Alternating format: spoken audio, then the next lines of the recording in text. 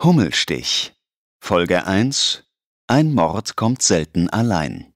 Von Katharina Schendl Es liest Gabriele Blum. Kapitel 1 Ein Dorf irgendwo in Deutschland. Es war ein ganz normaler Sonntagnachmittag in Hummelstich. Die milde Maisonne strahlte auf das kleine Dorf herab und ließ die Dächer der niedlichen Häuser funkeln und glitzern. Der Himmel war strahlend blau, und die unverhohlene Glückseligkeit der Dorfbewohner schwebte wie ein frühsommerliches Hochdruckgebiet über der Gemeinde. In den Vorgärten und Hinterhöfen herrschte, anders als in den Nachbardörfern, kein sonntäglicher Frieden, sondern emsige Betriebsamkeit. Fröhliches Geklimper von allerlei Werkzeugen mischte sich mit dem Muhen, Gackern und Blöken von Kühen, Hühnern und Schafen. Hier klopfte ein Hammer im Einklang mit einer Bohrmaschine. Dort erklang ein Duett von Winkelschleifer und Schweißgerät. Wieder woanders heulte ein Motor auf. Die frische Landluft roch nach Schmieröl und Benzin. Wohin man auch blickte, das ganze Dorf war auf den Beinen. Jeder Bewohner, ob jung oder alt, ging mit emsiger Betriebsamkeit an sein Tagwerk. Sie schraubten, bastelten und montierten, friemelten und lackierten. Das taten sie mit solcher Leidenschaft, dass es beinahe unheimlich war. Kein Zweifel, die Hummelstichler trugen wieder einmal untereinander einen Wettstreit aus, und dabei waren sie unerbittlich. Tatsächlich war es nur noch wenige Tage bis zum alljährlichen Mopsrennen, einer heißgeliebten lokalen Tradition, die so gar nichts mit Hunden, Heringen oder weiblicher Oberweite zu tun hatte. Nein, beim Mopsrennen ging es um selbstgebaute Fahrzeuge, die zum einen schnell wie ein geölter Blitz sein sollten und zum anderen das größtmögliche Maß an Originalität vorweisen mussten. Dabei kamen oft die abenteuerlichsten Gefährte zum Vorschein, und es gab kaum ein Haushalts- oder Gartengerät, das beim Bau eines Gabel- oder Gelenkmopses noch nicht Verwendung gefunden hatte. Die ausgefallenen Kreationen zeugten von handwerklichem Geschick und Einfallsreichtum. Natürlich wurde es über die Jahre immer schwieriger, etwas ganz und gar Neuartiges zu konstruieren.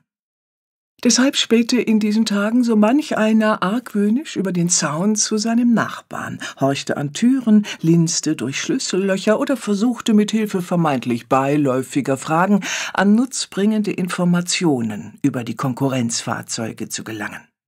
Je näher der Tag des Rennens rückte, desto stärker wurde der Spionagetrieb.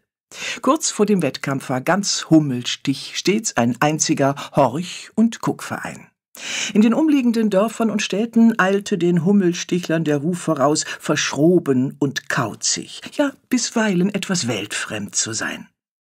Man erzählte sich allerlei skurrile Geschichten über die Dorfbewohner, munkelte sogar von Füchsen und Hasen, die sich hier gute Nacht sagten.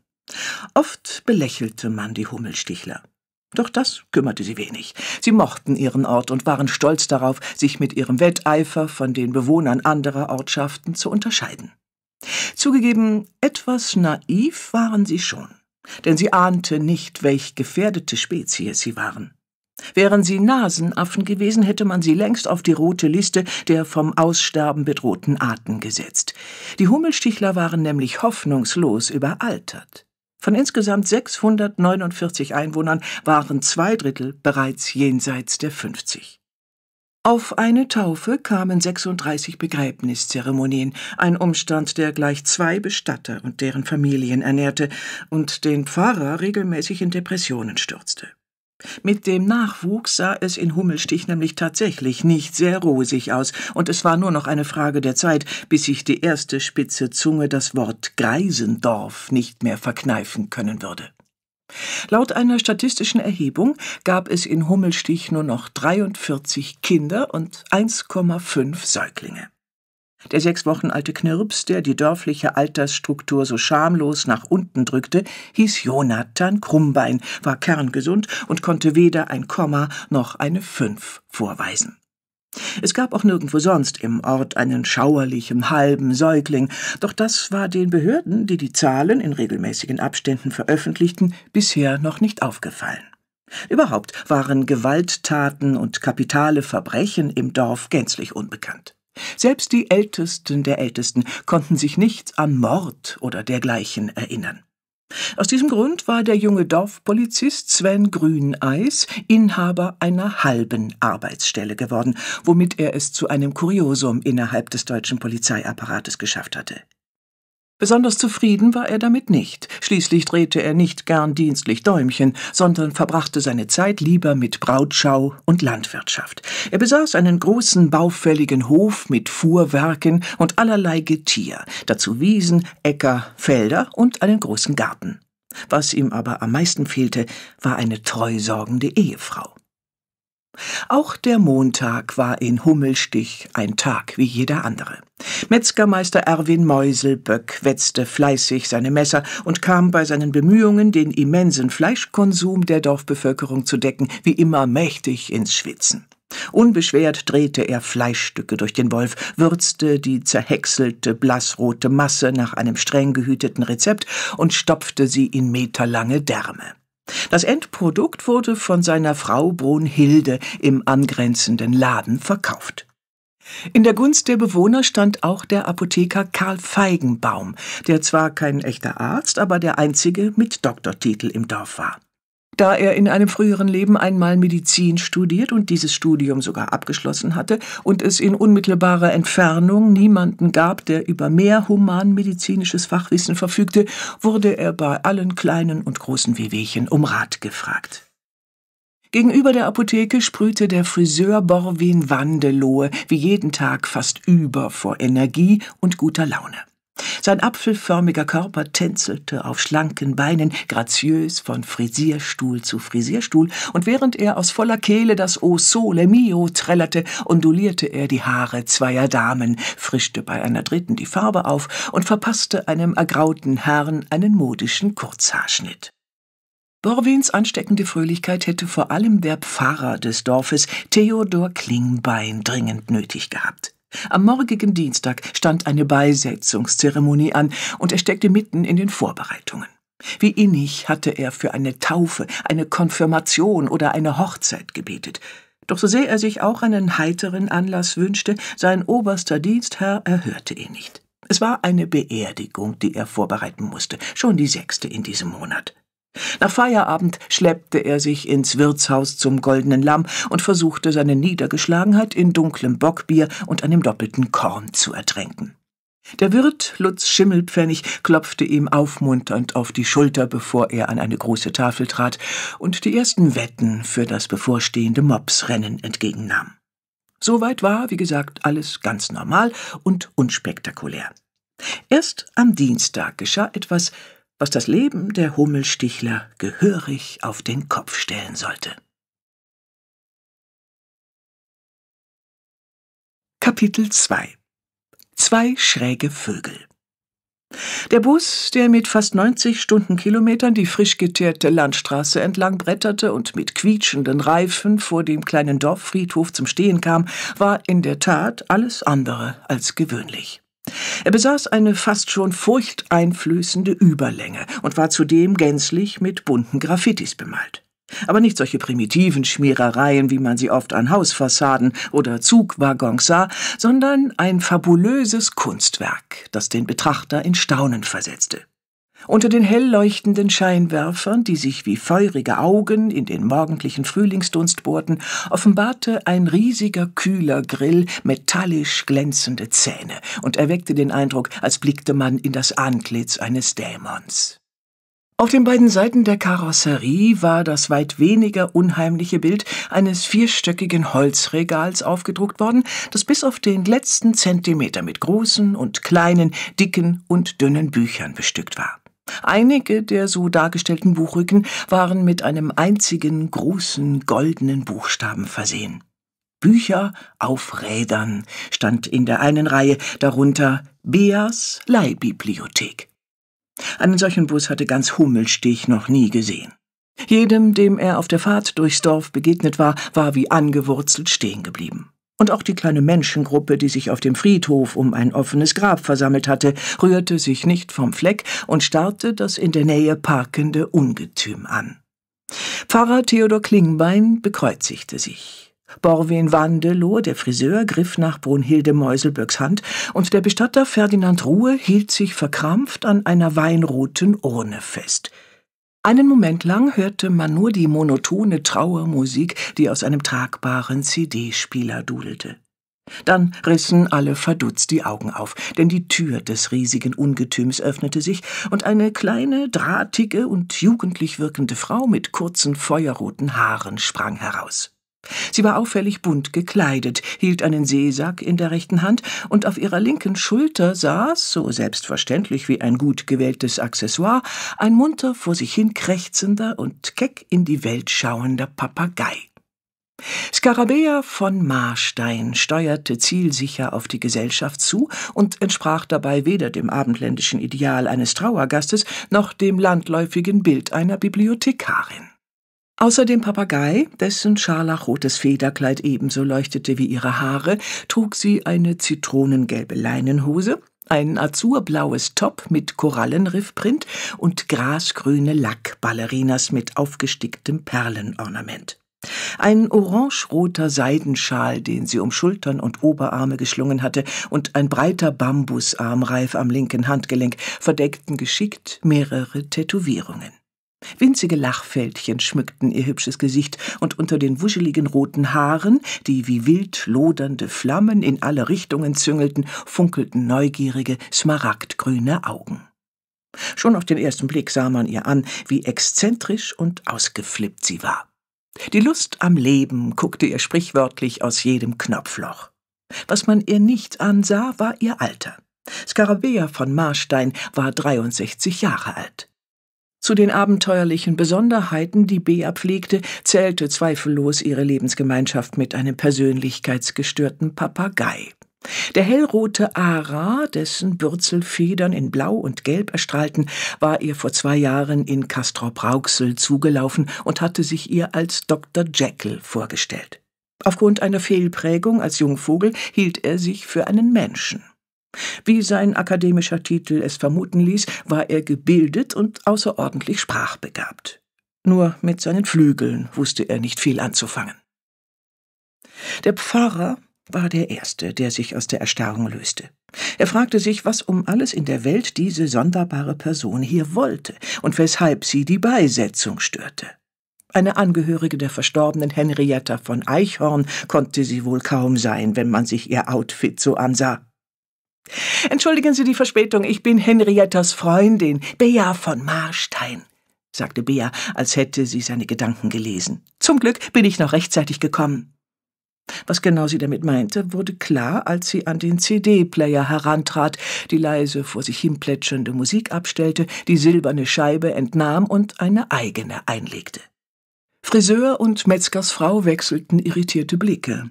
Der Bestatter räusperte sich.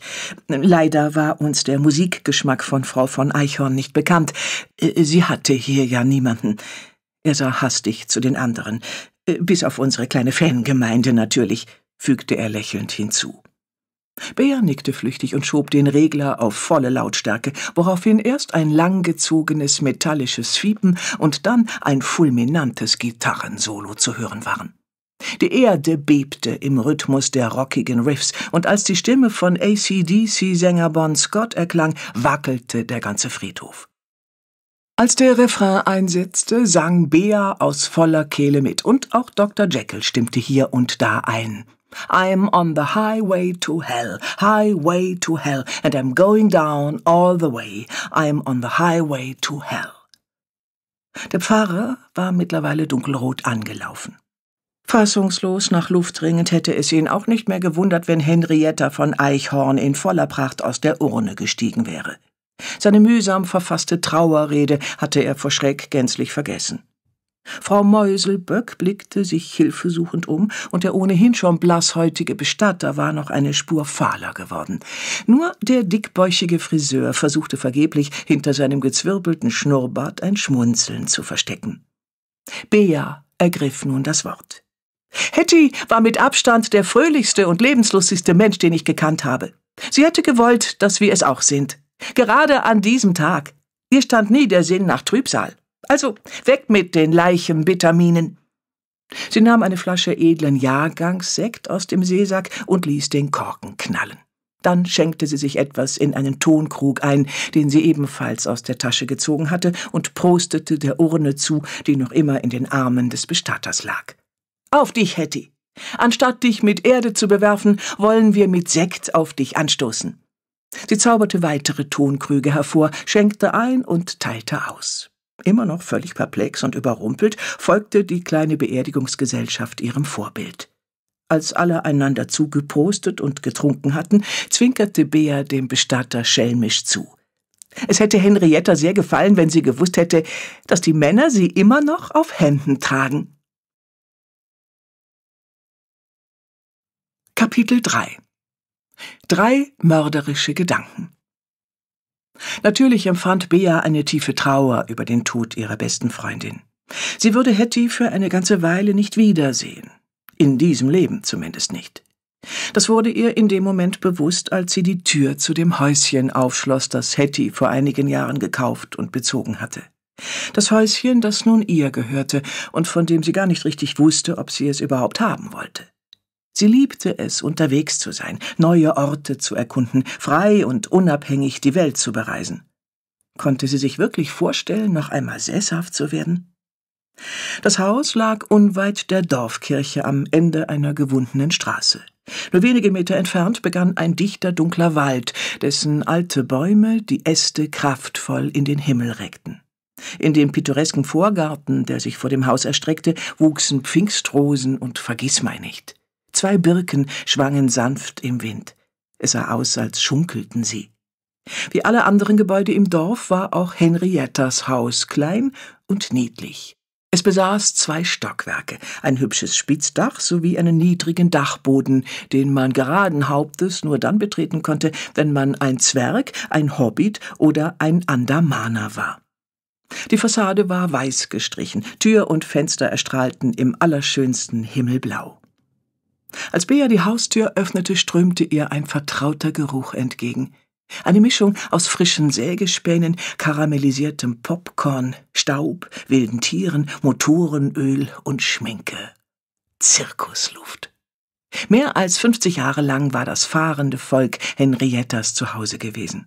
Nach der Zeit im Internat hatte sie sich einem bekannten Wanderzirkus angeschlossen und sich unsterblich in Johann, den Entfesselungskünstler und Messerwerfer, verliebt. Neben der großen Liebe hatte sie im Zirkus auch den Ort gefunden, wo sie am glücklichsten war. Auf einem dünnen Drahtseil in zehn Metern Höhe. In Henriettas Häuschen erzählten Hunderte von Postern und Fotografien von dieser glanzvollen Zeit. Sie zeigten eine elegante junge Frau von natürlicher Schönheit mit goldblonden Engelslocken und der Ausstrahlung einer glamourösen Filmdiva. Auf einigen Bildern war auch Johann der Messerwerfer zu sehen, ein stattlicher Hühne voller Tatendrang und Leidenschaft. Bea durchstreifte die einzelnen Zimmer und lächelte. Das Häuschen war innen wesentlich geräumiger, als es von außen den Anschein hatte. Hettys Liebe zum Zirkus war nicht zu übersehen. Schwere Tierskulpturen säumten die Fenster, Tapeten und Vorhänge trugen das blau-rote Streifenmuster eines Zirkuszeltes. Alles war liebevoll gestaltet, voller origineller Details und strahlte angenehme Behaglichkeit aus. Hier würde sie sich wohlfühlen, keine Frage. Die Möbel im Wohnzimmer waren aus dunklem Holz gefertigt. Bea setzte Dr. Jekyll auf die Lehne eines plüschigen, mit purpurrotem Samt bespannten Ohrensessels und wanderte gedankenverloren durch den Raum. Neben dem Kamin stand auf einem zierlichen alten Hocker ein nostalgisches Trichtergrammophon. Mehrere alte Schellackplatten lagen darum verstreut, einige Dutzend weitere waren in der untersten Reihe eines großen Bücherregals ordentlich gestapelt. Im Zimmer gab es außerdem ein bequemes Sofa, einen niedrigen Couchtisch, der an ein rundes Zirkuspodest erinnerte, sowie mehrere blau-graue Zinnvasen mit getrockneten Hortensien darin. Kerzen in allen Größen, Formen und Farben zierten Regale, Tische und Fensterbretter. In einer kleinen Nische zeichneten sich zwei menschliche Konturen ab. Es waren kopf- und gliedlose Torsos aus Keramik mit wunderschönen Kostümen bekleidet. Links ein kurzes Kleid aus schneeweißen Federn, das Henrietta bei ihren spektakulären Auftritten getragen hatte. Rechts ein violetter, mit Pailletten bestickter Frack. Johanns Kostüm. Die Arbeitskleidung des Messerwerfers. Bea trat an das Bücherregal und ließ den Blick über die bunten Buchrücken schweifen. Instinktiv griff sie nach der Mausefalle, einem Kriminalroman von Agatha Christie, den sie Henrietta vor vielen Jahren geschenkt hatte. Krimis waren schon immer Hettys literarische Leidenschaft gewesen, und fast zwei Drittel ihrer Bücher gehörten diesem Genre an. Als Bea das Buch gerade zurückstellen wollte, bemerkte sie, dass etwas aus den Seiten hervorlugte. Erst dachte sie, dass sich einige Buchseiten gelöst hatten, dann sah sie jedoch, dass es ein Brief war. Auf dem blütenweißen Umschlag war mit kobaltblauer Tinte für Bea und darunter der Zusatz erst nach meinem Tod zu öffnen geschrieben.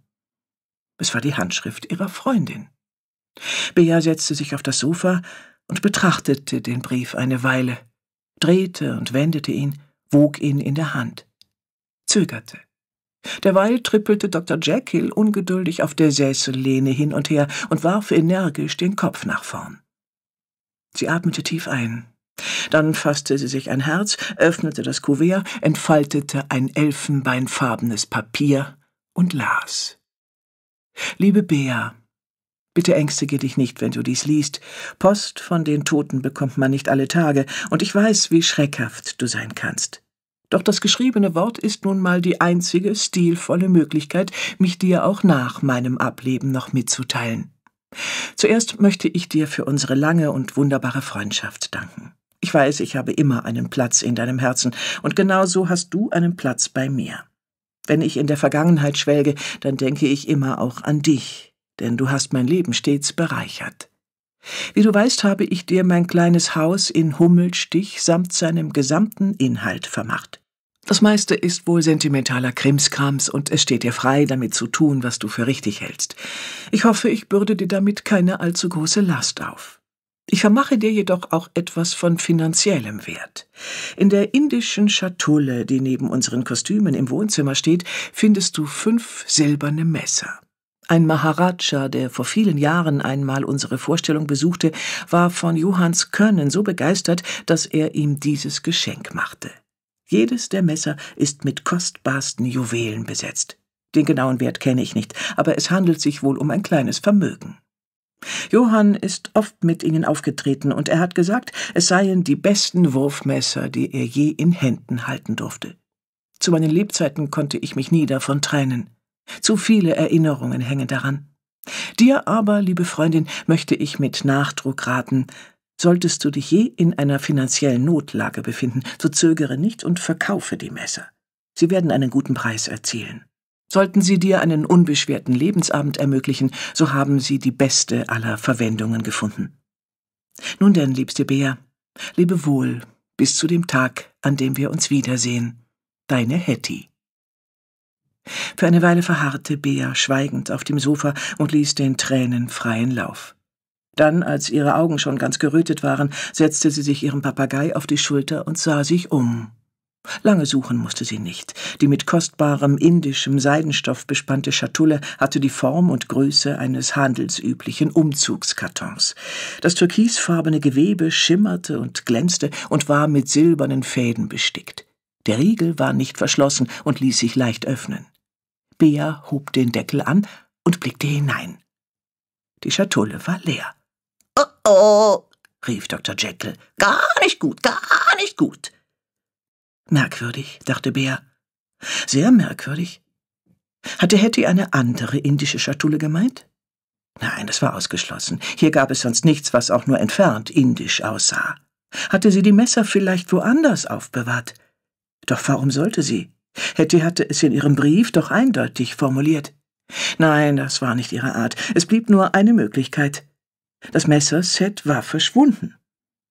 Konnte es sein, dass dies mit Henriettas Tod in Verbindung stand? Hatte jemand die kostbare Hinterlassenschaft gestohlen? Wenn jemand gewusst hätte, wie wertvoll die Messer waren, hätte er einen Grund gehabt, sie zu beseitigen. Das war das erste Mal an diesem Vormittag, dass Bea an Mord dachte.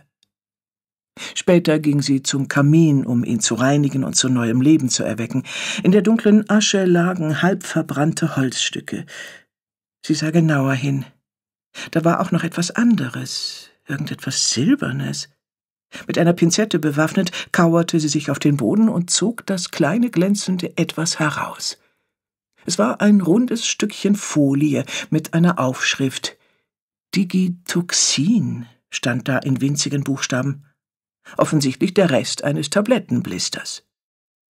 Digitoxin? Das klingt nicht nach einem harmlosen Mittel gegen Husten, überlegte Bea. Warum sollte Hetty überhaupt Tablettenverpackungen verbrennen? grübelte sie weiter. Doch wenn sie es nicht getan hatte, wer dann? Ein Fremder? Ein Gast? Aber wieso? Die Frage dehnte sich aus wie ein Echo. Hier soll etwas vertuscht werden, kam ihr plötzlich in den Sinn. Das war das zweite Mal an diesem Tag, dass sie der Verdacht beschlich, dass hier etwas nicht mit rechten Dingen zuging. In der Küche brühte sie sich einen starken Bohnenkaffee auf. Dazu verkostete sie Henriettas selbstgemachten Blutwurzschnaps, den sie im Dielenschrank gefunden hatte. Ein edles Tröpfchen. Dr. Jekyll bereitete sie einen Imbiss aus einem halben Apfel und einer Handvoll Sonnenblumenkernen zu. Zärtlich kraulte sie sein bunt gefiedertes Köpfchen. Was ist hier bloß geschehen? murmelte sie vor sich hin, mehr zu sich selbst als zum Papagei. Das ist doch klar, krächzte Dr. Jekyll und beäugte sie, als wollte er ihre Reaktion abwarten und sichergehen, dass er ihre volle Aufmerksamkeit bekam. Sie blickte ihn fragend an. Zwar war sie es gewohnt, dass er zu allen passenden und vor allem unpassenden Gelegenheiten seinen Senf dazugab, hellseherische Fähigkeiten hatte sie bei ihm bisher jedoch eher selten beobachtet. Eiskalter Mord, verkündete er. Die Spatzen pfeifen es ja schon von den Dächern. Bär erschauerte. Sie wusste, wenn Papageien davon sprachen, dass Spatzen von den Dächern pfiffen, dann war dies durchaus ernst zu nehmen. Und das war das dritte Mal, dass sie überlegte, ob ihre beste Freundin Hetty vielleicht nicht ganz freiwillig aus dem Leben geschieden war. Kapitel 4 Viererlei Gesprächsstoff Wenig später hatte Bea einen Entschluss gefasst. Sie würde die Antwort auf die Frage finden, was wirklich mit ihrer Freundin passiert war. Auch wenn die Erkenntnis, dass Hetty möglicherweise ermordet worden war, sie zutiefst schockierte, blieb ihr gar keine andere Wahl. Das war sie ihrer Freundin schuldig. Dieser Weg würde steinig werden, so viel war klar. Den wichtigsten Teil einer kriminalistischen Untersuchung, nämlich die Leichenschau und damit die Möglichkeit, an Henriettas Körper Spuren eines nicht natürlichen Todes zu finden, konnte man vergessen. Man brauchte kein Gerichtsmediziner zu sein, um zu wissen, dass nach einer Feuerbestattung eine Exhumierung zwecklos war. Damit blieb ihr nur, Augen und Ohren weit aufzumachen, zur richtigen Zeit die richtigen Fragen zu stellen und den Tag von Henriettas Tod bis ins kleinste Detail zu rekonstruieren. Ihr Bauchgefühl, das ein ausgesprochen hungriges war, führte Bea als erstes ins Gasthaus zum Goldenen Lamm. Wirtshäuser waren seit jeher die wichtigsten Umschlagplätze für Informationen aller Art. Hier erfuhr man meist etwas Interessantes und ganz nebenbei konnte man noch einen Happen essen. Das Lokal war äußerst geräumig, gemütlich möbliert und strahlte eine wohlige Atmosphäre aus. Gedämpftes Licht beleuchtete schwere, dunkle Ledersessel und ließ mehrere Kessel aus Messing erstrahlen, die neben Kochtöpfen an der Wand hingen. In die Aromen von Hopfen und Malz mischten sich der Geruch von Tabak aus einer kleinen Raucherecke im vorderen Teil des Raumes sowie ein köstlicher Bratenduft. Viele Tische waren besetzt und die Gäste plauderten angeregt miteinander. Als man Bea bemerkte, wurde es aber mit einem Mal mucksmäuschenstill. Alle starrten sie mit großen Augen an. Davon unbeeindruckt nickte sie freundlich grüßend in die Runde, bahnte sich einen Weg zum Tresen und nahm auf einem Barhocker Platz. In dem Moment, in dem sie sich niederließ und damit den übrigen Gästen den Rücken zudrehte, setzte auch wieder die Geräuschkulisse ein. Hinter dem Tresen hatten ein Mann und eine Frau sie beim Hereinkommen beobachtet. Es handelte sich offenbar um Lutz und Bertha Schimmelpfennig, die Besitzer und Betreiber des Lokals, wie Bea in dem kleinen Schaukasten an der Tür gelesen hatte. Sie waren schätzungsweise Anfang 50 und auf den ersten Blick unscheinbare Menschen. Alles an ihnen wirkte durchschnittlich. Zwei Allerweltsgesichter, die man kurzzeitig wahrnahm und schnell wieder vergaß. Doch Bea, die ein gutes Gespür für Menschen besaß, meinte noch etwas anderes zu entdecken. In den Augen der beiden, da war sie sich sicher, als sie ihren Blick erwiderte, lag etwas Verschlagenes. Und noch etwas. Etwas wie Gier? Was darf's denn sein? fragte Lutz Schimmelpfennig in übertrieben freundlichem Ton. Das Lächeln, das er ihr schenkte, kam Bea unecht vor. Sie unterbrach ihre Überlegungen für einen Moment und bestellte ein großes Blondes. Als das bernsteinfarbene Gebräu mit einer dicken, weißen, wolkengleichen Schaumkrone vor ihr stand, sagte der Wirt Sie sind das also. Es war eine Feststellung, keine Frage. Äh, Verzeihung? Na, die Frau, über die das ganze Dorf spricht. Sie sollen ja auf dem Friedhof eine Wahnsinnsschau abgezogen haben. Bea lächelte milde. Man tut, was man kann, erwiderte sie fröhlich. Mit einem Blick auf die Speisekarte fragte sie, was können Sie mir denn empfehlen? Wir haben einen Mittagstisch. Heute gibt's Rinderroulade, dazu Klöße und Rotkraut. Bea nickte zustimmend. Fein. Dann sind Sie eine Verwandte der Verstorbenen? fragte der Wirt. Ich weiß. Sie sind bestimmt die Tochter. Und bevor sie sich's versah, ergriff er ihre Hand und versicherte sie seines aufrichtigen und herzlichsten Beileids. Bea nahm ihm die Betroffenheit über Hettys Tod nicht ab. Nein, antwortete sie, ich bin eine gute Freundin der Verstorbenen. Ach so. Er kratzte sich irritiert am Bart und ließ ihre Hand los. Wir haben die alte Dame leider nie persönlich kennengelernt. Sie hat ja sehr zurückgezogen gelebt. Aber, wie man hört, soll sie ziemlich vermögend gewesen sein. Beim letzten Satz funkelte es in seinen Augen begehrlich. Bea schnaubte innerlich. Von wegen, alte Dame, wenn du wüsstest. Bertha Schimmelpfennig, die in der Küche verschwunden war, nachdem Bea ihre Bestellung aufgegeben hatte, kam zurück hinter den Tresen, in der Hand einen dampfenden Teller. Den stellte sie kommentarlos vor Bea ab, die sich ein Besteck aus dem nahestehenden Körbchen angelte und mit gutem Appetit zu essen begann. Eine Weile aß sie schweigend, während der Wirt mit Inbrunst Biergläser polierte. Bea setzte eine traurige Miene auf, blickte ihn an und sagte Ach, die gute arme Henrietta. Wenigstens musste sie nicht lange leiden. Das musste sie doch nicht, oder? Gespannt beobachtete sie die Reaktion ihres Gegenübers. Nein, bestimmt nicht. Da kann ich Sie beruhigen. Also die Brunhilde, die Frau Meuselböck, die sie gefunden hat, meinte, dass sie ganz friedlich ausgesehen hat. Ach, Gott sei Dank, das tröstet mich. Ach, sagen Sie, die Frau Meuselböck, das ist doch die Frau von, ähm, äh, sie tat, als läge ihr der Name auf der Zunge. Von Erwin, dem Metzger. Ja, das ist richtig. Ach, genau, Erwin. Sie deutete auf die Reste auf ihrem Teller und zwinkerte Lutz Schimmelpfennig verschwörerisch zu. Hat ausgezeichnet geschmeckt. Vielen Dank. Bis zur Metzgerei waren es nur wenige Schritte. Das ist der Vorteil von einem Dorf, dachte Bea. Alles ist an einem Platz und man muss nie lange suchen. Frau Meuselböck, so erfuhr sie von der hübschen jungen Verkäuferin, sei gerade zwei Häuser weiter beim Friseur Borwin-Wandelohe. Umso besser, dachte Bea, denn nach der Dorfschenke war der Friseursalon stets der zweite Anlaufpunkt, wenn es um die logistische Verbreitung von Klatsch und Tratsch jeder Art ging. Die Frau des Metzgers und Borwin Wanderloh waren gerade in ein Gespräch vertieft, als das helle Klingeln der Türglocke einen neuen Kunden ankündigte. In Frau Meuselböcks Haaren steckten riesige Lockenwickler aus rotem Plastik und ellenlange Streifen Alufolie. Das Brillenungetüm auf der schmalen Nase ließ ihre Augen unnatürlich groß erscheinen. Um den Hals, der zu dünn wirkte, um den gewaltigen Kopf zu tragen, war ein silberfarbener Frisierumhang gebunden. Sie sah in diesem Aufzug aus wie von einem anderen Stern. Der Friseur, der ebenfalls einem anderen Sonnensystem anzugehören schien, war rund und drall. Sein schwarzer, gezwirbelter Schnurrbart wogte im Takt seines Atems sanft auf und ab.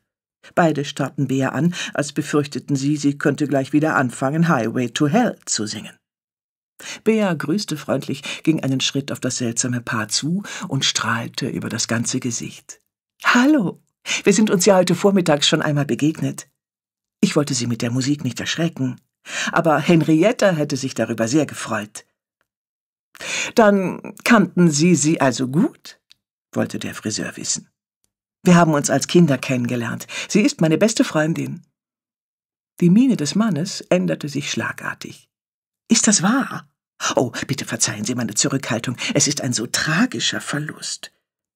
Ja, das ist es, bestätigte Frau Meuselböck, die sich ebenfalls zu entspannen schien. Wir haben Frau von Eichhorn wirklich gemocht, und Borwin war einer ihrer glühendsten Verehrer. Bitte, setzen Sie sich doch, beeilte sich Borwin Wandelohe zu sagen und zog Bea einen Stuhl heran. Ich konnte erst gar nicht glauben, dass sie hier wohnte. Die Henrietta von Eichhorn, die Königin des Hochseils. Ach, so schön, so wagemutig, so unerreichbar. Der Zirkus ist meine Leidenschaft, wissen Sie? Seine Augen strahlten. Oh, Zirkusluft, oh, Zirkusluft, wie ich sie vermisse. Er stand auf, wieselte zum Tresen und kramte ein dickes Album hervor. Das reichte er Bea so vorsichtig, als handelte es sich um ein rohes Ei. Es war ein Album, das Henriettas Karriere am Trapez beinahe lückenlos dokumentierte und enthielt Fotografien, Autogramme, Eintrittskarten und Zeitungsartikel. Bea las einige Überschriften wie Die Gunst des Maharajas oder Messerwerfer reich beschenkt. Ah, die indischen Messer. Stellen Sie sich vor, ich durfte sie sogar einmal berühren, erzählte der Friseur begeistert, der Bea über die Schulter gesehen hatte. Das muss ein unvergessliches Erlebnis gewesen sein. Doch wer außer Ihnen wusste eigentlich noch von den Messern? Oh, das ganze Dorf nehme ich mal an. Wann passiert hier schon mal so etwas Aufregendes, dass eine berühmte Zirkusschönheit bei uns ihre Zelte aufschlägt, meine ich. Die Metzgersfrau nickte. Ja, von den Messern wussten wir alle. Mein Mann hätte alles dafür getan, um nur mal einen Blick darauf zu erhaschen. Er hat einen kleinen Messertick, müssen Sie wissen, fügte sie lachend hinzu. Mit einer raschen Bewegung klappte Bea das Album zu. Man hat mir gesagt, dass es Herzversagen gewesen ist. Ja, Dr. Feigenbaum hat das festgestellt. Ich habe ihn gerufen. Frau Meuselböck wirkte bei diesen Worten beinahe stolz. Dann haben Sie sie gefunden? Bea zog ein Taschentuch hervor und tupfte sich damit über die Augen. Ach, Sie Arme, das muss wirklich schlimm für Sie sein. Frau Meuselböck beugte sich zu ihr herüber und drückte ihr mitfühlend die Hand. Wenn ich nur wüsste, wie alles passiert ist, flüsterte Bea. Die Frau des Metzgers holte tief Luft und sagte, ich habe Frau von Eichhorn ihre Bestellung gebracht. Eine Dose Leberwurst, Salami, Schinkenspeck, ein halbes Dutzend Eier, Tomaten und Tilsiter. Zwei bis dreimal pro Woche habe ich ihr die Einkäufe geliefert. Dann haben Sie einen Schlüssel zum Haus? Nein. Die Tür war ja tagsüber immer offen. Das ist so üblich bei uns im Ort. Wir verschließen unsere Türen nur in der Nacht. Bea nickte. Sie haben ihr also die Einkäufe gebracht. Ja, ich habe die Sachen in der Küche verstaut und mit ihr geredet, so wie immer. Aber sie hat mir nicht geantwortet, was ich merkwürdig fand. Dann bin ich ins Wohnzimmer gegangen und hab sie gerufen. Sie saß im Sessel und sah so friedlich aus. Ich habe wirklich gedacht, dass sie schläft. Erst als ich versucht habe, sie zu wecken, habe ich gemerkt, dass etwas nicht stimmt. Dann habe ich sofort den Feigenbaum gerufen. Ist Ihnen irgendetwas aufgefallen? War etwas anders als sonst? Die Metzgersfrau dachte angestrengt nach. Nein, der Doktor klang wie immer. Allerdings hat es eine ganze Weile gedauert, bis er da war, aber es gab ja auch genug zu tun. So konnte ich wenigstens noch einigermaßen Ordnung schaffen. Sie haben aufgeräumt? Bea musste sich Mühe geben, dass ihre Stimme nicht überschlug vor Entsetzen. Brunhilde Meuselböck strich über den silbernen Frisierumhang und rückte die Brille gerade. Na, wenn Sie wüssten, wie es da ausgesehen hat, dann hätten Sie auch aufgeräumt. So ein Durcheinander. Ich glaube, die gute Frau von Eichhorn hat vor ihrem Tod irgendetwas gesucht. Das ist ja nichts Ungewöhnliches, wenn man älter ist. Geht mir auch schon oft so. Digitoxin? Dr. Feigenbaum blickte überrascht auf. Sind Sie sicher? Sie standen in einem Raum im rückwärtigen Teil der Apotheke, der offenbar als Büro genutzt wurde. Der Apotheker hatte sich über einen schmalen Schreibtisch gebeugt. Sein Gesicht hatte eine ungesunde Farbe. Es war fleischig und von zahlreichen tiefen Falten zerfurcht.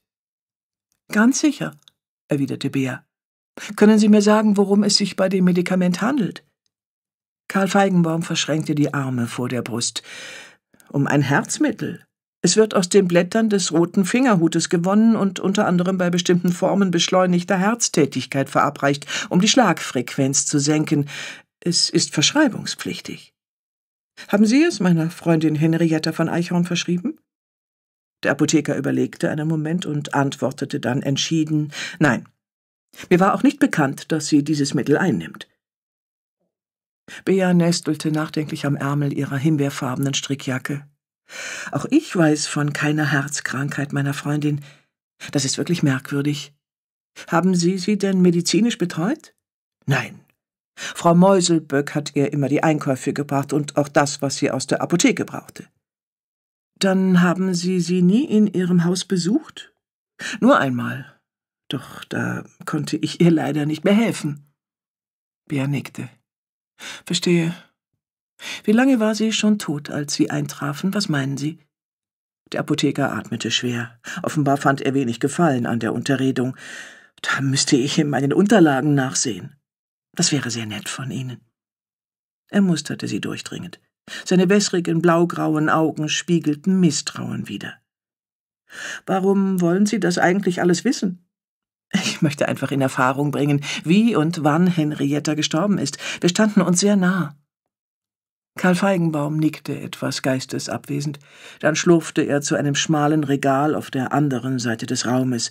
Aus einem der Fächer zog er ein Schreibheft, in dem er lange blätterte. Er starrte so angestrengt auf die Seiten, als könnte er seine eigene Handschrift kaum entziffern. Ohne aufzublicken, sagte er schließlich Der Tod muss so gegen sieben Uhr morgens an Frau Eichhorns Tür geklopft haben. Auf dem Rückweg dachte Bea angestrengt über das Gehörte nach. Ihr lief es noch immer kalt den Rücken hinunter bei dem Gedanken an das, was ihrer Freundin in diesem hübschen, beschaulichen Ort möglicherweise zugestoßen war. Sie wollte schleunigst nach Hause. Doch sie war noch nicht weit gekommen, da stellte sich ihr der Pfarrer in den Weg. Theodor Klingbein, mein Name, erklärte er ungefragt. Sagt Ihnen eigentlich der Begriff Totenruhe etwas? Seine Stimme hatte nun einen scharfen und bestimmenden Ton angenommen. Der Pfarrer wirkte mit einem Mal viel weniger freundlich als noch am Vormittag, als er Hettys Beerdigung abgehalten hatte. Sie werden mich bestimmt gleich aufklären, sagte Bea besonders liebenswürdig. Indem man sich ruhig verhält, bezeugt man den Verstorbenen Respekt, belehrte er sie. Ihr Verhalten auf dem Friedhof war absolut unangemessen. Bea zuckte mit den Schultern. Wer sagt denn, dass die Toten Ruhe wollen? Vielleicht finden sie es viel schöner, wenn die Lebenden auf ihren Gräbern feiern. Das ist Blasphemie, rief der Pfarrer und bekreuzigte sich. Bea lächelte. Nein, ist es nicht. Blasphemisch finde ich aber ihre intolerante Sichtweise. Klingbein errötete tief. Wie können Sie es wagen, einen Diener Gottes zu diffamieren? Das war nicht meine Absicht, Herr Pfarrer, aber ich halte mit meiner Meinung auch nicht hinterm Berg. Der Punkt ist doch, dass Sie nicht in der Lage sind, auch nur einen Zentimeter über Ihren eigenen Tellerrand zu schauen. Aber lassen Sie sich eines gesagt sein, ich denke nicht daran, auf derlei alberne Empfindungen Rücksicht zu nehmen, schon gar nicht, wenn es um einen Menschen geht, der mir so viel bedeutet wie meine Freundin Hetty. Im Gesicht des Pfarrers spiegelten sich nun Empörung und Wut. Sie sollten besser aufpassen, was Sie sagen. Ach ja? Drohen Sie mir sonst mit Hexenhammer und Scheiterhaufen? Tja, tut mir leid, da kommen Sie ein paar Jahrhunderte zu spät. Was fällt Ihnen ein, Sie anmaßende Person? Gehen Sie dahin, wo Sie hergekommen sind, und das möglichst schnell. Jemanden wie Sie brauchen wir hier in Hummelstich nicht. Bea kickte einen kleinen Stein beiseite. Ich denke ja gar nicht daran. Und einschüchtern lasse ich mich erst recht nicht. Damit ließ sie den immer noch zornigen Pfarrer einfach stehen und ging davon. Kapitel 5 Nur fünf Minuten die Hummelstichler Polizeidienststelle lag am Rande eines zerfurchten Rübenackers und sah alles andere als respekteinflößend aus. Zwar bestach die Umgebung durch landwirtschaftliches Idyll, was neben dem angepflanzten Wurzelgemüse aber vor allem an Trudi, der schielenden Kuh lag, die auf einer der Nachbarwiesen regelmäßig weidete. Doch das half dem kleinen Gebäude wenig. Die in die Jahre gekommene hölzerne Baracke stand auch an diesem Mittwochmorgen einsam und traurig auf weiter Flur und wirkte so trostlos wie ein verwittertes Bushäuschen. Das Dach war von zahlreichen undichten Stellen übersät. Auf der Metalltür trieb der Rost sein Unwesen, und hinter den trüben Fenstern zeichneten sich schmuddelige Häkelgardinen ab. In einer defekten Leuchtreklame über der Tür dämmerten die weißen Buchstaben Polizei auf dunkelblauem Grund. Merkwürdigerweise entsprach der Zustand der Polizeiwache auch der momentanen Gemütsverfassung des einzigen Polizisten im Dorf. Sven Grüneis war ebenso einsam und traurig wie sein Arbeitsplatz. Denn obwohl er über ein freundliches Wesen, ein sympathisches Gesicht und einen muskulösen Körper verfügte, obwohl er ein tüchtiger und geschickter Mann war und mit gerade mal dreißig Jahren noch nicht dem Verein der alten Krauter angehörte, war es ihm bisher nicht gelungen, eine Frau zu finden. Dabei sehnte er sich sehr nach einer liebevollen Partnerin. Besonders im Winter konnten die Abende in Hummelstich lang und einsam sein. Sven Grüneis war es leid, alle Höhen und Tiefen seines beschaulichen Lebens allein durchzustehen. Er wünschte sich Liebe und Geborgenheit, einen Menschen, der zu ihm gehörte, einen Menschen, mit dem er träumen, lieben und lachen konnte. Und es ging ihm dabei nicht nur um die Zweisamkeit. Er brauchte darüber hinaus auch eine Frau, die anpacken konnte. Die Renovierung des alten Bauernhauses, die Pflege des Gartens, das Bestellen der Felder und die Betreuung der Tiere, all das war zu viel für ihn allein. Zum Glück hatte er noch ein Ass im Ärmel. Erst letzte Woche hatte er eine Kontaktanzeige in der Lokalzeitung aufgegeben. Dass er neben seiner Arbeit als Landwirt auch Polizist war, hatte er darin aber bewusst verschwiegen. Schließlich war er nur ein halber Polizist, und eigentlich fühlte er sich nicht einmal als solcher. Das lag an der fehlenden praktischen Erfahrung. Denn meistens saß er in seiner bescheidenen Dienstbaracke nur die Zeit ab, trank Tee, las Wildwestromane und sehnte sich nach seinem Vieh. Er hatte sogar feste Sprechzeiten eingerichtet, doch außer ein paar alten Damen, die ihm ab und zu selbstgebackenen Streuselkuchen vorbeibrachten, kam niemand. So richtig ackern konnte Sven nur auf seinen Feldern, und diese Arbeit als Landwirt liebte er. Sie erfüllte ihn und ging ihm gut und leicht von der Hand. Alles, was ihm fehlte, war ein Mensch, bevorzugt ein weiblicher, mit dem er all das teilen konnte. Während Sven Grüneis über sein zukünftiges Glück nachdachte, füllte er mehrere Holzkisten mit frisch geerntetem Kopfsalat, Frühlingszwiebeln und Radieschen. Das Gemüse wuchs und gedieh bei ihm so prächtig, dass es eine wahre Wonne war. Tatsächlich war es sogar das Beste, was man weit und breit finden konnte, und das hatte sich im Dorf schnell herumgesprochen. Es gab kaum jemanden, der nicht bei ihm einkaufte, und sogar den Metzger Mäuselböck und den Wirt Schimmelpfennig belieferte er regelmäßig. Als er die Kisten gerade auf den Hänger seines Traktors geladen hatte, bog eine auffällig bunt gekleidete Frau mit feuerroten Haaren um die Ecke und kam zielstrebig auf ihn zu. Sind Sie der Polizist? Sven Grüneis? Ich muss Sie dringend sprechen. Mit der Lässigkeit eines Werbespot-Cowboys winkte er ab. Der bin ich erst heute Nachmittag ab 15 Uhr wieder. Jetzt bin ich gerade der Landwirt Sven Grüneis. Die Frau sah ihn verdutzt an. Das ist aber eine eigenartige Doppelrolle. Trotzdem, es ist wirklich sehr wichtig. Ja, das ist meine Arbeit auch. Ich muss meine Kunden beliefern, die warten schon auf mich. Aber, aber verstehen Sie denn nicht, ich habe ein Verbrechen zu melden. Er gab sich keinerlei Mühe, seinen Unmut zu verbergen. Na gut, aber nur fünf Minuten. Bea runzelte die Stirn. Ach du grüne Neune, dachte sie, das war ja ein seltsamer Vogel. Mein Name ist Bea von Marstein, sagte sie und kam dann gleich zum Punkt. Ich glaube, dass meine Freundin Henrietta von Eichhorn ermordet worden ist. Er sah sie einen Augenblick verwundert an. Ermordet? Wie kommen Sie denn darauf? fragte er dann. Bea beschloss, ihr sonderbares Bauchgefühl nicht als Grund anzugeben. Der junge Polizist, der ihr in Latzhose und kariertem Hemd gegenüberstand, wirkte schon skeptisch genug. Eine Reihe von Indizien, antwortete sie stattdessen. Ihre Wohnung ist durchwühlt worden, ein kostbares Messerset, das ihr gehörte, ist verschwunden, und im Kamin habe ich die Verpackungsreste eines Herzmedikaments gefunden. Dabei ist sie nie herzkrank gewesen. Sven Grüneis schüttelte lächelnd den Kopf und schwang sich auf den abgenutzten Sitz seines Traktors. Mord in Hummelstich? Das ist völlig absurd. Wir sind eine friedliebende Gemeinschaft, ein Ort voller zufriedener, glücklicher Menschen. Außerdem haben wir für kriminelle Machenschaften gar keine Zeit. So langsam verlor Bea die Geduld. Was reden Sie denn da? Sie müssen der Sache nachgehen, forderte sie energisch und hätte dabei fast mit dem Fuß auf den Boden gestampft. Der junge Mann ließ sich aber auch davon nicht beeindrucken. Jetzt muss ich zuerst einmal diese Waren zum goldenen Lamm bringen. Der Wirt wartet, wie gesagt, schon darauf. Kommen Sie doch heute Nachmittag noch einmal zu mir in die Dienststelle. Da können wir gern noch mal in Ruhe über alles reden. Vergessen Sie's. So leicht lasse ich mich nicht abwimmeln. Flink wie ein Wiesel sprang Bea auf den Anhänger und ließ sich neben den Holzkisten mit dem Gemüse nieder. Sven Grüneis zuckte mit den Schultern, ließ den Motor an und gab Gas. Der Traktor tuckerte knatternd los.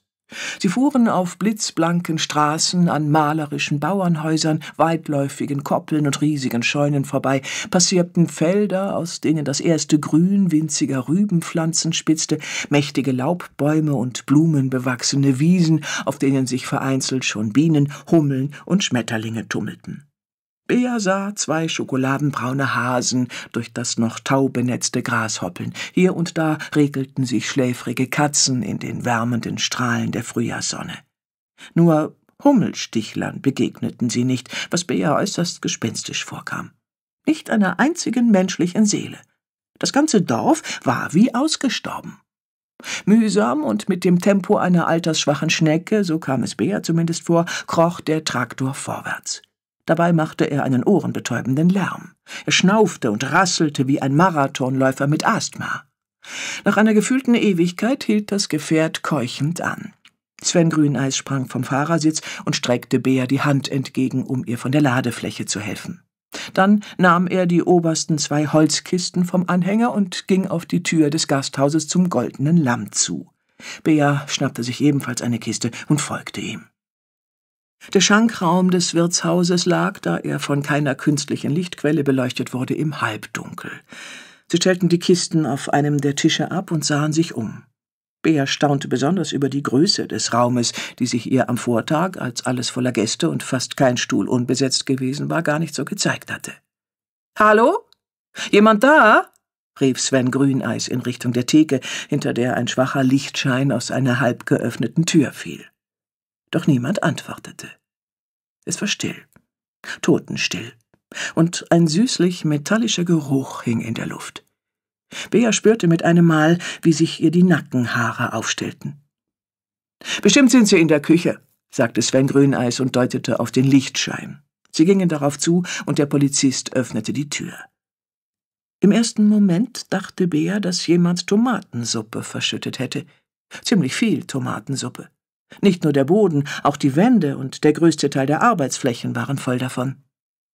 Dann, als sie sich weiter in den Raum hineinwagten, dämmerte ihr langsam, dass die rote Flüssigkeit zwar biologischen, aber keineswegs pflanzlichen Ursprungs war. Inmitten einer größeren Pfütze lag Bertha Schimmelpfennig auf dem Boden, Arme und Beine weit von sich gestreckt. Auch ihr Mann Lutz bot keinen besonders schönen Anblick. Sein Körper saß traurig auf einem wackelig wirkenden Holzschemel in der Ecke. Aus dem besudelten Hemdkragen ragte nicht mehr als ein blutiger Stumpf. Knapp drei Meter weiter thronte auf einem Berg zarter Spitzkohlblätter der abgehackte Kopf des Mannes. Auf dem fahlen Gesicht lag ein zutiefst deprimierter Ausdruck.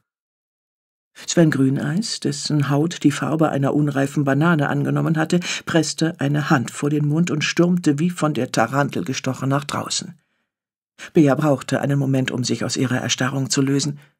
Als sie spürte, dass ihr die Beine wieder gehorchten, ging sie aus der Küche in den Gastraum, trat hinter die Theke und nahm einen kräftigen Schluck aus einer halbvollen Tequila-Flasche, die sie zwischen den Spirituosen fand. Wenig später kramte sie aus ihrer Handtasche ein paar roter Ziegenlederhandschuhe, streifte sie sich über und marschierte zurück in die Küche. Sorgfältig darauf bedacht, nicht mit dem Blut in Berührung zu kommen, kniete sie sich neben die tote Frau und betrachtete das, was augenscheinlich die Mordwaffe war. Es war eine Axt, wie man sie zum Holzhacken verwendete, mit einem leicht gebogenen, hölzernen Stiel. Die schwarz glänzende Klinge war blutverschmiert. Einem Instinkt folgend zog Bea einen Handschuh aus und betastete den linken, unversehrten Handrücken des Opfers. Er war noch warm, Dann griff sie in ihre Jackentasche, holte das Smartphone hervor und fotografierte das morbide Schlachtfeld, das die Wirtsleute nunmehr boten. Jedes noch so winzige Detail hielt sie im Bild fest. Anschließend zog sie den Handschuh wieder an und stellte fest, dass der Körper des Mannes, bis auf die Tatsache, dass ihm der Kopf abgehackt worden war, keine größeren Verletzungen aufwies. Daraus schlussfolgerte sie, dass es Lutz Schimmelpfennig völlig unvorbereitet getroffen hatte. Vermutlich war er hinterrücks attackiert worden. Draußen vor der Tür hockte Sven Grüneis neben seinem Traktor und kotzte sich die Seele aus dem Leib. Bea betrachtete ihn mitleidig. Dann nahm sie ihr Handy und wählte die 110. Kapitel 6 Wie ein Sechser im Lotto für Kurt Pfeiffer, den Kommissar der Bad Frankenberger Mordkommission, war der Fall noch vor dem Abendessen klar.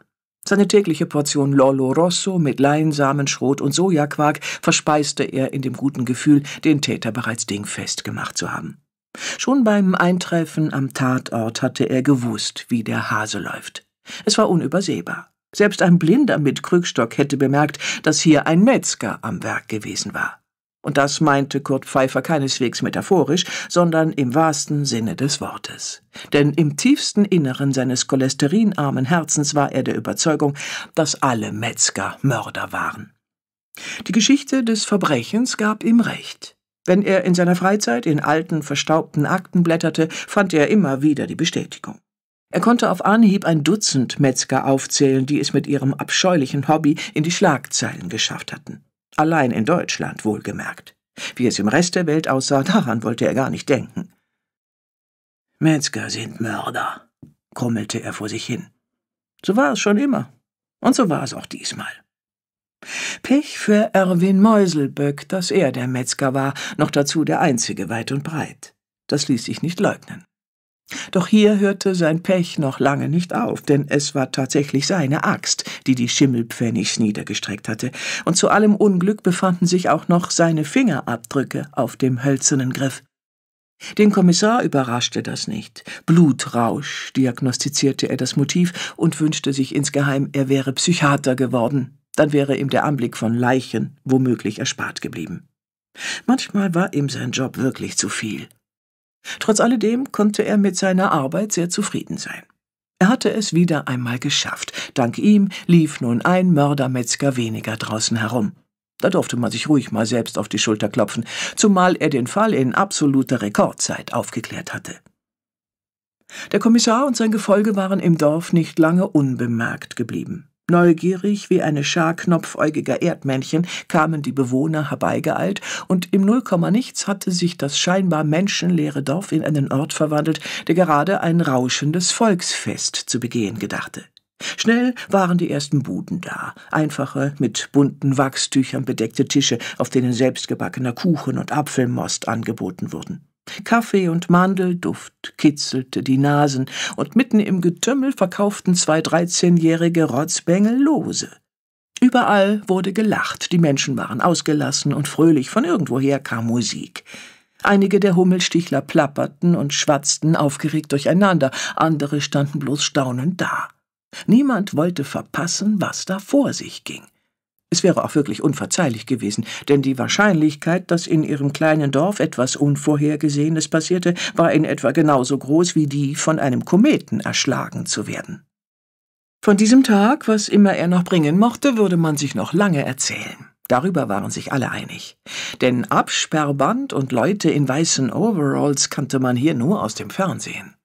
In den amerikanischen Serien, die zur besten Sendezeit liefen, war es ganz genauso. Auch da gab es meist einen wortkargen Kommissar mit grauen Schläfen, der wie ein geübter Marionettenspieler die unsichtbaren Fäden der Ermittlung in der Hand hielt. Tatsächlich dachten viele, dass das Fernsehen zu Besuch wäre. Hummelstich goes to Hollywood. Während der Traum, von einem amerikanischen Produzenten entdeckt und ein internationaler Leinwandstar zu werden, wie eine abgestandene Dungwolke in der Luft hing, hatten die zwei ortsansässigen Bestatterfamilien den Ernst der Lage bereits erfasst. Als Leichengräber roch man den Tod schon zehn Meter gegen den Wind, und als selbstständige Unternehmer kämpften die beiden konkurrierenden Unternehmen um jeden neuen Kunden. Schon seit über drei Jahrzehnten betrieben die Gebrüder Fritz und Ferdinand Ruhe ihr Haus der Pietät. Das ungleiche Paar gehörte zu den unheimlichsten Erscheinungen im Dorf. Dies lag zum einen daran, dass man nicht sehr viel über die Brüder wusste. Da sie sehr zurückgezogen lebten und sich nicht am allgemeinen Dorfleben beteiligten, galten sie als Außenseiter. Man wusste lediglich, dass sie ein großes altes Haus bewohnten, das so gruselig war wie die Männer selbst, und dass sie die Verstorbenen stets in einem grünen Oldtimer abtransportierten, der angeblich ein Erbstück eines Onkels aus Amerika gewesen war. Ein anderer Grund, weshalb sich die Leute vor ihnen fürchteten, war die äußere Erscheinung der zwei Brüder. Der 55-jährige Ferdinand fiel besonders durch seine extrem blasse Haut auf. Er mied das Sonnenlicht, wo er nur konnte, war von großer, hagerer Statur und stets vornehm gekleidet. Sein 15 Jahre jüngerer Bruder Fritz, der heute aber nicht mitgekommen war, wirkte dagegen plump und bucklig und war als recht einfältiger, jedoch gutmütiger Raufbold bekannt. Eine Hasenscharte und mehrere hässliche Pockennarben verunstalteten sein rundes Gesicht. So war es nicht weiter verwunderlich, dass die Dorfbewohner den beiden ungleichen Leichenchauffeuren die Spitznamen Graf Dracula und der Glöckner gegeben hatten und ihnen jedes Mal ein Schauer den Rücken herunterrieselte, wenn sie sich hinter vorgehaltener Hand zuflüsterten. Die zweite Familie, die sich im letzten aller irdischen Gewerbe betätigte, hieß Erdmann und war so beliebt wie eine Gesäßwarze. Otto und Heidi Erdmann waren seit 25 Jahren verheiratet, streitsüchtig und cholerisch veranlagt und mit einer unnatürlich braunen Lederhaut sowie zwei missratenen Töchtern im Teenageralter gestraft. Es gab wirklich niemanden, der sie mochte. Doch das kümmerte die Erdmanns wenig. Im Gegenteil, sie schienen die ablehnende Haltung sogar zu genießen. Die Kasse klingelte sowieso, denn der Tod war immer ein einträgliches Geschäft. Sympathie und Beliebtheit spielten da keine große Rolle. Obwohl in Hummelstich viel gestorben wurde, gehörte der Konkurrenzkampf zum Alltag der beiden Familien. Bei den ständigen Versuchen, sich gegenseitig zu übertrumpfen, kamen die aberwitzigsten Ideen heraus. Der eine warb mit Vorteilswochen, der andere mit Tiefpreisgarantie, und während die beiden Brüder bei uns ruhen sie sanfter auf ihre Reklametafel schrieben, versprachen die Erdmanns jedem Neukunden ein Sargkissen gratis. Aus dem Weg! krakeelte Heidi Erdmann mit ihrer höchst unverwechselbaren Stimme, die einem das Blut in den Adern gefrieren ließ. Sie klang, als kratzten lange, ungepflegte Fingernägel über eine Schultafel. Wir waren zuerst da! Sie überreichte einem uniformierten Beamten, der als Aufpasser direkt hinter dem rot-weißen Absperrband positioniert war, eine Visitenkarte. Schön für Sie, herzlichen Glückwunsch, erwiderte Ferdinand Ruhe kühl und steckte dem verdutzten Polizisten ebenfalls seine Karte zu. Heidi Erbmann drängte sich dazwischen. Wer zuerst kommt, mal zuerst. Sie wissen doch, wie das läuft. Ich fürchte, Sie haben wieder einmal zu lange im Solarium gesessen, und Ihre letzten Hirnzellen sind nun leider auch dahin. In diesem Fall entscheidet das die Polizei. Jetzt schaltete sich Otto Erdmann ein. Wir lassen uns doch nicht von Ihnen provozieren. Außerdem sitzt man im Solarium nicht, man liegt. Aber woher soll so ein spießiger Blutsauger wie Sie das auch wissen? Ferdinand Ruhe machte eine wegwerfende Geste. Ach, kommen Sie. Das ist doch nun wirklich eine Nummer zu groß für Sie. Er versuchte, die Absperrung zu passieren, doch Otto Erdmann hielt ihn am Jackenkragen fest. Denken Sie ernsthaft, dass die Polizei mit einer fahlgesichtigen Lachnummer wie Ihnen zusammenarbeiten will? Er lachte spöttisch. Ferdinand Ruhe riss sich ärgerlich los. Besser eine fahlgesichtige Lachnummer als ein hirnamputiertes Brathähnchen, denn im Gegensatz zu Ihnen habe ich ein Gewissen. Pah! schnauzte Heidi Erdmann. Ihr Gutmenschentum können Sie sich sonst wohin stecken. Wenn einer sagt, dass es ihm nicht um die Kohle geht, dann lügt er, Sie käsiger Moralapostel. Bitte beruhigen Sie sich, mischte sich der Polizist ein. Das hätte er besser nicht tun sollen, denn nun zog er die giftigen Blicke auf sich. Wir sind ruhig, zischten Herr und Frau Erdmann einstimmig. Genau, bestätigte Ferdinand Ruhe. Es war das erste Mal, dass sich die beiden Bestatterfamilien einig waren, doch damit war der unverhofften Einigkeit auch schon wieder genug Ehre erwiesen. Gemäß dem Sprichwort, wenn zwei sich streiten, freut sich der Dritte, fuhr wenig später ein weiterer Leichenwagen vor, den die Polizei aus Bad Frankenberg angefordert hatte. Die Streithälse bedachten die unbekannten Männer in den schwarzen Anzügen mit herabwürdigenden Blicken. Als sie merkten, dass hier nichts mehr zu holen war, zogen sie enttäuscht von dannen. Die Volksfeststimmung verflog so schnell, wie sie aufgekommen war. Das fröhliche Gelächter und das sorgenfreie Geschwätz verstummten, und kalte Ernüchterung machte sich breit. Da sich die Totengräber nicht länger um die Beute stritten, fiel schließlich auch dem letzten Hummelstichler auf, dass hier etwas ganz und gar nicht stimmte. Es stank gewaltig gen Himmel. Und dennoch hatten die Aasgeier bereits das Weite gesucht. Merkwürdig. Kapitel 7 Ein Buch mit sieben Siegeln Der große Saal im Gemeindehaus, der den Charme eines osteuropäischen Mausoleums versprühte, platzte am frühen Nachmittag aus allen Nähten. Eine Sondersitzung war einberufen worden. Kleine und große, dicke und dünne Menschen standen so dicht aneinander gedrängt, dass nicht mal mehr eine Stecknadel hätte zu Boden fallen können. Die Dorfbewohner waren in Aufruhr. Alle waren zutiefst entsetzt über die Ereignisse, und diese Empörung entlud sich nun wie ein Gewitter über der Hummelstichler Gemeinschaft. Alle redeten wild durcheinander. Es wurde debattiert, gestikuliert, gezetert und gestritten. Die Geräuschkulisse war ohrenbetäubend. Noch nie war solch ein verheerendes Unglück über das kleine beschauliche Dorf hereingebrochen, eine Katastrophe, die ihnen mit einem Mal und völlig unvorbereitet die Grundversorgung geraubt hatte. Wirtsleute tot, Wirtshaus zu, Metzger verhaftet, Metzgerei zu, kein Bier, kein Fleisch. Von einem Moment auf den nächsten. Wie sollten sie das bloß überstehen? Abgesehen davon glaubte auch niemand, dass Erwin Meuselböck die Wirtsleute ermordet hatte. Er galt als ehrliche Haut und war bei allen beliebt. Noch nie hatte ihn jemand aufbrausend oder gar gewalttätig erlebt. Man kannte ihn als sanften und zurückhaltenden Menschen, der ganz in sich ruhte und keiner Fliege etwas zuleide tun konnte. Es musste sich um reine Schikane handeln. Ein Fall von Polizeiwillkür. Und wenn es das nicht war, dann zumindest ein Justizirrtum, ja. Anders konnte es nicht sein, sagten die Leute. Ganz Hummelstich war Opfer eines schrecklichen Fehlurteils geworden. Vergeblich versuchte der Ortsvorsteher Carsten Hulalka, die aufgebrachte Menge zu beruhigen. Seine weiche, kraftlose Stimme verhallte ungehört im Getümmel. Weitaus größere Erfolge erzielte dagegen der Pfarrer.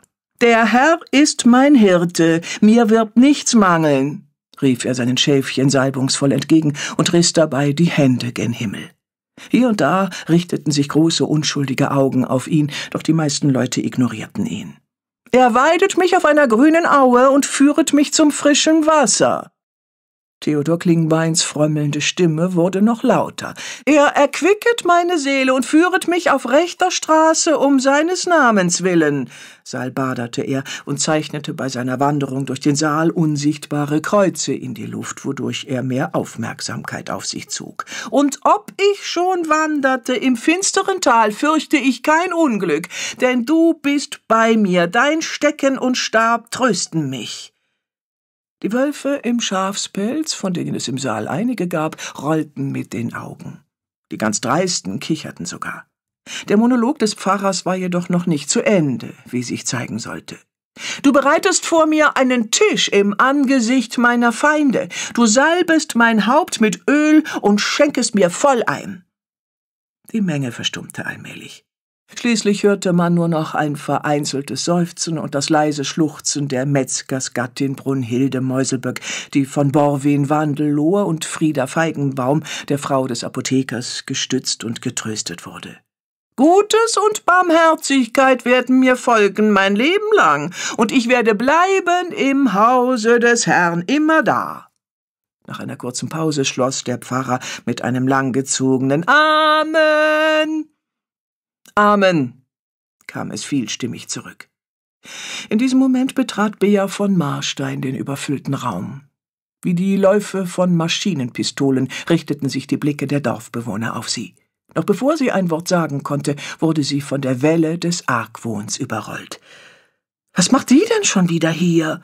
rief eine dunkelhaarige Frau und warf Bea böse Blicke zu. Wo die auftaucht, gibt's nur Ärger bestätigte ein altes Männlein mit spindeldürren Armen. Mehrere Menschen stimmten ihm zu. Alles war gut, bis sie hierher kam. Seit sie da ist, ist alles anders. Sie hat das Unglück in unser Dorf gebracht. Sie ist eine Hexe. Bea blieb beinahe die Spucke weg. Dieses Dorf war ihr ein Rätsel. Sollten die letzten 500 Jahre tatsächlich unbemerkt an diesem Örtchen vorbeigezogen sein? Seid nicht albern, Leute, verschaffte sich Carsten Hulalka endlich Gehör. Es bringt doch nichts, einen Unbeteiligten dafür verantwortlich zu machen. Wir sollten lieber darüber beratschlagen, wie es jetzt weitergeht. Ein Mann mit dichtem schwarzem Oberlippenbart und verschwitztem Polyesterhemd gesellte sich zu dem Ortsvorsteher. Hulalka hat recht, am Sonntag findet unser Mopsrennen statt. Bis dahin müssen wir jemanden finden, der uns mit Fleisch beliefert. Und einen Bierwagen brauchen wir auch. Irgendjemand muss für die Schimmelpfennigs einspringen und den Ausschank übernehmen. Bea konnte sich das nicht länger anhören. Ihr platzte der Kragen. Drei Menschen sind kaltblütig ermordet worden. Und alles, worüber ihr euch Sorgen macht, ist, ob eure Versorgung mit Fleisch und Bier sichergestellt ist? Wieder richteten sich alle Augen auf sie. Wieso drei? Ist denn noch jemand ermordet worden? fragte der Ortsvorsteher kleinlaut. Beas Kopf war rot wie immer, wenn sie sich so ärgerte. Ja, es ist noch jemand ermordet worden. Meine Freundin Henrietta von Eichhorn. Ich bin überzeugt, dass sie keines natürlichen Todes gestorben ist, und ich werde nicht eher ruhen, bis ich den Verantwortlichen gefunden habe. Die Kampfansage kam an. Empörtes Gemurmel durchdrang den Raum. Sie glauben doch nicht etwa, dass einer von uns? Carsten Hullalka beendete den Satz nicht. Bea beschloss, die Karten auf den Tisch zu legen. Doch, sagte sie entschlossen, ich glaube, dass unter uns ein Mörder ist. Kapitel 8 Bea macht's das dunkelblaue Polizeisiegel zu durchtrennen war ein Kinderspiel. Man musste nur einmal schnell das Taschenmesser durchziehen und fertig. Eine wesentlich größere Herausforderung dagegen war die Sache mit dem Dietrich. Sven Grüneis zitterte. Das war sein erster Einbruch, und er hatte das Gefühl, dass er sich ziemlich ungeschickt anstellte. Im Fernsehen sah das immer viel einfacher aus. Zwar tat er sein Bestes, doch so sehr er auch im Türschloss herumstocherte, es rührte sich nichts. Lassen Sie mich mal. Die Frau rempelte ihn an und angelte sich den Dietrich aus seiner verschwitzten Hand. Sven Grüneis trat beiseite. Sie schob das Werkzeug sachte ins Schlüsselloch und nach wenigen Sekunden sprang die Tür auf. Keine Frage, sie machte das nicht zum ersten Mal. Noch schwieriger als die Sache mit dem Dietrich war für Sven Grüneis, noch einmal den Tatort zu betreten. Allein den Fuß über die Türschwelle zu setzen und in den Schankraum des goldenen Lamms hineinzugehen, kostete ihn seine ganze Überwindung. Als er durch den Raum auf die Küche zuging, um der Frau, die wie ein Spürhund vorausgeprescht war, zu folgen, brach ihm am ganzen Körper der Angstschweiß aus. Er wusste wirklich nicht, was ihn geritten hatte, dies hier zu tun. Mit dieser Frau hierher zu kommen und das Gesetz zu brechen. Doch auf irgendeine Weise schien sie ihm sonderbar vertraut, als machten sie schon seit einer halben Ewigkeit gemeinsame Sache. Ja, es kam ihm so vor, als würden sie sich in und auswendig kennen. Zwei, die zueinander gehörten und durch dick und dünn gingen, wie ein paar Wanderstiefel aus robustem, matschbraunem Schweinsleder. Vielleicht lag es ja an den ungewöhnlichen Umständen ihrer ersten Begegnung. Man findet schließlich nicht jeden Tag zwei Leichen. So etwas schweißt eben zusammen auch wenn er im Gegensatz zu ihr keine besonders gute Figur dabei gemacht hatte. Doch wer sollte ihm das verdenken? Er hatte vorher noch nie einen toten Menschen gesehen. Zwar kannte er sich mit dem Anblick verendeter Tiere und verkümmerter Pflanzen aus, aber der brutale Mord am Homo sapiens war dann doch etwas anderes. Es hatte ihn völlig aus der Bahn geworfen. Seine Schwäche hatte sie keineswegs ausgenutzt, im Gegenteil. Sie hatte seinen Kollegen bei der Kriminalpolizei gerufen und, als der ganze Zirkus vorbei gewesen war, seine Hand genommen und das Häufchen Elend, das von ihm übrig geblieben war, nach Hause gebracht. Er bewunderte sie. Ihre schillernde und exzentrische Persönlichkeit, ihre unkonventionelle, manchmal vorlaute Art, ihre Geradlinigkeit. Sie war so unerschrocken und energisch wie eine wilde Büffelherde, so voller Leben Bea von Marstein, was für ein Name. Was für eine bemerkenswerte Frau. Schnell und zielsicher wie eine Fernlenkrakete steuerte Bea auf eine schmale Wendeltreppe zu, die in die obere Etage und in den Wohnbereich der ermordeten Wirtsleute führte. Der junge Dorfpolizist, der große Mühe hatte, Schritt zu halten, hastete hinter ihr her. Wo, wonach suchen wir eigentlich? fragte er außer Atem. Die Spurensicherung hat doch schon alles unter die Lupe genommen. Sie warf ihm einen spöttischen Blick zu, als hätte er etwas Dummes gesagt. Der Getadelte reagierte sofort. Oh, wow, Sie meinen, die waren nicht gründlich? Daran habe ich tatsächlich so meine Zweifel. Bea, die wieder ihre roten Ziegenlederhandschuhe angezogen hatte, schritt die gesamte Wohnung ab. Sie betrachtete jeden Raum und jeden Winkel so sorgfältig, als wollte sie sich jedes noch so kleine Detail einprägen. Kein Schrank und keine Schublade waren vor ihr sicher. Neugierig durchstöberte sie Kommoden und Regale, spähte unter Sofas und Betten und wühlte sich durch Kontoauszüge, verstaubte Fotoalben und alte Geschäftsakten. Die erste Zwischenbilanz ihrer Suche verwunderte sie kaum, denn, wie sie vermutet hatte, waren die ermordeten Wirtsleute steinreich gewesen. Nur zu gut erinnerte sie sich an die einzige Begegnung mit den Schimmelpfennigs. Die Verschlagenheit und Gier war ihnen förmlich aus den Augen gesprungen. Tatsächlich hatten sie ein riesiges Vermögen angehäuft und ihrem Namen dabei alle Ehre gemacht. Denn trotz des Reichtums hatten sie äußerst sparsam gelebt. Viel mehr noch als das materielle Vermögen der Ermordeten erregte jedoch ein schmales Notizbüchlein Beas Interesse. Versehen mit einem unscheinbaren grauen Einband war es in einer Schreibtischschublade verstaut gewesen und enthielt lediglich handschriftlich vermerkte Buchstaben und Zahlen. Da stand zum Beispiel 1510 CF 5000 oder 0902 FR 1200. Es waren immer vier Ziffern, gefolgt von zwei Buchstaben, denen sich weitere drei bis fünf Zahlen anschlossen. Sie blätterte durch die Seiten. Beinahe zwei Drittel des Büchleins waren beschrieben. Dann, bei näherer Betrachtung, bemerkte sie, dass eine der zuletzt beschriebenen Seiten fehlte. Sie war gewaltsam und unsauber herausgerissen worden. Was halten Sie davon? Fragte Bea den Polizisten und hielt ihm das Buch unter die Nase. Könnte sowas wie ein Geheimcode sein, überlegte er. Dann zuckte er plötzlich unter der Erschütterung des eigenen Gedankens zusammen. Vielleicht handelt es sich bei den ersten Zahlen um eine Datumsangabe. Gar nicht schlecht, lobte Bea. Ja, das könnte tatsächlich das jeweilige Datum sein. Und die Buchstaben sind Initialen, rief Sven Grüneis stolz. Die Freude über seine plötzliche Erleuchtung hielt jedoch nicht lange an. Schon wurde es in seinem Gesicht wieder zappenduster. Aber was bedeuten die restlichen Zahlen? Als Bea nicht antwortete, wiederholte er die Frage. Haben Sie dazu eine Idee? Sie hatte sie. Mehr als das. Sie war sich absolut sicher, was die Vermerke zu bedeuten hatten. Es sind Summen, Geldbeträge. Sven Grüneis überlegte. Man konnte förmlich sehen, wie es in seinem Gehirn ratterte. Aber das hieße ja, dass. Er stockte und hielt den Atem an, so als fürchtete er sich davor, den Gedanken zu vollenden. Sagen Sie es ruhig, ermutigte Bea ihn. Doch er gab keinen Pieps mehr von sich. Also holte sie selbst tief Luft. Es heißt, dass Lutz und Bertha Schimmelpfennig hundsgemeine Erpresser waren. Ja, das heißt es wohl. Die Augen des jungen Mannes wurden groß. Für eine Weile starrte er aus dem Fenster, dann sagte er tonlos Das kann ich mir gar nicht vorstellen. Bea grinste ihn an. Ich mir schon. Das Böse lauert überall.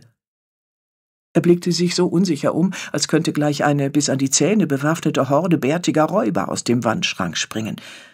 Verwirrt hob er die Schultern. Aber Sie waren immer nett, haben mir oft nach Feierabend ein Bier spendiert. Das macht sie natürlich zur Heiligen, spottete Bea gutmütig und zwinkerte ihm zu. Mal im Ernst. So vollkommen uneigennützig werden Sie die Spendierhose nicht angehabt haben. Wie meinen Sie das? Man sitzt beisammen, nach einem anstrengenden Tag, trinkt ein Bier und unterhält sich. Die normalste Sache der Welt. Natürlich redet man da auch über seine Mitmenschen, über die kleinen Fehler und Sünden, die menschlichen Laster. Ich bin doch kein Klatschmaul, rief Sven Grüneis und klang ehrlich empört. Nein, da haben Sie recht, das sind Sie wirklich nicht. Im Gegenteil, Sie sind zurückhaltend und ruhig, eher wortkarg als gesprächig. Es wird nicht einfach gewesen sein, Ihnen Informationen zu entlocken. Ja, ja, jetzt, wo Sie es sagen, der Lutz hat sich schon sehr für meine Arbeit als Polizist interessiert. Er wollte ein Buch schreiben oder sowas. Ein Buch? Aha. Dafür brauchte er doch sicher Fakten, Insiderwissen und Erfahrungen aus erster Hand. Sven Grüneis errötete tief. Es war ein unangenehmer Moment. Die peinliche Stille breitete sich wie ein eiskalter Bergsee zwischen ihnen aus. Bea, die Mitleid mit dem jungen Mann hatte, baute schnell eine Brücke. Haben Sie hier vielleicht einen Papierkorb gesehen? Er nickte und war sichtlich froh über den Themenwechsel. Ja, äh, dort drüben, gleich neben der Tür. Sie griff nach dem hellgrauen, bis an den Rand gefüllten Plastikeimer und leerte ihn mit einem entschlossenen Schwung über dem anthrazitfarbenen Flusenteppich aus. Auf den Knien hockend begutachteten sie den verstreuten Inhalt. Das meiste war belangloser Abfall. Doch zwischen Einkaufslisten, diversen unbeschriebenen Papieren und alten Kalenderblättern fanden sie auch eine Zeitschrift. Es war die Mai-Ausgabe des Boulevardmagazins Paparazzi. Als Bea das Heft aufschlug, machten sie eine weitere Entdeckung. Auf verschiedenen Seiten waren einzelne Buchstaben herausgeschnitten worden. Sven Grüneis sprang auf. Sein junges Gesicht war ärgerlich verzogen. Wie konnte ich nur so blind sein? Die haben mich eiskalt manipuliert und dann das halbe Dorf abgezockt, wenn nicht sogar das Ganze. Selbstvorwürfe nützen uns jetzt nichts, versuchte Bea ihn zu beruhigen. Er ging hektisch im Zimmer auf und ab. Ich hätte etwas merken müssen. Bin ich denn wirklich so ein Dösbadel? Niemand ist perfekt. Vielleicht waren sie einfach nur zu gutgläubig. Ach, was ist das nur für eine Welt, in der man niemandem mehr vertrauen kann? Bea stand nun ebenfalls auf. Vertrauen Sie sich selbst. Sie steckte die Beweise in ihre Tasche und zwinkerte dem niedergeschlagenen Polizisten schelmisch zu. Dann kramte sie in ihrer Handtasche eine Schachtel mit chinesischen Glückskeksen hervor und streckte sie ihm entgegen. Nehmen Sie sich einen Keks aus meiner Orakelbox. Sie sehen so aus, als könnten Sie gerade etwas Weisheit vertragen. Nur zögerlich und weil er sie nicht vor den Kopf stoßen wollte, griff er in die Schachtel. Er glaubte nicht an solchen Humbug. Wozu sollte das gut sein? Bea spürte seine Skepsis und versuchte, seinen Blick einzufangen, doch er wich ihr aus. Ohne viel Federlesens bohrte sie den Zeigefinger in seine Brust. Öffnen Sie ihn, wann Sie wollen. Aber öffnen Sie ihn. Erst zu Hause, als er allein war, dachte er wieder daran. Er wickelte den Keks aus dem Silberpapier, brach ihn in zwei Hälften und zog den kleinen weißen Papierstreifen heraus. Die handgeschriebenen Worte trafen ihn mitten ins Herz. Liebe findet man nicht durch intensive Suche, sondern so wie eine Muschel am Strand. Im Grunde findet sie uns. Kapitel 9 Neun spanische Tapas am selben Abend erhielt Bea einen Anruf von Borwin Wandelohe, der sich inbrünstig für das eklatante Verhalten seiner Mitbürger entschuldigte und sie zu einem, wie er es nannte, leichten Abendessen einlud, bestehend aus Tapas und Wein. Überrascht von dieser unerwarteten Geste und weil sie vor Hunger bereits ein ganz flaues Gefühl im Magen hatte, sagte sie umgehend zu und machte sich auf den Weg. Die Wohnung des Barbiers lag im ersten Stock des hübschen alten Backsteinhauses, in dem sich auch sein Salon befand. Bereits auf der Straße war laute Operettenmusik zu vernehmen und ein unwiderstehliches Aromenbouquet von Knoblauch, wilden Kräutern und würzigem Käse drang aus der grün gestrichenen Eingangstür. Nach einer warmherzigen Begrüßung führte der dralle Halbspanier Bea durch die Räume seines Heims, das so ganz seinem südländischen und temperamentvollen Wesen entsprach und in dem es überall köstlich duftete.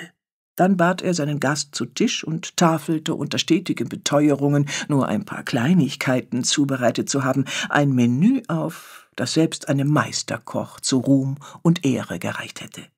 Bohnentortilla mit Speck, Sherry-Eier in Kalbsbrühe, Empanadillas mit Steinpilzen, Kartoffeln mit Chorizo, galizische Wachteln, Kaninchen in Safransauce, gefüllte Sardinen nach katalanischer Art, scharfe Tomaten, Salsa und süßes Brot mit Honig und Zimt. Dazu kredenzte er verschiedene spanische Weine, wobei er freudig sein Fachwissen preisgab und sich überhaupt als gebildeter und angenehmer Gesprächspartner entpuppte. Sie plauderten angeregt über die Reisen und Abenteuer spanischer Entdecker, die Werke Pablo Picassos und die Theater von Sevilla und Madrid, stießen auf die wunderbare Henrietta an, auf den Zirkus und auf das Leben, und es dauerte nicht lange, da tranken sie Brüderschaft. Was hast du da am Arm? fragte Borwin neugierig und deutete auf Beas linkes Handgelenk, um das sich ein schlanker Drache mit smaragdgrünen Schuppen wand. Ist das wirklich eine echte Tätowierung? Sie lachte. Sehe ich so aus, als würde ich mich mit Abziehbildchen bemalen? Borwin Wandelohe musterte ihre feuerroten Haare, in denen eine breite Spange mit silbernen Totenköpfen steckte. Er war sich offenbar nicht sicher. Na ja, natürlich ist sie echt sogar zu hundert Prozent echt, ebenso wie diese. Sie streifte den rechten Ärmel ihrer flauschigen, himbeerfarbenen Strickjacke ab. Ihr schlanker, nackter Oberarm war mit einem dunkelblauen Kreuz-Herzanker und mehreren schwarzen chinesischen Schriftzeichen verziert. Verstehe, bemerkte der Friseur und war sichtlich beeindruckt. Du machst keine halben Sachen, was? Nein, das ist nicht so mein Ding. Er zwirbelte fasziniert seinen Schnurrbart. Was bedeuten die Bilder denn? Der Anker stammt aus meiner Zeit auf See. Kreuz, Anker und Herz symbolisieren Glaube, Hoffnung und Liebe und sollen vor Gefahren schützen. Du weißt schon, Orkane, Piraten, Skorbut, Meeresungeheuer, der fliegende Holländer. Glaub mir, auf dieser Welt gibt es weit mehr Möglichkeiten, den Tod zu finden, als zu überleben. Naja, wir Seeleute umgeben uns gern mit abergläubischem Zeugs. Du glaubst an den fliegenden Holländer? Borwin schenkte noch etwas Wein nach. Was heißt denn hier glauben? Ich habe ihn mit eigenen Augen gesehen. Ist nicht wahr. Das sagenumwobene, vielleicht berühmteste Schiff der Welt hast du gesehen? Sag mal, da war doch Rum im Spiel. Bea lachte. Beim Klabautermann nein, nicht mehr als ein winziges Schlückchen. Es war da, direkt vor unserem Bug, ein riesengroßes Schiff mit einem Mast so hoch wie der Eiffelturm, gehissten, zerschlissenen Segeln und weder Mann noch Maus an Bord. Borwin Wandelow schüttelte sich. Ach, hör auf, mich gruselt's. Erklär mir lieber, was das für komische Bilder sind. Mit dem Zeigefinger berührte er die tätowierten chinesischen Schriftzeichen. Das sind die Namen meiner beiden Kinder, Pantau und Wei Ping. Sie sind schon groß in den Dreißigern und haben ihre eigenen Familien. Sie brauchen mich nicht mehr. Nicht, dass Sie das sagen würden, doch es ist so. Als Mutter muss man irgendwann loslassen aber im Herzen und auf meiner Haut habe ich sie immer bei mir. Du hast chinesische Kinder, das ist ja toll, staunte Borwin Wandelohe. Halb chinesische, verbesserte Bea, sowie ein Viertel Deutsch und ein Viertel Französisch. Sie erhob ihr Glas und prostete ihm zu. Alle Achtung, da haben also drei Nationen ihr Blut in einen Topf geworfen. Ach, das klingt nach einer ganz interessanten Mischung. Was ist denn mit dem Vater der beiden? Andächtig und liebevoll blickte Bea auf die dritte Tätowierung an ihrem linken Handgelenk. Das ist Li Chang, mein schmunzelnder Glücksdrache. Sie erzählte lange und ausführlich von ihrem Ehemann, wie sie sich auf der Fidschi-Insel Vitilevu begegnet waren und sich rettungslos ineinander verliebt hatten, wie sie viele glückliche Jahre in asiatischen Großstädten verbracht hatten und welch schmerzhafte Lücke er hinterließ, als er vor sechs Jahren zum anderen Ufer des Jordans übersetzte. Dann war es an Borwin Wandelohe, sein Herz zu öffnen. Er erzählte von dem Vater, den er nie kennengelernt hatte und der nur in seiner Fantasie Gestalt annahm, der ihn aber dennoch sein ganzes Leben lang wie ein leuchtender Stern geführt und begleitet hatte. Wie eine erdachte Romanfigur, die sich immerzu aus dem allzu festen Griff des Lesers windet und ihn doch nie wieder loslässt wie ein Scherenschnitt von einem Mann mit Hut und Mantel, der im Schatten verharrt und nie sein Gesicht preisgibt. Er erzählte Bea auch von seiner alten gebrechlichen Mutter, die eine Etage über ihm wohnte und die er liebevoll umsorgte. Ansonsten lebte er allein und strebte danach, sich beruflich zu verwirklichen. Dieser Ehrgeiz hatte ihn zu einem wahren Genie seines Fachs gemacht. Was Mozart für die Musik war, das schien Borwin Wandelohe für die Friseurkunst zu sein. Sein größter Wunsch bestand darin, eines Tages in das Land seines Vaters zu ziehen und als der Hofcoiffeur der spanischen Königsfamilie seinen Lebensunterhalt und Ansehen zu verdienen. Sie könne ihn ja dann besuchen kommen, sagte er. Sie würden zusammen auf seiner kleinen Veranda sitzen und Tapas essen und Rotwein trinken. Bea war gedanklich so sehr in die wohltuend würzige Welt der iberischen Halbinsel versunken, dass sie alles andere völlig vergaß. Erst als der Coiffeur zu später Stunde eine Keule besten Serrano-Schinkens auftischte, wurde sie mit aller Macht aus ihrem seidenen Kokon herausgerissen. Der Anblick des gehäuteten und geräucherten Schweinebeins, das in einer speziellen Halterung seinen zierlichen Huf gen Himmel streckte, rief ihr schlagartig Bertha Schimmelpfennigs sterbliche Überreste ins Gedächtnis. Plötzlich war alles wieder da. Das viele Blut, die Leichen, das Beil. Es war an der Zeit herauszufinden, was Borwin Wandelohe über die beiden toten Wirtsleute wusste. Die Schimmelpfennigs waren nicht sehr beliebt im Ort, oder? Stimmt, eigentlich konnte sie niemand so recht ausstehen. Aber als Betreiber des einzigen Wirtshauses hier besaßen sie so etwas wie einen Sonderstatus. Sie saßen direkt am Bierzapfhahn und keiner wollte es sich mit ihnen verscherzen. Bea strich eine kleine Falte in der weißen Tischdecke glatt. Gehörte auch zu diesem Sonderstatus, andere zu erpressen? Borwin Wandelohe zog überrascht die Augenbrauen hoch. Woher weißt du das? Ach, das war ganz einfach. Ich habe nur zugehört. Die Spatzen pfeifen es ja schon von den Dächern. Tatsächlich? Dann haben Sie das also auch bei anderen gemacht? Haben Sie es etwa bei dir versucht? wollte Bea verdutzt wissen. Sein Gesicht verdunkelte sich für einen Moment. Ja, aber Sie waren erfolglos. Von mir haben Sie keinen Cent gesehen. Er hielt sein Weinglas in die Höhe, so als wollte er der Deckenlampe zuprosten und betrachtete eine Weile die funkelnde, rubinrote Flüssigkeit. Du weißt ja, die Welt des Zirkus und des Theaters hat es mir angetan. Ich liebe es, mich zu verkleiden, mich zu verwandeln, in eine Rolle zu schlüpfen und mich dabei immer wieder neu zu entdecken. Ganz gemächlich trank er einen Schluck Wein, stellte das Glas ab und hob entschuldigend die Schultern. Manchmal ist es auch die Rolle einer Frau. Bea atmete erleichtert auf. Sie haben dich in Frauenkleidern gesehen. Meine Güte, und ich dachte schon sonst was. Damit haben sie dich erpresst? Mit dieser Lappalie? Oh mein Gott, seid ihr hier vielleicht spießig? Das ist die Provinz, meine Liebe. Da läuft ein Mann nicht einfach so in einem extravaganten Fummel herum und schon gar nicht, wenn das Teil keine Hosenbeine hat. Das ist einfach nicht normal. Beas strahlende Augen verrieten ihre Begeisterung. Nicht normal, finde ich klasse. Erzähl weiter. Borwin seufzte. Es kam, wie es kommen musste. Als ich nicht gezahlt habe, hingen eines schönen Morgens am Dorfanger Fotos von mir. Besser gesagt, es waren Collagen, Seiten aus Modezeitschriften, die schicksten Kleider, die neueste Haute Couture aus Frankreich und überall mein Konterfei darauf. Seitdem bin ich die Dorftunte. Warum hast du sie nicht angezeigt? bohrte Bea weiter, aufgebracht über so viel Spießbürgertum.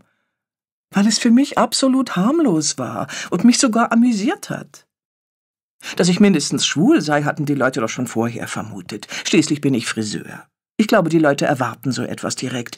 Deswegen hat mich die ganze Sache eher amüsiert. Und hey, immerhin war ich auf dem Cover der Vogue. Wer kann das schon von sich behaupten?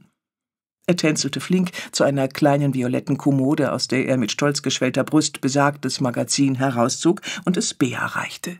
Sie lachten und kicherten bei der Betrachtung um die Wette. Da kam Bea eine Idee. Du hast nicht zufällig die Mai-Ausgabe der Paparazzi hier, oder? Ach, selbstverständlich. März, April, Mai, was immer du willst. Bea klatschte in die Hände vor Freude. Borwin Wandelow, du bist ein echter Glücksfall. Sie zwinkerte schelmisch und warf ihm eine Kusshand zu.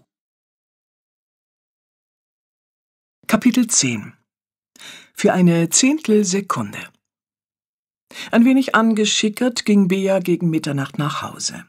Ein kühler Nachtwind sauste wie ein D-Zug an ihr vorbei und brachte sie so sehr aus dem Gleichgewicht, dass sie sich für einen kurzen Moment an einer flackernden Laterne festhalten musste. Der volle, runde Mond kam ihr die restliche Strecke zu Hilfe und leuchtete ihr den Weg durch die dunklen, verwinkelten Gassen bis zu Hettys Haus. Bea winkte dem Vollmond, und ihr war, als lächelte er ihr milde zu. Ganz in ihre eigene Welt versunken, bemerkte sie nicht den schmalen, bedrohlichen Schatten, der ihr mit einigem Abstand beharrlich folgte und erst in der Dunkelheit verschwand, als sie, vor der Haustür stehend, in ihrer Tasche nach dem Schlüssel kramte. Dr. Jekyll! nuschelte Bea fröhlich, als sie die Tür aufschloss und in den Korridor trat. Ich bin wieder da! Wo bist du, mein Schatz? Es kam keine Antwort. Doch das beunruhigte sie nicht, denn sie nahm an, dass ihr Mitbewohner längst tief und fest schlief. Sie ließ sich mit einem leisen Seufzer auf den Teppich plumpsen, streifte die Lackstiefeletten von den Füßen und massierte sich sanft die Beine. Ein schwaches Krächzen ließ sie aufhorchen. Sie hielt inne und lauschte. Da war es schon wieder. Ohne auch nur einen weiteren Moment zu verlieren, sprang sie hoch und stieß die Tür zum Wohnzimmer auf. Fassungslos blieb sie stehen. Waren in ihrer Abwesenheit etwa Trolle zu Besuch gewesen? Der Raum bot ein Bild der Verwüstung. Tische und Stühle waren umgestoßen, die Vorhänge heruntergerissen, der Teppichboden zerfetzt. Die Polstermöbel waren mit riesigen Schnittwunden übersät, aus denen Metallfedern und weißer Schaumstoff quollen. Bücher, Kerzen, Papiere und andere Gegenstände waren in wildem Durcheinander auf dem Boden verstreut. Vor dem weit geöffneten Fenster lagen die Überreste des alten, teuren Grammophons. Es war völlig zerstört. Wieder bemerkte Bea das dumpfe Krächzen. Es drang direkt aus dem großen Wandschrank, der als einziges Möbelstück unversehrt geblieben war und noch immer an seinem ursprünglichen Platz stand. Mit einem silbernen Kerzenleuchter bewaffnet schlich Bea auf Zehenspitzen an das Möbel heran, schwang den Leuchter wie eine Keule in die Höhe und riss mit einem lauten Schrei die Schranktür auf. Zu ihrer Überraschung stieß sie auf keinen Troll, auch auf keinen anderen unheimlichen Wüstling. Vor ihren Augen baumelten bloß leere Kleiderbügel. Erleichtert atmete sie aus. Ich lese wirklich zu viele Schauergeschichten, dachte sie. Die Kleidungsstücke mussten allesamt heruntergerutscht sein und bildeten nun einen stattlichen Berg, von dem das sonderbare Geräusch auszugehen schien. Es wurde von Sekunde zu Sekunde lauter und schriller und klang bald wie ein quietschendes Metallscharnier, das dringend ein paar Tropfen Öl benötigte. Aus irgendeinem Grund dachte Bea an den Blechmann aus Der Zauberer von Oz. Sie brauchte eine halbe Ewigkeit, um sich durch den Berg aus Webpelzmänteln, edlen Abendkleidern und paillettenbesetzten Zirkuskostümen zu wühlen. Ganz unten auf dem Boden lag der Ara und drang nach Luft. Japste er. Sie zögerte keinen Moment, hob den Ara auf den Arm und ging in den Flur zurück. Dort zog sie ihr Handy aus der Jackentasche und wählte Sven Grüneis Nummer. Keine fünf Minuten später war der junge Polizist zur Stelle. Mit gezogener Dienstwaffe und entschlossener Miene durchsuchte er jeden Winkel des Hauses, vom Dachboden bis zum Keller. Bea blieb derweil im Korridor und versuchte den immer noch hyperventilierenden Papagei zu beruhigen. Sie erinnerte sich an den Blutwurzschnaps, der in einem Schränkchen neben der Garderobe aufbewahrt wurde, träufelte sich einige Tropfen des starken Gebräus auf die rechte Handfläche und hielt sie dem aufgebrachten Vogel unter den Schnabel. In Dr. Jekylls Augen blitzte es. Neugierig beäugte er die blutrote Pfütze in Beas Hand und wich davor zurück. Du kleiner Angsthase, schalt Bea ihn liebevoll. Das wird dir gut tun, das ist Medizin. Zum Beweis leckte sie sich selbst einen der Tropfen von der Hand. Siehst du, ich lebe noch. Und schmecken tut's auch. Der Papagei blickte Bea noch immer skeptisch an, so als wartete er darauf, dass sich die tödliche Wirkung doch noch entfalten würde. Als nichts geschah, näherte er sich vorsichtig und knabberte so lange an Beas Hand herum, bis von dem Blutwurz nichts mehr zu sehen war. Neben der Schnapsflasche hatte Bea einen Stapel alter Jerry Cotton Hefte gefunden, und sie wusste, dass nichts auf der Welt ihren gefiederten Freund so sehr beruhigen würde wie eine vorgelesene Geschichte. Meistens waren nur ein paar Zeilen nötig, bis er friedlich einschlummerte. Sven Grüneis, der gerade die Treppe herunterkam, musste die ganze Szene wunderlich erscheinen. Die flippige Bea, wie sie auf dem Fußboden saß und eine Detektivgeschichte vorlas, eine Flasche mit dunkelroter Flüssigkeit neben sich und einen Papagei auf dem Schoß, der ein lautes Schnarchen von sich gab. Die Durchsuchung des Hauses hatte nicht viel ergeben. Der Eindringling war verschwunden und außer dem verwüsteten Wohnzimmer schien alles in bester Ordnung zu sein. Da die Haustür keinerlei Spuren von Gewalt aufwies, musste der Täter durch das geöffnete Wohnzimmerfenster hereingelangt sein. Wir sollten nachsehen, ob irgendetwas fehlt, schlug Sven Grüneis vor. Bea nickte bereitwillig, brachte jedoch zuerst den Ara ins Schlafzimmer und legte ihn auf ein großes Kopfkissen am Fußende ihres Bettes. Bevor sie das Licht ausschaltete, strich sie ihm zärtlich über das Gefieder und deckte ihn mit einem weichen Frottee-Handtuch zu. Sie brauchten über eine Stunde, um das Chaos im Wohnzimmer zu beseitigen und einen einigermaßen wohnlichen Zustand wiederherzustellen. Bea dachte angestrengt nach, doch soweit sie es beurteilen konnte, fehlte nichts. Was könnte der Einbrecher bloß gewollt haben? fragte Sven Grüneis. Bea erzählte ihm von dem indischen Messerset, das schon seit ihrer Ankunft verschwunden war. Komisch, ich dachte, Henriettas Mörder hätte es bereits gestohlen, sagte sie nachdenklich. Wenn der Einbrecher die Messer nicht gefunden hat, wird er es vielleicht wieder versuchen. Sie sind hier nicht mehr sicher. Ach Unsinn, so leicht lasse ich mich nicht vertreiben. Energisch stemmte sie die Hände in die Hüften. Ja, das dachte ich mir. Aber bitte verschließen Sie Türen und Fenster sorgfältig. Seien Sie vorsichtig und rufen Sie mich an, wenn Sie irgendetwas Ungewöhnliches bemerken. Ich bin jederzeit für Sie da. Als der junge Polizist gegangen war, wurde ihr doch ein wenig mulmig zumute. Sie hätte ihn bitten sollen, zu bleiben, wenigstens über Nacht. Nein, dachte sie, die Angst durfte nicht solch eine Macht über sie gewinnen. Sie war Bea von Marstein, sie fürchtete weder Tod noch Teufel, und ganz bestimmt ließ sie sich nicht von einem dahergelaufenen Meuchelmörder ins Boxhorn jagen. Aus rein strategischen Gründen legte sie dann aber doch das große scharfe Küchenmesser auf ihren Nachttisch und verbarrikadierte mit einer schweren Kommode die Schlafzimmertür. Trotz der unruhigen Nacht fühlte sich Bea nach nur wenigen Stunden Schlaf wieder topfit. Durch den Spalt zwischen den Vorhängen schickte die Sonne bereits ihre goldenen Strahlen herein. Das ganze Zimmer war in einen milden Glanz getaucht, und das nächtliche Schreckgespenst hatte sich vollständig verflüchtigt. Es ist an der Zeit, mal wieder eine Runde Scrabble zu spielen, beschloss Bea. Sie setzte sich im Bett auf, strich die Decke über dem Schoß glatt und griff nach der Handtasche, die sie vor dem Nachttisch abgestellt hatte. Aus den Tiefen des geräumigen Gepäckstücks zog sie die zwei Mai-Ausgaben des Paparazzi hervor, das Exemplar mit den ausgeschnittenen Buchstaben, das sie in der Wohnung der Schimmelpfennigs aus dem Papierkorb gefischt hatte, und das unversehrte Exemplar, das Borwin Wandelohe ihr gegeben hatte. Sie verglich die Seiten, schnitt mit der Schere ihres Schweizer Taschenmessers, das sie stets bei sich trug, die fehlenden Buchstaben aus dem vollständigen Heft aus und legte sie auf die weiße Bettdecke. Als sie fertig war, versuchte sie, sich einen Reim auf den Buchstabensalat zu machen. Insgesamt waren es 16 Lettern, wobei die Buchstaben in Größe, Farbe und Schriftart stark variierten.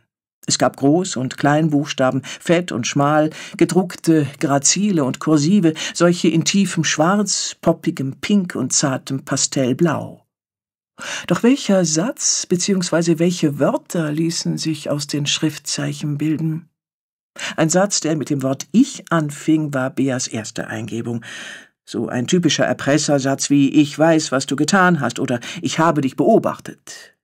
Doch das gaben die Buchstaben leider nicht her. Schade, dachte sie, verwarf den Gedanken und schob die Buchstaben zu neuen Wörtern zusammen. Bea sprach die Wörter laut vor sich hin. Riechen, Reich, Eichel, Leiche, tönte es vom Fußende des Bettes. Dr. Jekyll hob den Kopf und blinzelte sie verschlafen an. Er schüttelte das Handtuch von seinen Flügeln, rappelte sich auf und kam wie eine Ente mit Plattfüßen über die Bettdecke gewatschelt. Leiche, wiederholte Bea. Ein Kribbeln in den Fingerspitzen sagte ihr, dass Dr. Jekyll richtig lag. Ein Satz mit Leiche oder ein Wort? Hm. Automatisch, wie die Datenbank einer Bibliothek, spuckte ihr Hirn Buchtitel aus. Rendezvous mit einer Leiche von Agatha Christie, eine Leiche zu wenig von Gina Heinrichs, Vorhang auf für eine Leiche von Alan Bradley, die Leiche im Lavendelfeld von Karin Schickinger und so weiter und so fort. Diese Eigenart ihres zentralen Nervensystems war im Allgemeinen sehr hilfreich. Alles, was sie je gehört oder gelesen hatte, war wie in einem Computer gespeichert und konnte durch das jeweilige Stichwort jederzeit abgerufen werden. Nachschlagewerke oder Suchmaschinen im Internet benötigte sie fast nie. Sie hatte ihre eigene Suchmaschine direkt in ihrem Kopf. Doch wie alle Medaillen hatte auch diese eine Kehrseite. Oft war die Trefferzahl zum gesuchten Begriff so schwindelerregend hoch, dass Beas Gedanken von Informationen regelrecht überschwemmt wurden. Dann musste sie sich durch den ganzen Datenberg wühlen, und das konnte sehr nervtötend und anstrengend sein. Das Schwierige an der Sache war, Ordnung in das Chaos zu bekommen. Sie konzentrierte sich. Leichenschmaus, Leichenhemd, Leichenvitamine, Leichensack, Leichenstarre, Leichenschände. Wieder spürte sie es in den Fingerspitzen kribbeln, und für eine Zehntelsekunde durchflutete dieses sonderbare Gefühl ihren ganzen Körper. Mit einem Mal passte alles zusammen, und die Buchstaben ergaben tatsächlich ein Wort. Ohne jeden Zweifel. Dieses Wort war Leichenfledderer. Kapitel 11 Wenn nur noch Fragen helfen. Sven Grüneis mistete gerade den Schweinestall aus, als sein Telefon klingelte. Ohne in Hektik zu verfallen, lehnte er die verbogene Mistgabel an die gekalkte Wand und wischte sich mit dem Ärmel den Schweiß von der Stirn. Eine dichte Wolke feinster Staubpartikel umtanzte ihn im Sonnenlicht. Auf der anderen Seite des Stalls sah ihn Pitt, der dicke Eber, mit runden Äuglein an und grunzte laut, während die Saubande genüsslich ihr Frühstück aus dem steinernen Trog mampfte. Die Stimme am Telefon erkannte er sofort. Sie sagte nicht viel, und was bei ihm hängen blieb, war sowieso nur ein einziges Wort. Ein Wort, das Abscheu hervorrief. Erneut stieg Übelkeit in ihm auf. Der stinkende Sumpf, der sich in seiner Heimat offenbart hatte, wurde von Tag zu Tag größer. Erst Mord, dann Erpressung und Einbruch und nun auch noch Leichenfledderei. So viel kriminelle Energie ging auf keine Kuhhaut. Was war nur aus dem friedlichen, verträumten Dorf geworden, das er so gut zu kennen geglaubt hatte und das er so mochte? Wo er ungestört Kartoffeln anbauen und Setzlinge pflanzen konnte, wo die Menschen in Harmonie und Glückseligkeit lebten. War das am Ende alles nur eine Illusion gewesen? Ein Wunschtraum, an den er sich all die Jahre geklammert hatte? Ihm war klar, dass er jetzt in der Pflicht stand und dass die ganze abscheuliche Situation auch eine Chance bot. An dieser Aufgabe würde er wachsen. Versonnen kraulte er Piets dicke Schwarte und flüsterte dem Tier beruhigend ins Ohr. Ja, irgendwie hatte er das Gefühl, dass ihm die ganze Angelegenheit letztendlich noch eine gute Ernte einbringen würde. Im Haus der Pietät war es düster und kalt. Es roch nach nassem Jackfell, verbranntem Horn und Bonawachs, insgesamt ein äußerst muffiges und penetrantes Raumdeodorant. Schwere, dunkle Samtvorhänge saugten begierig alle Geräusche in sich auf und verhinderten, da sie der Sonne den Zutritt verwehrten, das Fortbestehen jeglicher Form der Vegetation. Selbst die künstlichen Lorbeerbäumchen sahen verkümmert aus. Auch waren auf merkwürdige Weise die Spektralfarben aus dem Raum verschwunden, als hätte man das Bunt aus dem gesamten Mobiliar herausgefiltert und nichts als eine Skala unterschiedlicher Grautöne zurückgelassen. Es schien, als hätte jemand einen Schwarz-Weiß-Film eingeschaltet. Den jungen Dorfpolizisten gruselte es gewaltig. Die feinen Härchen in seinem Nacken stellten sich auf wie die Borsten des dicken Ebers Pitt, und er spürte, wie es ihm eiskalt den Rücken hinunterlief. Im diffusen, nüchternen Licht zweier gut versteckter Neonröhren zeichneten sich die Umrisse vieler dunkler Särge ab. Ob sie belegt waren, konnte man nicht sagen, doch das Bestattungsinstitut schien zweifellos ein Ort zu sein, für den sich wohnungssuchende Vampire begeistern konnten. Der Besitzer des Hauses, Ferdinand Ruhe, passte in diese Umgebung wie Dr. Parnassus in sein Kuriositätenkabinett. Er war von großer, hagerer Gestalt, seine Haut wächsern und bleich. Seine Erscheinung zeugte außerdem von einem vornehmen und altertümlichen Stil, den man zum Beispiel an seiner Kleidung, einem Anzug aus teurem Brokat, ablesen konnte. Obwohl es nicht möglich war, einen Blick auf sein Gebiss zu erhaschen, ließ sich nicht leugnen, dass er seinem Spitznamen Graf Dracula alle Ehre machte. Tatsächlich hätte es auch niemanden verwundert, wenn er aus einem seiner Särge gekrabbelt und als riesige Fledermaus in die Nacht geflogen wäre. Das alles machte Sven Grüneis arg zu schaffen, und er wäre am liebsten sofort wieder in die bunte, warme und lichtdurchflutete Welt vor der Ladentür zurückgekehrt. Bea hingegen schien die gespenstische Atmosphäre wenig zu beeindrucken. Ohne mit der Wimper zu zucken, eröffnete sie das Gespräch. Der Polizei liegen neue Erkenntnisse vor, aus denen sich eine Reihe von Fragen ergeben. Dabei ist es notwendig geworden, sämtliche Alibis zu überprüfen. Wo waren Sie gestern zwischen sieben und acht Uhr morgens, Herr Ruhe? Der blasshäutige Bestatter blickte stumm zu Sven Grüneis, als wollte er sich vergewissern, dass Bea autorisiert war, diese Frage zu stellen. Grüneis nickte, doch das überzeugte Ferdinand Ruhe allem Anschein nach nicht. Ist das ein offizielles Verhör? fragte er den Polizisten und sah bewusst an Bea vorbei. Seine Stimme war so dunkel wie der Raum, in dem sie standen. Das ist eine offizielle Ermittlung, flunkerte Sven Grüneis ohne ein Fünkchen schlechten Gewissens. Bitte beantworten Sie die Frage. Noch vor kurzer Zeit wäre ein solches Verhalten für ihn völlig inakzeptabel gewesen. Selbst eine Notlüge wäre ihm schwer gefallen. Doch in den letzten Tagen war viel passiert. Er vertraute Bea und stand auf ihrer Seite. Ferdinand Ruhe zeigte noch immer keinerlei Anzeichen von Nervosität. Das ist ganz einfach. Gestern war ich den ganzen Morgen hier. Während sich der Dorfpolizist auf einem schmalen Block Notizen machte, hakte Bea sofort nach. Hier im Haus haben Sie dafür Zeugen? Zeugen? Der Bestatter durchbohrte sie mit seinem dunklen Blick, und fast konnte man einen bedrohlichen Unterton in seiner Stimme wahrnehmen. Zählen die Toten auch? Ich fürchte, bei Gericht sind nur lebende Personen zugelassen. Dann habe ich niemanden, der mir ein Alibi geben kann. Was ist denn mit Ihrem Bruder? Der ist seit letzter Woche zur Kur. Es wäre besser, wenn Sie ein Alibi hätten. Noch während sie sprach, zog Bea ein Blatt Papier hervor und hielt es dem Mann unter die Nase. Es war mit den Buchstaben beklebt, die das Wort Leichenfledderer ergaben. Obwohl die Augen des Bestatters offenbar nicht mehr die besten waren, denn er kniff sie beim Lesen zusammen, trug er keine Brille. Eine Weile blickte er bloß stumm auf den Zettel, dann sah er Bea an und fragte mit fester, ernster Stimme Was soll das? Bea fuchtelte mit dem Papier in der Luft herum. Kommt Ihnen das bekannt vor? Ferdinand Ruhes Stimme wurde nun entschieden lauter, und seine Empörung wirkte nicht gespielt. Das ist eine bösartige Unterstellung. Was gibt Ihnen das Recht, meinen Berufsstand derartig zu verunglimpfen? Das stammt nicht von uns, sondern von den ermordeten Wirtsleuten. Bea vollführte eine besänftigende Geste, und es handelt sich dabei ganz eindeutig um ein Erpresserschreiben.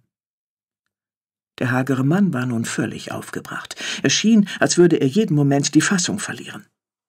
Sie finden also einen Erpresserbrief, und die Ruhebrüder sind die Ersten, die Ihnen dazu einfallen? Das ist doch wieder einmal typisch. Weicht man auch nur ein winziges bisschen von der Norm ab, ist man automatisch verdächtig. Doch ich muss Sie leider enttäuschen, denn Sie liegen völlig falsch. Wir sind Bestatter in der dritten Generation. Unsere Eltern waren Bestatter, ebenso unsere Großeltern, und wenn Sie uns beleidigen, beleidigen Sie unsere gesamte Familie. Für einen Augenblick herrschte betretenes Schweigen. Bea musterte den Mann genau. Auf ihrem Gesicht lag ein zufriedener Ausdruck. Ganz offensichtlich hatte sie sich ihre Meinung gebildet. Die Schimmelpfennigs haben Sie also nicht erpresst. Er wirkte überrascht. Nein. Haben Sie eine Idee, auf wen im Dorf die Bezeichnung Leichenfledderer zutreffen könnte? Ferdinand Ruhe brauchte nicht lange zu überlegen. Ich will nicht schlecht über andere reden, aber fragen Sie doch mal die Erdmanns. Heidi und Otto Erdmann betrieben ihr Bestattungsunternehmen nur zwei Straßen weiter. Im Gegensatz zur Villa der beiden Ruhebrüder wirkte das Haus eher unscheinbar. Der bröckelnde Fassadenputz war in einer blassen Farbe gehalten, irgendwas zwischen beige und grau. Beim Betreten des Geschäfts bimmelte eine Türglocke und kündigte lautstark die Besucher an.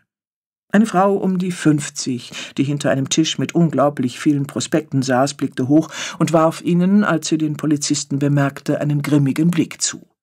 Der Raum war taghell, wirkte jedoch sonderbar steril und leer. Es gab keine Pflanzen, nicht einmal künstliche, keine Bilder und keine Särge. Lediglich ein Dutzend verstaubter Urnen, die in einem Regal aus hauchdünnen Pressspanplatten aufgereiht waren, gaben einen Hinweis auf das Gewerbe, das hier betrieben wurde. Sven Grüneis, dem diese Umgebung zwar lieber als die dunkle und muffige Villa war, konnte sich dennoch eines unguten Gefühls nicht erwehren. Er beugte sich zu Bea, so dass seine Lippen beinahe ihr Ohr berührten. Das ist Heidi Erdmann, flüsterte er. Die Frau ist ein ziemlich harter Brocken. Bea zwinkerte ihm lächelnd zu, und wieder einmal war er verblüfft über ihre Unbekümmertheit. Einen schönen guten Tag, sagte sie freundlich zu der Frau hinter dem Tisch. Heidi Erdmann machte keine Anstalten zu grüßen. Stattdessen rührte sie gelangweilt in ihrer Kaffeetasse und gähnte demonstrativ. Bea zog missbilligend die linke Augenbraue hoch, dann trat sie an den Tisch heran und stieß, scheinbar in dem Bemühen, Heidi Erdmann die Hand zu reichen, die Tasse um, so dass sich die schwarzbraune Flüssigkeit wie ein Ölteppich über die Broschüren ergoss. Verdammt, was fällt Ihnen ein? Die unangenehm kratzige Stimme der Frau verriet Unsicherheit. Offenbar konnte sie Beas Aktion nicht so recht einordnen. Ups, das tut mir leid, war keine Absicht. Würden Sie bitte so freundlich sein und uns ein klein wenig Aufmerksamkeit schenken? Wieso sollte ich? Sie sind doch sicher nicht hier, um jemanden unter die Erde bringen zu lassen, oder? In der Tat, wir interessieren uns mehr für die Leichen in Ihrem Keller. Heidi Erdmanns Gesicht nahm einen wütenden Ausdruck an. Was? Unsere Leichen gehen Sie gar nichts an. Bea zeigte sich ungerührt und behielt ihr freundliches Lächeln bei. Wir sind hier, um Sie zu fragen, wo Sie gestern zwischen sieben und acht Uhr morgens waren. Heidi Erdmann verschränkte die Arme. Arbeiten Sie jetzt für die Polente, oder was? Ich arbeite mit der Polizei zusammen, ja. Ihr habt den Mörder doch schon. Der irre Metzger war's. So stand es doch in der Zeitung. Bea lächelte noch immer. Glauben Sie immer alles, was in der Zeitung steht? Ha, dann sind Sie also eine Schnüfflerin. Ha, das hätte ich mir ja denken können. Aber von mir erfahren Sie nichts, kein Sterbenswörtchen. Sie können die Fragen auch gern auf der Dienststelle beantworten, stieß Sven Grüneis hervor. Diesen Satz hatte er schon lange einmal anbringen wollen. Müssten Sie mir jetzt dazu nicht irgendeinen Schrieb unter die Nase halten? Bär erfüllte den Wunsch und zeigte der Frau das Papier mit den ausgeschnittenen Buchstaben. Die Arroganz verschwand augenblicklich aus Heidi Erdmanns Zügen. Stattdessen regte sich die Andeutung von Furcht darin. Woher? Noch während sie sprach, bemerkte sie offenbar, dass sie einen Fehler gemacht hatte und verstummte. Sie kennen diesen Brief, nicht wahr? hakte Bea nach. Nein! Wie kommen Sie darauf? Noch nie gesehen, das Ding. Tja, zu dumm nur, dass ich Ihnen das nicht glaube. Heidi Erdmanns Gesicht hatte eine ungesund gelbliche Farbe angenommen. Bea musste unwillkürlich an einen Käsekuchen denken. Das ist eine bodenlose Gemeinheit, eine Verleumdung. Ich kann Ihnen sagen, wer dahinter steckt. Diese zwei Lachnummern haben sich das ausgedacht. Lachnummern? fragte Sven Grüneis. Ja, Fritz und Ferdinand Ruhe. Sie würden alles tun, um uns zu schaden. Haben Sie mal das Haus der beiden gesehen? Ha, das ist das reinste Gruselkabinett. Sven Grüneis verschränkte die Arme vor der Brust und schüttelte energisch den Kopf. Zwecklos. Aus der Geschichte kommen Sie so leicht nicht mehr raus. Sie haben auch so einen Brief erhalten, richtig? Und zwar von den Schimmelpfennigs, nicht von den Ruhebrüdern, habe ich recht. Das ist ein erstklassiges Motiv, Frau Erdmann. Jetzt brauchen Sie wirklich ein Alibi. Die Bestatterin lief dunkelrot an. Verschwinden Sie! Bea nickte Sven Grüneis wortlos zu. Sie hatten genug erfahren. Kapitel 12 Harte Kekse zur zwölften Stunde der Tod hat schon etwas Beängstigendes, finden Sie nicht auch? Sie saßen in Henriettas Küche auf zwei anmutigen Korbstühlen und tranken heißen Tee, der in den zarten Porzellantassen wie flüssiges Gold schimmerte. Die erfrischende Wald- und Wiesenmischung, von Henrietta eigenhändig gepflückt, verströmte einen betörenden Duft. Sven Grüneis war wie berauscht. Er fühlte sich mutig, ausgeglichen und ruhig, als wäre alle Schüchternheit von ihm genommen worden. Zum ersten Mal in seinem Leben traute er sich, seine Angst in Worte zu fassen und über dieses für ihn so heikle Thema zu sprechen. Ja, er hatte Angst vor dem Tod, eine Riesenangst. Bea, die ebenfalls die wohltuende Wirkung des Tees verspürte, sah ihn lange an. Ein Lächeln, auf das Buddha stolz gewesen wäre, huschte über ihr Gesicht. Kein bisschen, nein. Um ehrlich zu sein, genau diese Antwort hatte Sven Grüneis erwartet. Er konnte sich nicht vorstellen, dass Bea von Marstein überhaupt Angst vor irgendetwas hatte. Nur das Warum war für ihn rätselhaft. Doch dieses Mal fasste er den Entschluss, der Sache auf den Grund zu gehen. Was denken Sie denn über den Tod? fragte er, noch immer voller Selbstvertrauen.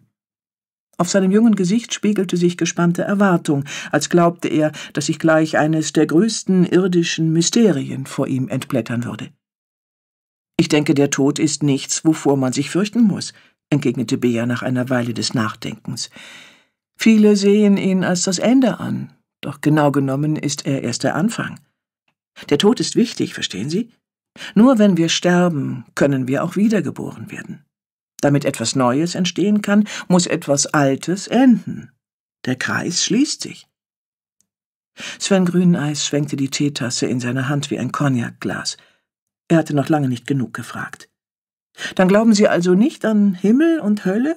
Dass die Guten ins Paradies kommen und die Bösen im ewigen Fegefeuer brennen? Das ist absoluter Humbug. Himmel und Hölle haben wir doch auf Erden schon genug. Sehen Sie sich doch nur um. Selbst in Ihrer kleinen heilen Welt tun sich Abgründe auf. Die drei Morde, das Erpresserpärchen und die leichenfleddernden Bestatter werden die Kriminalstatistik Ihres Dorfes ganz schön in die Höhe treiben. Außerdem gibt es keine nur guten und nur bösen Menschen. Diese strikte Aufteilung funktioniert nicht. Es steckt etwas von beidem in jedem von uns, und es kommt nur darauf an, für was wir uns entscheiden. Sven Grüneis wusste, dass sie recht hatte. Er dachte an die letzten Tage, in denen sein altes Weltbild mächtig ins Wanken geraten war. Es hatte Risse bekommen, wie bei einem spröden Glas, das jeden Moment zu zerbersten drohte, und er stand mittendrin. So hatte sich das angefühlt. Jetzt und hier, in der sicheren Behaglichkeit von Beas Weisheit, sah er seelenruhig zu, wie dieses alte Weltbild in tausend Stücke zersprang. Von seiner nackten Angst war nichts mehr übrig. Er stand auf den Trümmern, heil und unversehrt, und reckte triumphierend den Daumen in die Höhe. Sie tunkten runde, steinharte Kekse in den Tee. Bea hatte sie beim Durchstöbern der Küchenschränke gefunden. Da sie nicht mehr ganz frisch waren, schmeckten sie entsprechend fad. Doch Bea, die annahm, dass Henrietta die Bäckerin war, hätte sich eher ein Bein abgehackt, als die Kekse in den Müll zu werfen. Und wenn man sie aufweichte, waren sie gar nicht so übel. Trotzdem, ich fand es heute ziemlich gruselig, kehrte Sven Grüneis zum Thema zurück. Gruselig, ja, das ist die richtige Bezeichnung. Aber nicht für den Tod, mein Junge. Es ist diese bigotte westliche Sterbeindustrie, die gruselig ist. Dann haben Sie es auch so empfunden? Im Haus von Graf Dracula war es am schlimmsten, nicht wahr? Alles so dunkel und die vielen Särge und erst dieser komische Geruch. Ich meine nicht die Räume. Ich meine die ganze Scheinheiligkeit, der Umgang mit dem Thema Sterben. Ach so. Sven Grüneis nagte nachdenklich an seinem Keks. Die Menschen der westlichen Gesellschaft verschließen sich zu sehr fuhr Bea fort. Sie tabuisieren und verdrängen den Tod. Doch das ist nicht überall auf dieser Welt so. Auf den Andamanen, wo ich geboren wurde, feiern die Menschen ein riesiges Fest, wenn jemand stirbt. Sie sind ausgelassen und fröhlich und freuen sich für den Verstorbenen, da er nun einen weiteren Lebenskreis vollendet hat. Stellen Sie sich das Leben doch wie ein Studium vor, voller Hausaufgaben, Praktika und Prüfungen. Sie feiern, treffen viele Leute und amüsieren sich. Aber sie schwitzen auch gewaltig und werden unter Druck gesetzt, fallen vielleicht sogar durch die eine oder andere Klausur. Irgendwann jedoch schließen sie dieses Studium mit einem großen Examen ab. Dieses Examen ist der Tod, die letzte aller irdischen Prüfungen. Denken Sie wirklich, dass alles zu Ende ist, nur weil Sie Ihr Studium abgeschlossen haben? Das wäre schon ziemlich blöd. Dann wäre ja all die Plackerei umsonst gewesen. Bea lächelte ihn voller Sympathie an. Genau, Außerdem gibt es noch so viele andere Studiengänge und Universitäten, allein auf unserem Planeten. Multiplizieren Sie das mit der Unendlichkeit und Sie haben eine ungefähre Vorstellung, was uns noch bevorsteht. Er nickte, doch in Wahrheit hatte er nicht alles von dem verstanden, was sie zuletzt gesagt hatte. Ihm schwirrte der Kopf, als hätte sich ein Schwarm Hornissen darin ein Nest gebaut. Bea lehnte sich in ihrem Korbstuhl nach vorn und tippte ihm auf die Brust. Und tun Sie mir einen Gefallen. Plappern Sie nicht länger anderen Leuten nach. Lassen Sie das mit Graf Dracula. Nennen Sie den Mann bei seinem richtigen Namen, okay? Sven Grüneis nickte ein wenig verlegen. Es ist nur so, dieser Spitzname passt so gut zu ihm. Sie sah ihn durchdringend an. Haben Sie eine Ahnung, weshalb er so blass ist? Nein, keinen Schimmer. Sie etwa? Sie wiegte den Kopf. Offenbar leidet der arme Mann an einer Form von Lichtallergie. Die Medikamente auf seinem Schreibtisch legen zumindest diesen Schluss nahe. Da stand ein Schreibtisch? Bär lachte. Haben Sie Tomaten auf den Augen? Es war stockfinster. Haben Sie etwa auch das Indiz übersehen, das nahelegt, dass Ferdinand Ruhe nicht der Leichenfledderer ist? Als Sven Grüneis nickte, fuhr sie fort. An der Wand rechts vom Schreibtisch hing ein Stück Stoff mit einem dicken Rahmen drumherum. Darauf war ein Spruch gestickt, der besagte, behandle jeden Verstorbenen so, als wäre es deine Mutter oder dein Vater. Der junge Polizist staunte. Wow, Sie haben ja Augen wie ein Luchs. Der Punkt ist, wer sich so etwas an die Wand hängt, vergeht sich meiner Meinung nach nicht an Leichen. Stimmt, aber aber ein klein wenig schräg ist Graf, äh, ich meine Herr Ruhe schon. Das spricht doch für ihn. Schräg ist schick. In dem Moment drang ein leises Krächzen vom veilchenblauen Linoleum-Fußboden herauf. Es war Dr. Jekyll, der in die Küche gewatschelt kam. Bea hob ihn hoch und setzte ihn auf dem Küchentisch neben der dickbauchigen Teekanne ab. Sven Grüneis betrachtete den seltsamen Vogel voller Neugier, der ihn seinerseits beäugte. Der ist echt putzig, rief Sven entzückt und hielt ihm einen Finger hin, als wäre er ein pausbäckiger Säugling in einem Kinderwagen. Grünschnabel, schimpfte der Papagei. Bea zwinkerte dem Ara zu und wandte sich an den verdutzten Polizisten. Beachten Sie sein Gerede gar nicht, so ist er meistens, der kleine Halunke.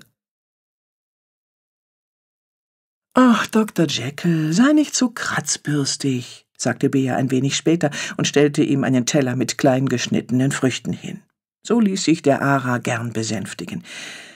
Er ist Fremden gegenüber immer sehr misstrauisch, flüsterte Bea. Nach allem, was in den letzten Tagen passiert ist, denke ich, man kann nicht vorsichtig genug sein, wisperte Sven Grüneis und grinste schief. Bea lachte. Sie sagen es. Ich nehme an, wenn es einen Dr. Jekyll gibt, dann gibt es auch einen Mr. Hyde. Blitzschnell berührte Beas Zeigefinger ihre Lippen. Psst. Das Thema ist ihm ein bisschen peinlich. Er ist nämlich sehr sensibel. Verstehe, Entschuldigung. Okay, reden wir über etwas anderes. Ja, zum Beispiel über die Erdmanns, stimmte sie ihm enthusiastisch zu und goss in beide Tassen Tee nach. Sven Grüneis kicherte. Das war vielleicht lustig, als Sie den Kaffee verschüttet haben. Heidi Erdmanns Gesicht war der absolute Hammer. Mal ehrlich, das haben Sie doch extra gemacht. Bea stimmte in sein Kichern ein. Wer weiß das schon. Am besten gefiel mir aber ihr Gesicht, als ich ihr den falschen Erpresserbrief unter die Nase gehalten habe. Oh ja, das war eine Wucht. Sie war völlig perplex. Dass ihr mal jemand Paroli bietet, hat sie nicht erwartet. Das hat sie total aus den Socken gehauen. Vor allem hat es funktioniert und uns gezeigt, was wir wissen wollten. Die Erdmanns wurden von den Wirtsleuten erpresst. Das ist ein astreines Mordmotiv. Sie hat sich verraten, und damit ist klar, wer der Leichenfledderer hier im Dorf ist. Und der Mörder, schloss Sven Grüneis. Die Fröhlichkeit verebbte schlagartig und machte Platz für andere, sehr viel dunklere Emotionen. Diese Bestien, entfuhr es Sven Grüneis. Am liebsten würde ich sie auf der Stelle festnehmen. Wir sollten mit Kommissar Pfeiffer sprechen. Bea neigte nachdenklich den Kopf zur Seite. Ich fürchte, dafür ist es noch zu früh. Im Grunde können wir den Erdmanns außer einem starken Motiv nichts nachweisen. Außerdem müsste der Kommissar seinen Irrtum bei der Verhaftung des Metzgers eingestehen, und ich kann mir nicht vorstellen, dass er sonderlich darauf erpicht ist. Da müssen wir schon mit etwas Handfesterem kommen. Ich hoffe nur, Sie rotten bis dahin nicht das halbe Dorf aus. Langsam, Sven. Es ist ja nicht bewiesen, dass Sie die Mörder sind, die wir suchen. Sein Blick verdüsterte sich. Aber das liegt doch auf der Hand. Es wäre denkbar, das gebe ich zu. Immerhin hatten Sie ein starkes Interesse daran, dass die Schimmelpfennigs verschwinden.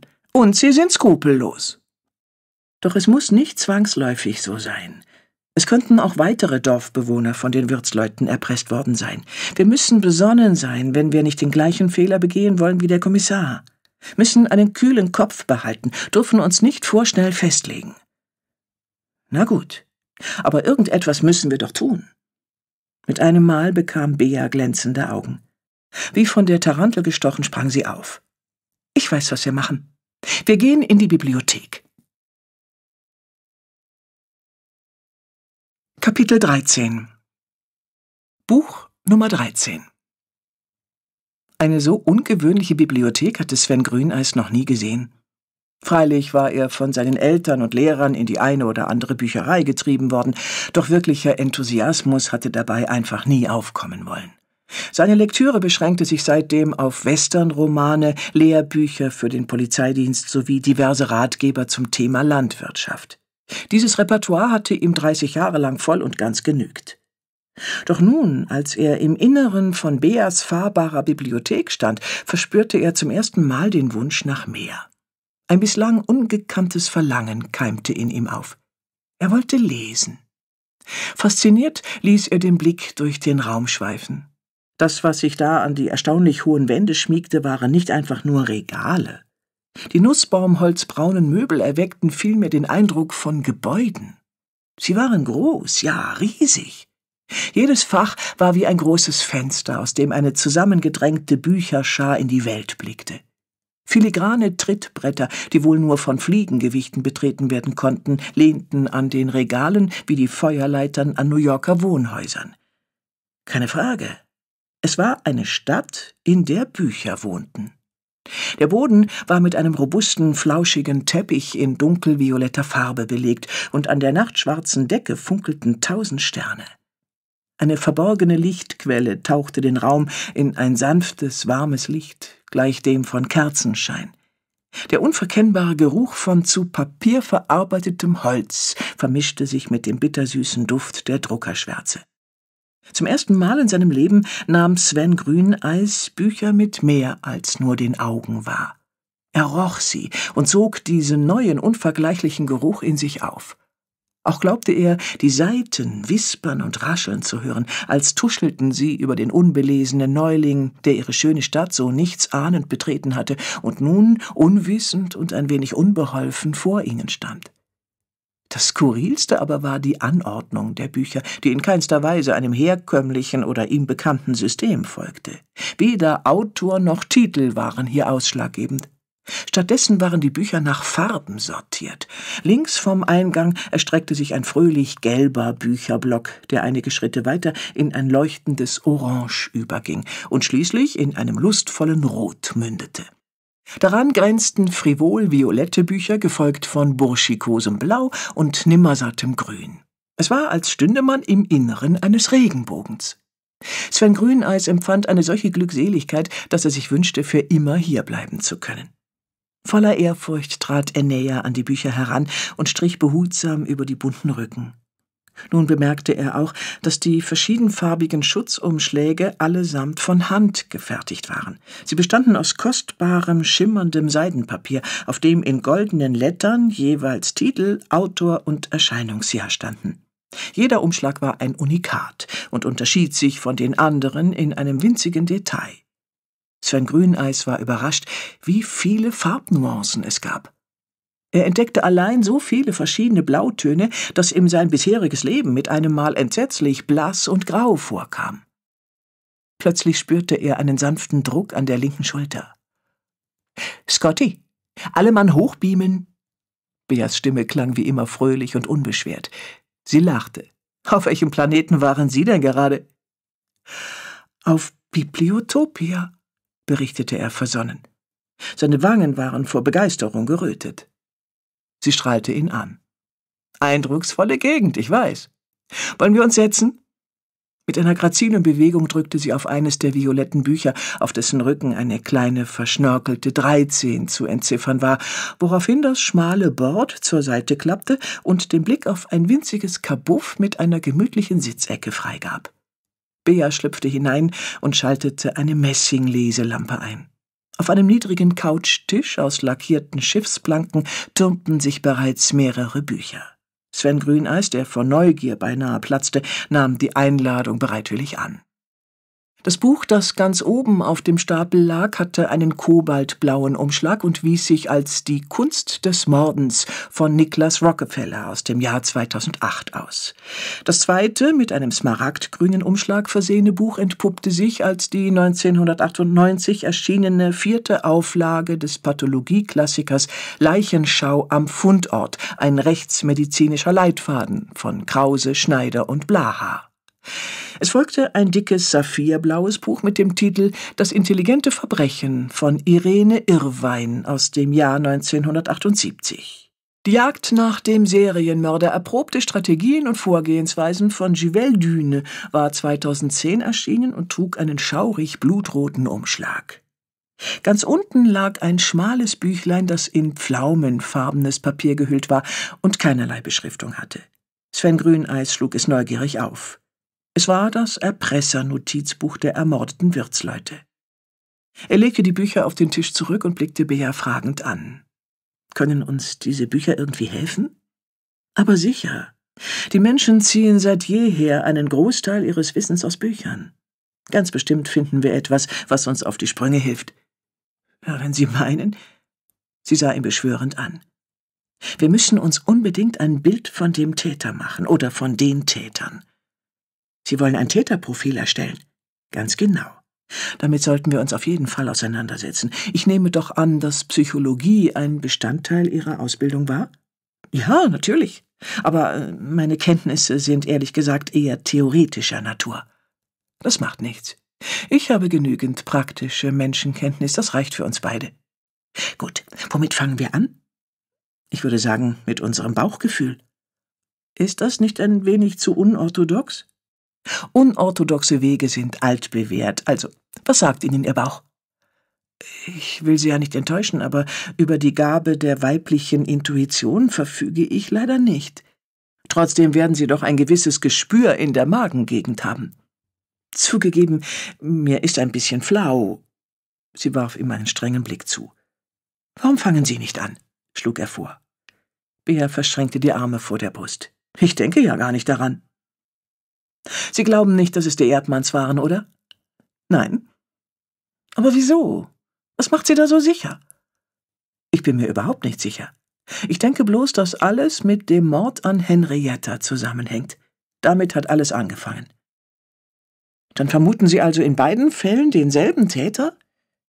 Davon bin ich felsenfest überzeugt. Aber die beiden Tathandlungen sind so radikal verschieden. Einmal ein so unauffälliges und gut getarntes Verbrechen, das, bitte verzeihen Sie mir, niemandem aufgefallen ist. Na, na ja, bis Sie kamen. Und dann dieses furchtbare Gemetzel. Das passt für mich einfach nicht zusammen. Bea sprach jetzt ganz leise. Ja, es passt nicht zusammen, das ist richtig. Doch wissen Sie was? Ich glaube, dass genau das die Absicht des Mörders ist. Ich denke, der Täter versucht bewusst, uns in die Irre zu führen. Der Mord an den Schimmelpfennigs war keine Affekthandlung, sondern eine gezielte und geplante Tat. Wir müssen versuchen, uns in den Täter hineinzuversetzen. Der junge Polizist sah so aus, als könnte er den Wald vor lauter Bäumen nicht erkennen. Bea wirbelte ein wenig Staub auf, als sie die Bücher nahm und durchblätterte. An einer bereits markierten Stelle hielt sie inne. Welche Spuren haben wir bisher gefunden? Bitte notieren Sie das mal. Sven Grüneis, der diese Rollenverteilung dankbar akzeptierte, zog eifrig Stift und Notizblock aus der Jackentasche. Die Ausgangstat, diktierte Bea. Der als natürlicher Tod getarnte Mord an Hetty. Spuren, die Reste eines Blisters des Herzmedikaments Digitoxin im Kamin, das fehlende Messerset. Hier finden wir auch möglicherweise das Motiv Habgier. Der Stift des jungen Polizisten flog nur so über das Papier. Die zweite Tat, die Ermordung der Wirtsleute. Wir wissen, dass sie mit Erpressungen ihr Säcklein gefüllt haben. Daher ist anzunehmen, dass dies ihr Schicksal besiegelt hat. Es ist möglich, dass sie irgendetwas beobachtet haben und dann auf die Idee gekommen sind, daraus Kapital zu schlagen. Wie beinahe jeder andere in diesem Dorf wussten auch die Schimmelpfennigs von dem Messerset, und ganz bestimmt haben sie nach einer Gelegenheit gesucht, es sich unter den Nagel zu reißen. Vielleicht haben sie das Haus in Augenschein genommen und auf einen günstigen Moment gewartet. Doch dann sehen sie, wie jemand Hettys Häuschen betritt und es wieder verlässt, und kurz darauf ist sie tot. Da haben sie eins und eins zusammengezählt und einen Brief verschickt. Sven Grüneis blickte von seinem Notizblock hoch. Klingt plausibel, gebe ich zu. Doch diesmal gerieten sie an den Falschen. Der Mörder machte kurzen Prozess mit ihnen. Und jetzt kommt der springende Punkt, fuhr Bea fort. Der Mörder will den Mord an Henrietta um jeden Preis vertuschen. Sollte je ein Verdacht aufkeimen, muss sich die zweite Tat von der ersten extrem unterscheiden. Er darf keine Handschrift hinterlassen. Er hätte die Schimmelpfennigs aber auch einfach erschießen oder einen Unfall inszenieren können, warf Sven ein. Nein, das hätte ihm nicht gereicht. Er richtet ein Blutbad an und will, dass wir denken, er habe aus großen Emotionen heraus gemordet. Verschmähte Liebe, Eifersucht, Hass, Wut. Sie klopfte auf das Buch mit dem saphirblauen Umschlag. Steht alles hier drin. Soll das heißen, er verstellt sich, beziehungsweise er manipuliert sein eigenes Täterprofil? Ganz genau. In Wirklichkeit ist er kühl und gerissen, geht schlau und organisiert vor. Natürlich ist da ein gewisser Hang zum Wahnsinn, das lässt sich gar nicht absprechen. Er neigt zum Narzissmus, vielleicht sogar zu einer gespaltenen Persönlichkeit. Zugegeben, diese Beschreibung passt nicht auf die Erdmanns. Schließen wir Sie denn ganz aus dem Kreis der Verdächtigen aus? Nein, das auf gar keinen Fall. Sie gehören unbedingt zu den Verdächtigen, und wenn wir Ihnen am Ende wenigstens die Leichenfledderei nachweisen können, haben wir der Menschheit auch einen Dienst erwiesen. Nichts würde ich lieber tun. In Ordnung. Dann heften Sie sich an Ihre Fersen. Sven Grüneis sah sie erstaunt an. Kommen Sie nicht mit? Nein, ich nehme mir in der Zwischenzeit den Apotheker vor. Ich habe bei ihm ein ganz komisches Gefühl. Sven Grüneis sah auf die Uhr. Es war bereits später Nachmittag. Oh je, jetzt muss ich aber schleunigst los. Meine Tiere brauchen mich. Er sprang auf, reichte Bea zum Abschied die Hand und sauste davon. Am Rande des Rübenackers spitzte Trudi, die schielende Kuh, gespannt die Ohren, als ein höchst seltenes Geräusch aus der verwaisten Polizeibaracke drang. Der sengende Geruch, der sich langsam wie ein schottischer Hochmoornebel ausbreitete, war in ihrem eintönigen Leben eine ganz neue Erfahrung. Neugierig trottete sie um die Hütte herum und stupste mit ihrer breiten Nase das Fenster auf. Nun musste sie nur noch den Kopf durch die gräulichen Häkelgardinen strecken, und schon hatte sie freie Sicht auf den großen Holztisch. Mit dieser Prozedur war Trudi gut vertraut, hatte sie doch das ein oder andere Mal an genau dieser Stelle einen köstlichen Streuselkuchen vom Schreibtisch stibitzt. Glücklicherweise war der Mann, der hier manchmal herkam und für ein paar Stunden in dem Häuschen rumlungerte, nicht wirklich auf Zack, und so waren Trudis kriminelle Machenschaften bisher niemandem aufgefallen vor allem nicht dem Polizisten. Zu ihrer großen Enttäuschung stand diesmal jedoch kein Kuchen auf dem Tisch, nur ein seltsames Gerät, das wohl schon immer da gewesen war, dem sie aber nie Beachtung geschenkt hatte. Jetzt machte es sich umso mehr bemerkbar, krakeelte und spie winzige Funken, als wollte es sich mit möglichst viel Radau für die Jahre der Missachtung rächen. Genau wie Trudi schien das Gerät nicht mehr das neueste Modell zu sein. Es ruckte und wackelte und brachte den ganzen Tisch zum Beben. Dabei zischte es gewaltig und presste stoßweise Papier aus seinem Inneren heraus. Trudi riss die Augen auf und nahm das ausgeworfene Blatt todesmutig zwischen die Lippen. Dann entfernte sie sich damit ein Stück von der hysterischen Maschine und betastete es behutsam mit ihrer nassen, klebrigen Zunge. Es schmeckte furchtbar fad. Enttäuscht ließ Trude den Kopf hängen und trottete mit dem Blatt im Maul davon. Nach etwa hundert Metern spuckte sie die ungenießbare Beute aus. Hinter ihr sprang der sengende Funkenschlag bereits auf die Gardine über. Er fraß erst winzige, dann immer größere Löcher in das Gewebe hinein. Wenige Minuten später kletterten langfingrige Flammen die Wände entlang, leckten den Rost von der Tür und bissen in Schränke, Tische und Stühle. Mit jedem Happen wurden sie größer und stärker, bis sie schließlich wie eine Horde wilder Teufel die ganze Hütte verschlangen. Sie tanzten und wedelten wie Derwische herum und verschwanden erst, als von der Hummelstichler Polizeidienststelle nichts mehr übrig geblieben war als ein gewaltiger, qualmender Ascheberg. Kapitel 14 14 Prozent Das geschlossene Schild an der Tür zur Apotheke war nicht zu übersehen. Bea presste die Nase gegen die Schaufensterscheibe, konnte jedoch keine Menschenseele erkennen. Sie dachte an das Büro, in das der Apotheker sie beim letzten Mal geführt hatte, und marschierte an der Hausfassade entlang, bis sie durch ein großes, offenes Steintor in einen hübsch bepflanzten Hinterhof gelangte. Hier befand sich der Hintereingang der Apotheke, eine schmale weiße Tür, deren Lackierung im Sonnenlicht glänzte. Bea drückte den Türgriff, doch es bewegte sich nichts. Die Tür war verschlossen. Sie sah sich um. Nur ein paar Schritte entfernt wurde eine grün gestrichene Gartenbank von zwei großen Blumenkübeln flankiert, aus denen üppige, leuchtend orangerote Pelargonien quollen. Gegenüber, auf einem leicht erhöhten Sims, saß eine kleine Katze mit schneeweißem Fell und grasgrünen Augen, die sie neugierig musterten. Bea hatte einmal gelesen, dass 14 Prozent aller Deutschen ihren Schlüssel in unmittelbarer Nähe zur Tür deponierten, sei es unter der Fußmatte, unter einem Stein oder in einem Blumentopf. Die Verstecke waren wenig einfallsreich und in Einbrecherkreisen bestens bekannt. Da es jedoch weit und breit keine Fußmatte und keine losen Steine gab, entschied sie sich für die Pflanzenkübel. Sie tastete sich durch den dichten Pelagonienblütendschungel, bis ihre Fingerspitzen auf die kühle, feuchte Blumenerde stießen. Wie ein Metalldetektor glitten ihre Hände über den weichen Grund. Und tatsächlich zog sie wenig später einen länglichen, leicht verbogenen Schlüssel aus dem Blumentopf. Das schneeweiße Kätzchen, das sie die ganze Zeit beobachtet hatte, kam auf sie zugelaufen und umschmiegte schnurrend ihre Beine. Bea war dem schönen Tier sofort verfallen und kraulte es vorsichtig hinter den Ohren. Als es genug Streicheleinheiten erhalten hatte, sprang es auf leisen Pfoten davon. Auch Bea beschloss, nicht länger zu trödeln. Sie streifte sich die roten Ziegenlederhandschuhe über, öffnete mit dem Schlüssel die Hintertür und betrat die Apotheke. Ihre Schritte und Bewegungen waren beinahe ebenso lautlos wie die des schneeweißen Kätzchens. Alle Sinne bis aufs äußerste geschärft, spähte sie in die verschiedenen Räume. Irgendetwas irritierte sie, etwas, das ihr beim ersten Mal noch nicht aufgefallen war. Sie blieb stehen, schloss die Augen und atmete tief ein.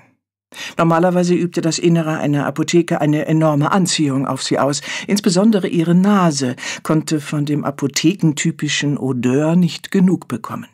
Sie liebte den alles durchdringenden eukalyptusartigen Wohlgeruch eines Kampfersteins, das würzig aromatische Bukett von Salbei, Thymian und Rosmarin, den lieblich milden Duft von Kamillenblüten.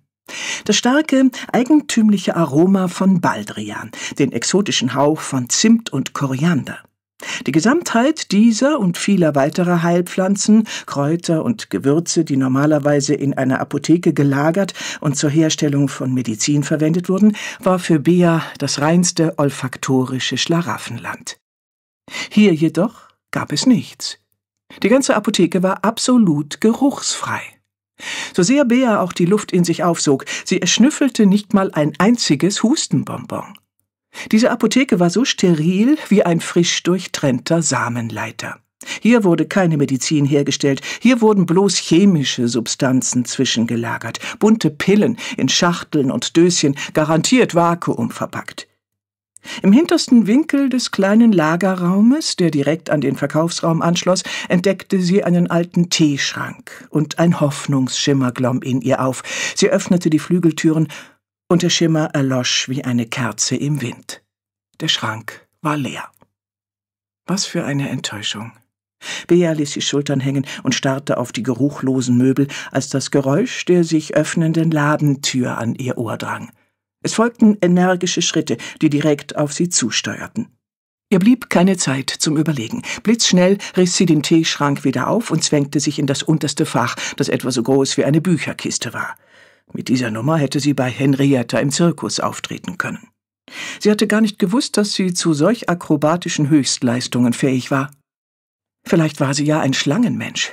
Sie hatte kaum genug Platz zum Atmen. Es gelang ihr gerade noch rechtzeitig, die Schranktüren zuzuziehen, bevor zwei sich streitende Personen den Raum betraten. Bist du etwa froh darüber, dass die beiden tot sind? fragte eine aufgebrachte Frauenstimme. Na, und wie? Antwortete ein Mann, den Bea als den Apotheker erkannte. Tu nicht so, als wärst du es nicht. Wie bist du nur so kalt und herzlos geworden? Herzlos? Hast du etwa schon vergessen, was sie mit uns gemacht haben? Sie hätten uns ausbluten lassen, bis zum letzten Tropfen. Wenigstens müssen wir nun nichts mehr zahlen. Spielt das bei unseren Schulden überhaupt noch eine Rolle? Es bedeutet für uns eine Sorge weniger, Frieda, murmelte Karl Feigenbaum. Wo warst du eigentlich, als es passiert ist? Du denkst, dass ich. Traust du mir das allen Ernstes zu? Die Frau klang nun völlig verzweifelt. Ich weiß nicht mehr, was ich dir zutrauen soll und was nicht. Ich kenne dich gar nicht mehr. Ich bin nicht der Einzige, der sich verändert hat. Beas Arme und Beine schmerzten. Sie fühlte sich nun weniger wie eine Schlange, sondern eher wie eine Schildkröte, deren Gliedmaßen auf die denkbar komplizierteste Weise miteinander verknotet und in den Panzer gestopft worden waren. Also? Hörte sie die Frau fragen. Also was? Die Frage kam von Karl Feigenbaum. Wo warst du? Jedenfalls habe ich niemanden umgebracht. Du hast es schon wieder getan, nicht wahr? Du warst schon wieder in dieser verdammten Spielhölle. Ich war so dicht dran, glaub mir, so dicht. Und all unsere Sorgen hätten sich in Luft aufgelöst. Wir haben diese Sorgen ja nur, weil du ständig unser Geld verspielst. Du hast mir versprochen, dass du damit aufhörst. Eine kurze, höchst unangenehme Pause entstand. Wofür? Um zu sehen, wie du dich in die Arme eines anderen stürzt? Du machst hier doch alles kaputt. Und wenn wir schon beim Thema sind, könnte ich dich genauso fragen, wo du an diesem Morgen warst. Du hattest schließlich genauso gut einen Grund, die Wirtsleute umzubringen. Das denkst du dir doch nur aus. Nein, Frieda. Ich weiß, dass auch du ihnen Geld gezahlt hast. Wofür eigentlich? Sie antwortete nicht. Für deine Affäre mit Graf Dracula? hakte er nach. Ich hasse es, wenn du ihn so nennst. Ich hasse es, wenn du mit ihm ins Bett steigst, oder soll ich sagen, in einen seiner Särge. Du bist ein ekelhafter Widerling und du ein Flittchen. Niemand schrie oder tobte. Auch Geschirr wurde keines zerschlagen. Stattdessen breitete sich eine emotionale Kälte aus, die Bea bis in den Teeschrank hinein erschaudern ließ. So kann das nicht weitergehen, sagte die Frau schließlich. Ich kann nicht länger bei dir bleiben. Da geh doch. Geh zu deinem Liebhaber. Aber denk bloß nicht, dass du wieder zu mir zurückgekrochen kommen kannst. Die Frau lachte bitter. Glaub mir, das will ich gar nicht. Und nur damit du es weißt. Ja, ich war an dem Morgen des Mordes mit Ferdinand zusammen. Dann sagte niemand mehr ein Wort. Stattdessen erklangen Schritte, erst die schnellen, leichtfüßigen der Frau, dann die dumpfen, langsamen des Apothekers. Die Tür fiel mit einem lauten Knall ins Schloss und ein Schlüssel verriegelte die Eingangstür der Apotheke. Bea verharrte noch eine Weile in der unbequemen Position und lauschte in die Stille hinein. Dann stieß sie die Schranktüren auf und kroch hinaus. Erleichtert atmete sie auf. Da sie noch immer wie ein zusammengefaltetes Klapprad auf dem Fußboden lag, eröffnete sich ihr ein völlig neuer Blickwinkel. Sie konnte nun ungehindert durch die offene Tür unter den großen Verkaufstresen sehen. Dort lag etwas, ein Stück Papier. Da der Versuch aufzustehen scheiterte, robbte sie wie ein schwerfälliger Seebär vorwärts. Es war eine mühsame Art der Fortbewegung, doch die Neugier trieb Bea an. Schon bevor ihre zitternden Finger das Papier berührten, erkannte sie, dass es ein Rezept war. Ein einziger Blick darauf verdoppelte ihren Herzschlag. Digitoxin. Das Medikament, das sie im Kamin gefunden und das mit großer Wahrscheinlichkeit ihre beste Freundin ins Jenseits befördert hatte. Das Rezept war ausgestellt auf Karsten Hulalka, den Ortsvorsteher von Hummelstich.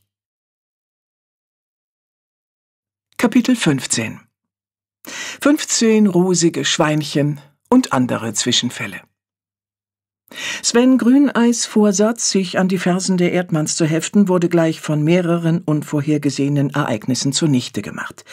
Etwas hinten anzustellen entsprach zwar gar nicht seinem akkuraten und dienstbeflissenen Wesen, doch da jede der Begebenheiten sein sofortiges Handeln erforderte, blieb ihm gar keine andere Wahl, als die inoffizielle Mordermittlung einstweilen sausen zu lassen. Gegen diese Art von höherer Gewalt war man als einfacher Dorfpolizist eben vollkommen machtlos. Die Geschehnisse nahmen ihren Lauf, als er feststellte, dass er einen Dachschaden hatte. Beim flüchtigen Hinsehen war es nur ein schattenhafter Fleck auf der Tapete im Wohnzimmer. Sah man sich die Wand jedoch genauer an, warf einen Blick zur Decke und befühlte den Fußboden darunter, musste man wohl oder übel zugeben, dass hier etwas überhaupt nicht in Ordnung war. Die Nässe war durch das Dach gedrungen wie Nusslikör durch Löffelbiskuit. In Küche und Bad perlten winzige Wassertropfen von der Decke, und an mehreren Stellen waren bereits blühende Schimmellandschaften entstanden. Wie hatte er das übersehen können? Für einen Plattenbau mochte dieser Zustand halb so schlimm sein, für ein 131 Jahre altes Fachwerkhaus war dies jedoch ein absolutes Desaster. Ein kaputtes Dach und ein feuchtes Haus bedeuteten eine Unmenge an Arbeit und Arbeitszeit. Er besaß jedoch weder das eine, noch hatte er vom anderen viel übrig. Vom Adrenalin des einsetzenden Schockzustands getrieben, sprintete Sven ins Freie, schnappte sich die lange morsche Holzleiter und hastete die Sprossen hinauf. Eine Arbeitssicherungsprüfung hätte die Leiter, die ähnlich viele Lenze wie das Haus zählte, nicht überstanden. Die einzelnen Trittbretter hielten längst nicht mehr das Gewicht eines ausgewachsenen Mannes. Nur wenn man sich in einem Affenzahn hinauf bzw. herunterhangelte, blieb sie klappernd und wie unter Protest ächzend, aber immerhin in einem Stück stehen. Sven Grüneis blickte gen Himmel. Das große, windschiefe Satteldach erstreckte sich wie eine Gebirgslandschaft vor ihm. Entschlossen kletterte er die mit Algen, Moosen und Flechten bewachsenen Ziegel empor, was sich als echte Herausforderung entpuppte, da er auf dem schlüpfrigen Grünbelag immer wieder abrutschte. Jetzt hätte er eine Bergsteigerausrüstung gut gebrauchen können, doch in seinem jugendlichen Eifer hatte er natürlich auf jegliche Hilfsmittel verzichtet. Von einer ganzen Schutzengelschar begleitet, gelangte er auf die Spitze des Daches und setzte sich rittlings auf den Fürst. Der Blick über das Land war atemberaubend, doch das interessierte Sven Grüneis im Moment nicht. Stattdessen suchten seine Augen fieberhaft das Dach nach einem Loch oder einem fehlenden Ziegel ab. Fehlanzeige. Auf den überwucherten dunkelgrünen Schrägen konnte er nichts dergleichen erkennen. Seufzend gestand er sich ein, dass er die Hilfe eines Fachmannes benötigte. Ein Dachdecker musste her. Doch wovon sollte er den bitte bezahlen? Schon für den Kauf des Hauses hatte er einen Kredit aufgenommen, und seine Einnahmen reichten gerade so aus, um die monatlichen Raten abzustottern. Einen zweiten Kredit konnte er sich beim besten Willen nicht leisten. Als er dachte, es könnte gar nicht mehr schlimmer kommen, streckte ihm das Schicksal erneut die Zunge heraus. Vom Dachgiebel aus musste er mit ansehen, wie seine Asbach-Uraltleiter um das Haus herumwanderte und zwischen den Obstbäumen verschwand. Hatte sie etwa aus Wut darüber, dass sie auf ihre alten Tage noch immer ihren Dienst verrichten musste, Füße bekommen und machte sich nun auf und davon, um den wohlverdienten Ruhestand zu genießen? Sven konnte es dem armen Ding wirklich nicht verdenken. Dann hörte er Kinder lachen und wusste augenblicklich, dass ihm die beiden Nachbarsjungen Paulchen und Max einen Streich gespielt hatten. Die Bengel hatten einfach seine Leiter stibitzt und ihn auf seinem eigenen Dach festgesetzt. Alle verbalen Versuche, die kleinen Banditen zu einem Einsehen zu überreden, scheiterten kläglich. Auch alles Fluchen, Schimpfen und Lamentieren nützte nichts. Außer den Lausbuben war weit und breit kein Mensch zu sehen. Es war niemand da, der ihm aus der Patsche helfen konnte, und da sein Handy auf dem Küchentisch lag, schied auch diese Option aus. Vermutlich würde er bis zum Sankt Nimmerleinstag hier sitzen. Er musste den Abstieg wagen, auch auf die Gefahr hin, dass er sich dabei alle Knochen brach. Mit dem letzten Funken Hoffnung schickte er ein Stoßgebet zum Himmel und versprach sich selbst hoch und heilig, sollte er dies überleben, würde er nie wieder so töricht sein und blindlings in eine gefährliche Situation hineinstolpern. Wäre Bea hier, würde sie ihm völlig zurecht die Hölle heiß machen. Sich mit Händen und Füßen abstützend, schlitterte er die steile Dachschräge hinab und steuerte schnurstracks auf die Regenrinne zu. Sein Plan war, am Regenrohr hinunterzuklettern. Das hatte er schon mal in einem Slapstick-Film gesehen. Doch leider war er weder ein Stummfilmkomödiant noch ein Kapuzineräffchen. Schon auf der Hälfte der Strecke versagten seine Bremsen. Der dichte Moosbewuchs war so rutschig wie Schmierfett. Vergeblich ruderte er mit den Armen und krallte die Finger in den rutschigen Morast, und das Unvermeidliche geschah. Er stürzte in die Tiefe. Zu seiner Überraschung fiel er recht weich. Federn flogen auf, und das aufgebrachte Gegacker seiner Hühner drang an sein Ohr. Er spuckte Stroh aus, und der Geruch von Kuhfladen und Pferdeäpfeln stieg ihm in die Nase. Wieder einmal war das Glück auf seiner Seite. Er war direkt auf dem Misthaufen gelandet. Fassungslos, was für einen Dusel er gehabt hatte, rappelte er sich auf und klopfte sich den Dreck von den Klamotten. Seine gummiweichen Knie schlackerten wie die Ohren eines Rauhaardackels im Wind. Die Beine wollten ihn kaum tragen. Ein bisschen musste er sogar selbst über sich lachen, wie er so über Wiesen und Wege wackelte.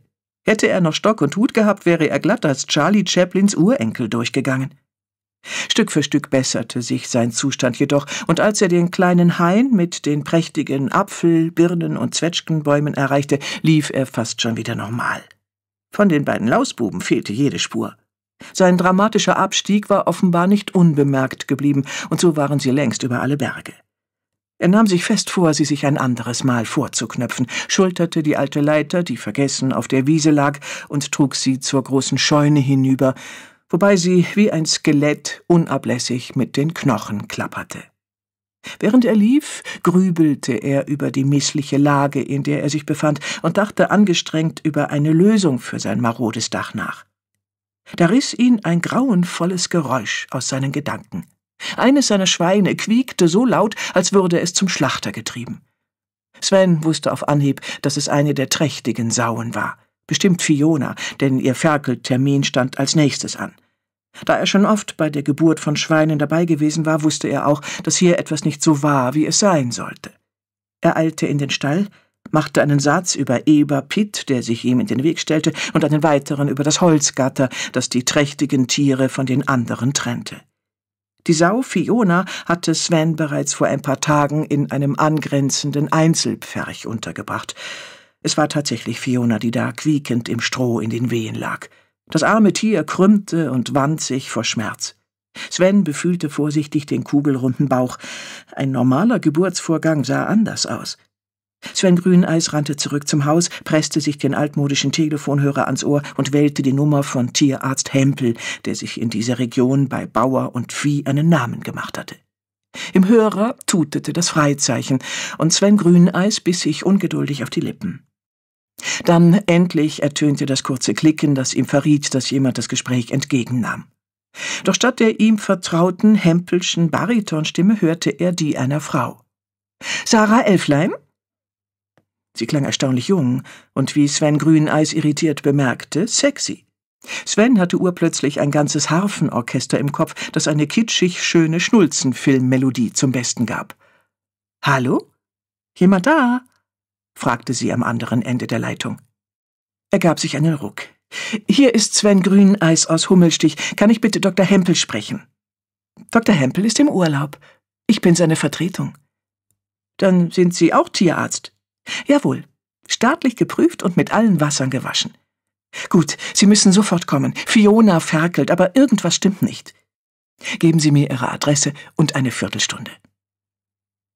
Die Zeit, in der Sven Grüneis auf Horst Hempels Vertretung wartete, verging wie im Flug. Er versuchte nicht an Sarah Elflein zu denken, doch das gelang ihm nicht. Keine zehn Minuten waren vergangen, da donnerte ein weißer Peugeot die Auffahrt hoch. Der Wagen hielt stotternd an und spuckte seine Fahrerin aus. Sarah Elflein war jung, schön und vollschlank, mit dunkelbraunem Bob und entsprach durchaus dem Bild, das der Klang ihrer wunderbaren Stimme bei Sven hervorgerufen hatte. Sie gefiel ihm wirklich ausgesprochen gut.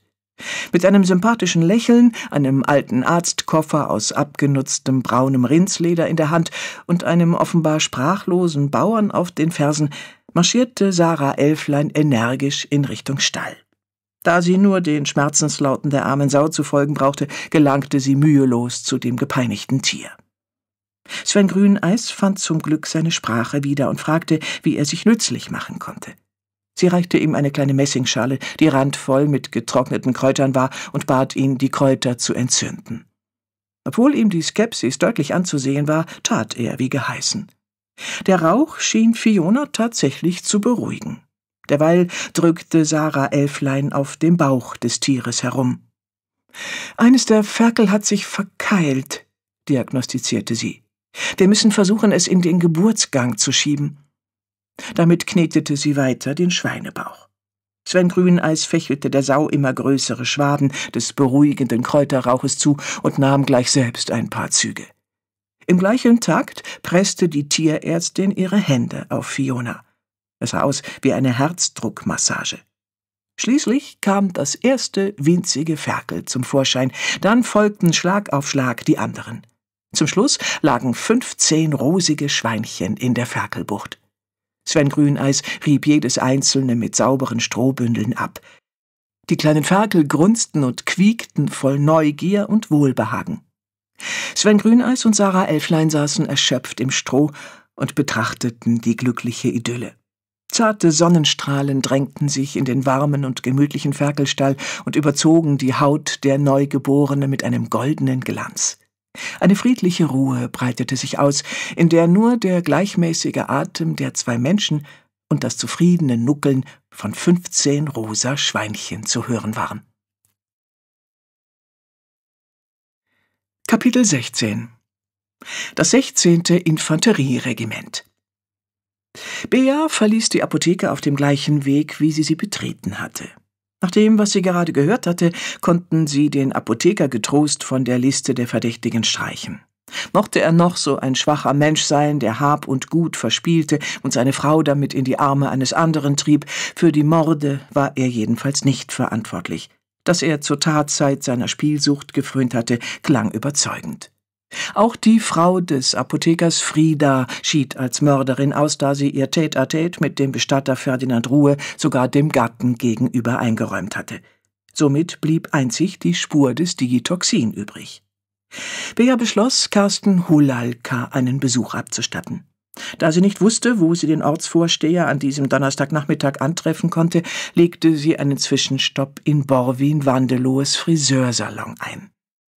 Was für eine Farbpracht, rief er begeistert bei ihrem Anblick. Du bringst ja den ganzen Wonnemonat in meinen Laden. Er klatschte fröhlich in die Hände und bewunderte Bias Kleidung, die tatsächlich an die Farben eines blühenden Gartens im Frühling erinnerte. Die Marlene-Hose in leuchtendem Maigrün, das sonnengelbe asymmetrische Top, auf dem das Porträt der amerikanischen Flugpionierin Emilia Mary Earhart aufgedruckt war, ergänzt durch einen aquamarinfarbenen Wollschal und orangerote Mokassins, die perfekt zu dem Farbton ihrer Haare passten. Borwin Wandelohe grinste zufrieden wie ein Honigkuchenpferd. Beas strahlender und inspirierender Aura konnte man sich einfach nicht entziehen. Sie war eine Bereicherung für das Dorf, mochten die anderen doch denken, was sie wollten. Borwins Leben war definitiv bunter geworden, seitdem Bea da war, und er wünschte sich wirklich, dass sie für immer hier bleiben würde. Laut Borwins Beschreibung wohnte Karsten Hulalka in einem Glaspalast am anderen Ende des Dorfes. Was genau er damit meinte, begriff Bea erst, als sie direkt vor dem riesigen gläsernen Kasten stand. Es war das einzige Gebäude im Ort, das definitiv nicht niedlich war, und irgendwie passte es ganz und gar nicht hierher. Bea klingelte, und nach wenigen Augenblicken kam eine abgehetzt wirkende Frau jenseits der fünfzig zur Tür. Sie trug einen knallengen, pastellrosafarbenen Hausanzug, der ihren knochigen Körper besonders unvorteilhaft zur Geltung brachte, ein gleichfarbiges Stirnband, das ihre blonde Turmfrisur betonte, und Pantoffeln aus pinkfarbenem, flauschigem Polyester. Hausieren verboten! rief sie durch die Glastür und klang wie ein Feldwebel, der ein Standgericht vollzog. Ich möchte bitte mit Herrn Hullalka sprechen, antwortete Bea. Widerwillig öffnete die Frau die Tür. Sie musterte Bea skeptisch, ließ sie dann jedoch eintreten. Im Inneren des Glaskastens war es brütend heiß. Die hohen, lichtdurchfluteten Räume waren ungemütlich und kahl und verbreiteten die gleiche Atmosphäre wie ein Wartezimmer beim Zahnarzt. Die Frau in Pink deutete auf eine weiß geflieste Kellertreppe. Bea eilte leichtfüßig die Stufen hinunter, öffnete nach kurzem Klopfen eine schmale Tür und trat in Carsten Hulalkas unterirdische Kommandozentrale ein. Der Ortsvorsteher trug eine bayerische Armeeuniform, die so makellos war, als wäre sie eben erst geschneidert worden. An seiner Brust baumelte ein Dutzend alter Abzeichen und Orden. Mit verschränkten Armen befehligte er gerade ein Bataillon winziger Infanteriesoldaten auf einem Tisch vor ihm, die sich durch eine hügelige Landschaft aus erdfarbenem Pappmaché quälten. Bär begriff, dass er sie noch gar nicht bemerkt hatte. Sie räusperte sich. Verzeihen Sie, dass ich Sie störe, Herr Hulalka, aber ich habe ein Anliegen, das ich Ihnen gerne vortragen möchte. Er sah nur kurz auf. Das sechzehnte Infanterieregiment, sagte er mit glänzenden Augen. Bei der Schlacht von Lothringen setzte es bei Oberstinzel über die Saar, überraschte die vorderen Linien des Feindes und konnte bis Heming vorstoßen. Mein Großvater gehörte dieser Division an, wissen Sie? Es dauert nicht lange. Haben Sie bitte einen kurzen Moment für mich? Er seufzte schwer, nickte dann und deutete auf eine kleine Sitzgruppe auf der anderen Seite des Raumes. Ich bin so etwas wie eine Botschafterin der Bücher, begann Bea, als sie sicher war, dass sie die volle Aufmerksamkeit des Ortsvorstehers hatte. Ich besitze eine fahrbare Bibliothek, mit der ich die Literatur wieder zu den Menschen bringen möchte. Dabei bin ich natürlich auf die Unterstützung der einzelnen Ortschaften und Gemeinden angewiesen. Er sah sie verwirrt an und verdrehte dann die Augen. Offensichtlich hielt er sie für völlig plemplem. Gute Frau, dafür haben wir nun wirklich kein Geld übrig. Oh, da missverstehen Sie mich. Ich bin nicht hier, um Sie um Geld zu bitten. Was ich brauche, ist virales Marketing. Der Fachbegriff verfehlte seine Wirkung nicht. Carsten Hulalkas genervter Gesichtsausdruck verschwand augenblicklich. Stattdessen zeigte er plötzlich vorsichtiges Interesse. Verstehe Sie meinen Picture Sharing, Seeding, Social Media Networking und so weiter? Bea lächelte zustimmend. Hulalka räusperte sich. Nun, die Sache ist die, ich würde Ihnen ja gern helfen, doch ehrlich gesagt glaube ich, dass Sie da auf ziemlich verlorenem Posten stehen. In unserer hochtechnologisierten Welt sind Bücher einfach nicht mehr modern. Tut mir leid. Bea spürte Ärger in sich aufsteigen bei so viel Ignoranz. Es tut Ihnen leid. Ja. Er nickte, ein kläglicher Versuch, von seiner unübersehbaren Unsicherheit abzulenken, und unternahm einen weiteren Anlauf. Seien wir doch mal ehrlich. Das Buch ist ein aussterbendes Medium. Die Zukunft gehört den Streaming-Diensten. Sie warf ihm einen zweifelnden Blick zu. Ist das so? Man muss sich ja nur mal die rasant ansteigenden Nutzerzahlen ansehen. TV-Serien werden mehr und mehr zu Zuschauermagneten, während die Buchbranche immer weiter in die Krise stürzt. Dem Sog der TV-Serien kann man sich eben nicht entziehen. Unglaublich. Ja, nicht wahr? Einfach unglaublich, was Sie da reden. Bea zog einen in weinrotes Leder gebundenen Band aus ihrer Tasche, eine frühe Ausgabe von Die Abenteuer von Huckleberry Finn, und legte ihn in seine Hände. Kennen Sie noch das Gefühl, das ein Buch erzeugt, wenn man es aufschlägt?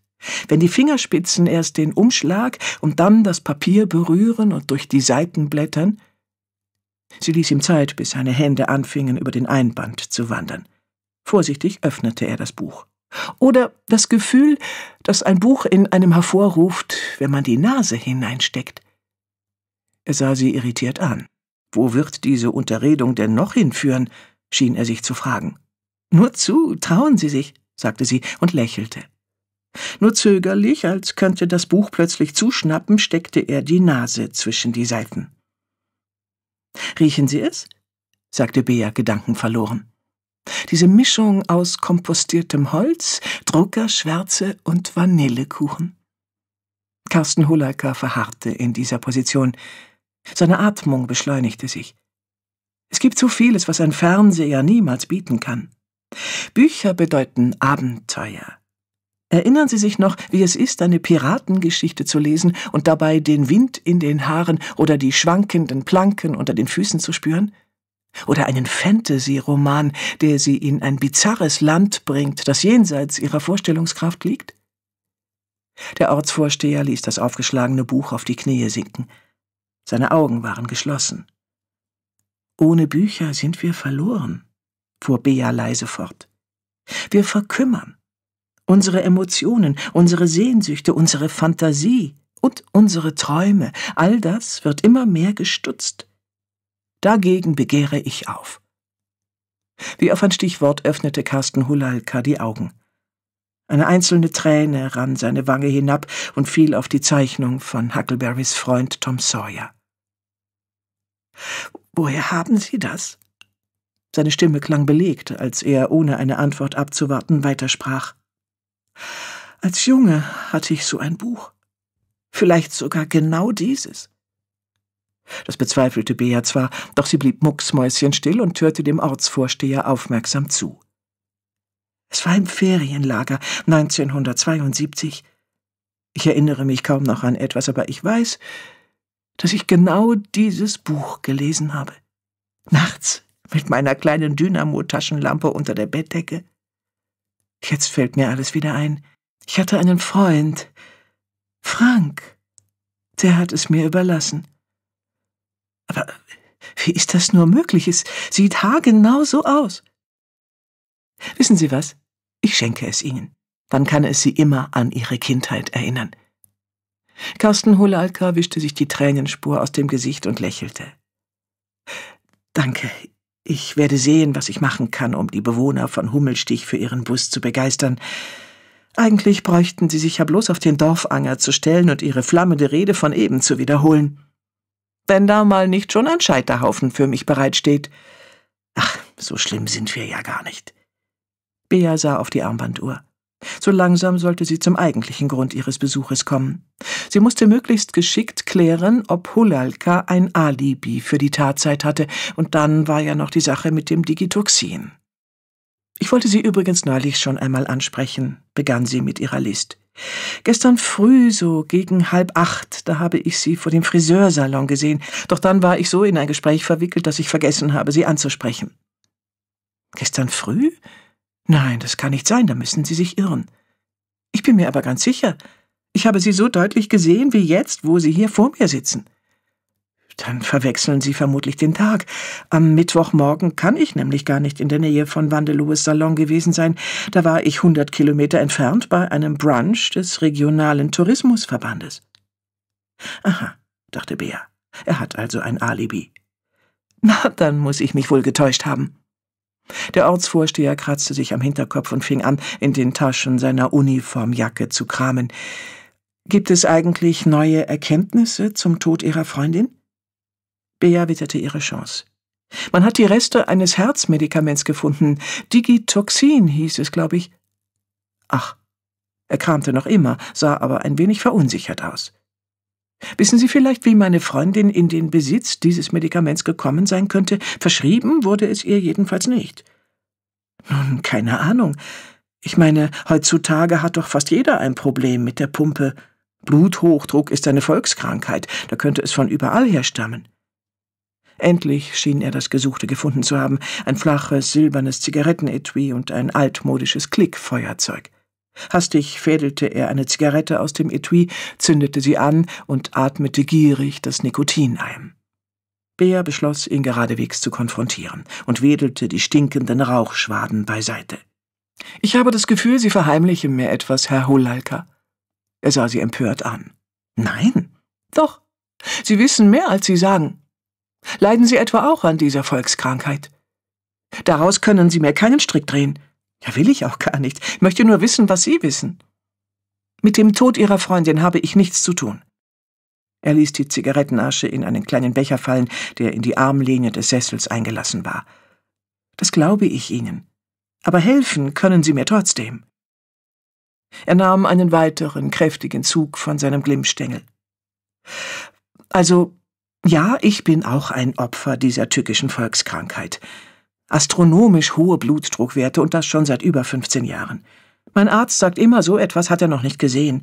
Auch meine Cholesterinwerte. Grottenschlecht, ehrlich. Bea, die noch immer krampfhaft versuchte, den stinkenden Rauchwolken auszuweichen, sah sich nach einem Fenster um, konnte jedoch keines entdecken. Sie seufzte schwer. Konzentrieren wir uns vorläufig nur auf den Blutdruck. Sie nehmen also regelmäßig Digitoxin? Natürlich, ohne das Medikament würde ich wie ein Silvesterknaller durch die Decke rauschen. Bea rutschte in ihrem Sessel nach vorn, so dass ihre Knie fast an die des Ortsvorstehers stießen. Herr Hulalka, das ist jetzt sehr wichtig. Fehlt etwas von diesem Medikament? Er nickte nachdenklich und kaute dabei an einem seiner Fingernägel. Merkwürdig, dass Sie das fragen. Vor kurzem habe ich mich dumm und dämlich danach gesucht. Die ganze Packung war wie vom Erdboden verschluckt. Ich habe ja gedacht, dass ich sie vielleicht nur verlegt habe. Ist die Schachtel wieder aufgetaucht? Nein, die muss durch ein schwarzes Loch gefallen sein. Jedenfalls musste ich mir ein neues Rezept ausstellen lassen. Ganz schön ärgerlich, kann ich Ihnen sagen. Er aschte erneut ab und nahm einen weiteren Zug von der Zigarette. Kann es vielleicht sein, dass das Medikament gestohlen wurde? Ach was, wer klaut denn bitte einen Beta-Blocker? Dreiste, skrupellose Mörder tun so etwas, dachte Bea. Kapitel 17 17 auf einen Streich Sven Grüneis wusste nicht, ob er lachen oder weinen sollte. Glück und Unglück liegen dicht beieinander, hieß es. Wie wahr, dachte er und schaute verdrossen zur Straße hinüber. Von seinem Traktor aus konnte er weit über die Felder und Wiesen sehen, durch die sich der asphaltierte Weg wie eine Blindschleiche schlängelte. Er konnte jetzt unmöglich fahren, so aufgewühlt wie er war. Einerseits wollte er fast zerspringen vor Freude. Wenn er an Sarah Elflein dachte, dann tanzten seine Hormone Boogie-Woogie. Auch der glückliche Ausgang von Fionas Niederkunft stimmte ihn froh. Fünfzehn gesunde und zuckersüße Ferkel waren kein alltägliches Geschenk. Andererseits war da ja noch sein Dachschaden, und das war wirklich ein Problem, für das er keine Lösung wusste. Fakt war jedoch, ohne Geld kein neues Dach, ohne Dach kein Haus, ohne Bauernhaus kein Bauernhof, keine süßen Ferkel. Und Sarah Elflein konnte er dann wohl auch abschreiben. Was wollte eine erfolgreiche Tierärztin schon von einem Bauern, der seinen Hof nicht halten konnte? Wenn er nur Bea um Rat fragen könnte. Doch bevor er sein kriminalistisches Soll nicht erfüllt hatte, wollte er ihr nicht unter die Augen treten. Er hatte ihr versprochen, die Erdmanns zu beschatten und herauszufinden, ob sich der Verdacht gegen sie erhärtete. Schließlich war er es, der die Erdmanns für dringend tatverdächtig hielt. Ja, er war sich beinahe sicher, dass sie für die Morde verantwortlich waren. Entschlossen, dies auch zu beweisen, sprang er vom Sitz seines Traktors, holte seinen treuen Drahtesel aus dem Schuppen und strampelte los. Der Fahrtwind war angenehm kühl und pustete ihm den Kopf frei. Während er in zügigem Tempo über die verlassene Landstraße fuhr, dachte er nach, wie er nun eigentlich vorgehen wollte. Einfach nur hinsetzen und abwarten, was passieren würde, kam jedenfalls nicht in Frage, schon aus zeitlichen Gründen. Lehrbuchmeinung hin oder her, es war höchste Eisenbahn, der Theorie den Rücken zuzukehren und endlich auf seinen Instinkt zu hören. In dieser Situation war nur eines sinnvoll, nämlich die direkte Konfrontation. Derart berauscht von seinem eigenen Tatendrang hielt er vor dem Haus der Erdmanns an. Das Geschäft war geschlossen, was recht ungewöhnlich für einen Donnerstagnachmittag war. Deshalb wandte er sich gleich der Haustür zu. Obwohl sie etwa eine Handbreit offen stand, drückte er erst einmal auf die Klingel. Dann, als keine Reaktion erfolgte, probierte er es mit Klopfen. Doch auch hier regte sich nichts. Also schob er die Tür auf und trat ein. Hallo? rief er in den leeren Flur hinein, an dessen Ende eine steile Treppe in das erste Stockwerk führte. Ein ungutes Gefühl kroch ihm von den Hasenfüßen die Beine hoch. Erlebte er gerade ein Déjà-vu? Hatte er das nicht schon im Wirtshaus zum goldenen Lamm durchgemacht? Oh, bitte nicht schon wieder eine Leiche, flehte er innerlich. Mit butterweichen Knien erklomm er Stufe um Stufe, bis er mitten in der Erdmannschen Wohnung stand. Es gab keine Leichen, das registrierte er als erstes. Es gab aber auch sonst nichts. Keine Schränke, keine Tische, keine Stühle oder sonstiges Mobiliar. Keine Lampen, keine Spüle, keinen Fernseher, nichts. Nur ein fleckiger, ausgebleichter Kurzflorteppich, von dem man nicht sagen konnte, was einmal seine Originalfarbe gewesen war, und die Schatten von Bildern an der Tapete zeugten noch davon, dass hier tatsächlich einmal Menschen gelebt hatten. Sven Grüneis biss sich auf die Unterlippe. Er war zu spät gekommen. Die Erdmanns waren mit Sack und Pack verschwunden. Für Sven kam diese Flucht einem Schuldeingeständnis gleich. Weshalb sollte man sonst Hals über Kopf sein Zuhause verlassen, wenn man nicht einen Riesenhaufen Dreck am Stecken hatte? Doch weit würden die Erdmanns bestimmt nicht kommen. Wenn er sie in seiner Dienststelle gleich zur Fahndung ausgeschrieben hatte, würden sie, falls nicht schon in den nächsten Stunden, dann auf jeden Fall in den nächsten Tagen gefasst werden. Eine vierköpfige Familie konnte nicht einfach so von der Bildfläche verschwinden. Irgendjemandem waren sie bei ihrer Flucht bestimmt aufgefallen. Er schwang sich aufs Fahrrad und trat in die Pedale. Am Rübenacker angekommen, musste Sven Grüneis feststellen, dass noch weit mehr als nur die Erdmanns verschwunden waren. Die Dienstbaracke, in der er so viele Stunden abgesessen hatte, war dem Erdboden gleichgemacht. Vor Schreck fiel er fast vom Fahrrad. Er sprang ab und eilte zu der Stelle, wo einst sein Arbeitsplatz gewesen war, fand jedoch nur verbrannte Erde und einen großen Haufen verkohlter Überreste vor, der noch ordentlich zischte und knackte und heiße Funken versprühte. Verflixt und zugenäht, schimpfte Sven Grüneis und kickte mit dem Fuß einen kleinen Stein beiseite. Gab es denn nichts mehr, auf das man sich verlassen konnte? Womit hatte er es verdient, dass ihm das Schicksal in einem Fort Steine in den Weg legte? Dass den Brand noch niemand im Dorf bemerkt hatte, musste daran liegen, dass der Rübenacker etwas außerhalb lag und der Wind den Rauch in die entgegengesetzte Richtung geweht hatte. Sein Blick wanderte über den Acker und fiel auf eine einzelne Kuh, die in einiger Entfernung wie eine Bronzefigur dastand und ihn neugierig beäugte. Er hatte sie schon ein paar Mal hier herumstreifen sehen, aber heute fragte er sich zum ersten Mal, wem das Tier wohl gehörte. Wer bitteschön ließ eine seiner Kühe Mutterseelen allein durch die Weltgeschichte spazieren gehen? Kein Landwirt würde so etwas Schwachsinniges tun. Was wiederum bedeuten musste, dass die Kuh überhaupt keinen Besitzer hatte. Doch das klang noch viel absurder. Langsam wie in Zeitlupe ging er auf sie zu. Sie stand noch immer wie angewurzelt da und schaute ihn an. Als er sich ihr bis auf wenige Meter genähert hatte, senkte sie den Kopf und tat beschäftigt, so als suchte sie den Acker nach etwas Essbarem ab. Das saftige Gras, das auf den an den Acker angrenzenden Weiden spross, schien sie komplett zu ignorieren. Sven Grüneis musterte die Kuh voller Neugier. Da er die Gewohnheit hatte, Tiere und mitunter auch Pflanzen wie intelligente Lebewesen zu behandeln, sprach er sie direkt an. Dachchen, Du kannst mir wohl nicht zufällig sagen, was hier passiert ist, hä? Die Kuh hob wieder den Kopf und blinzelte träge. Erst jetzt registrierte Sven, dass sie schielte. Hm, zu dumm, dass wir nicht die gleiche Sprache sprechen, was? Ah, ich könnte mir vorstellen, dass du eine Menge zu erzählen hast. Er stand jetzt direkt vor ihr und schaute ihr in die schräg stehenden Kuhaugen. Hast wohl auch schon ein paar Jährchen auf dem Buckel. Sie beschnüffelte ihn wie ein Drogenspürhund. Na, was ist, altes Mädchen?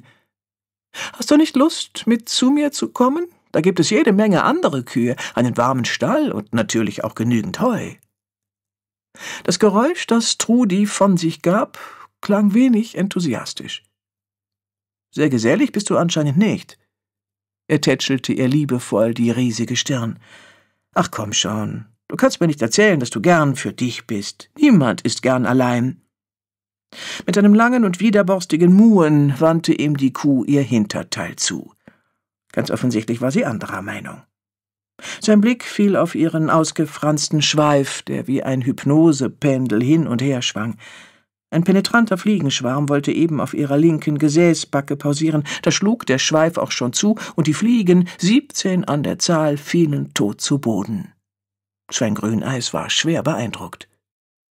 Nun fiel ihm sein Dilemma wieder ein, und plötzlich sah er, dass neben der Kuh auf der Wiese Müll lag. Er hielt es jedenfalls im ersten Moment für Müll, irgendeine blöde Verpackung aus Plastik, die sich, anstatt zu verrotten, in winzigste Partikel zersetzen und den Boden dauerhaft verunreinigen würde.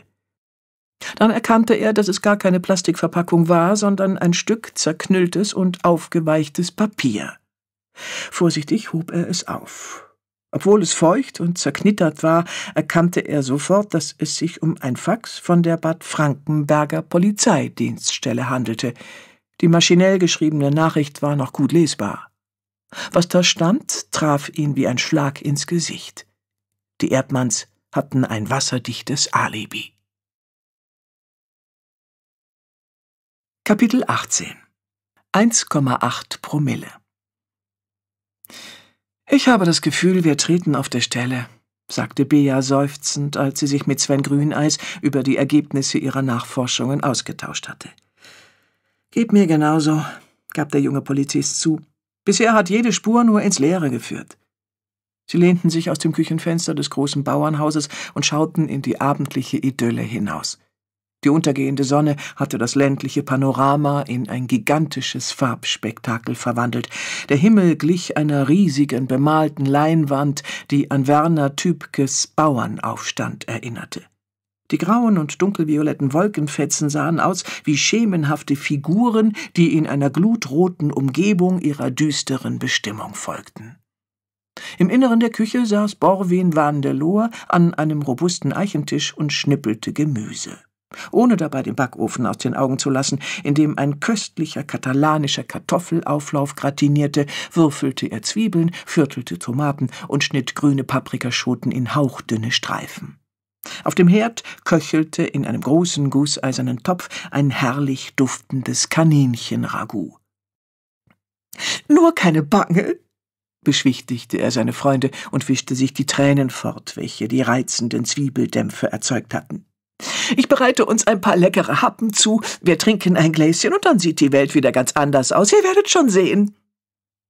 Bea drehte sich zu ihm um. Ein Gläschen wäre jetzt wirklich nicht zu verachten.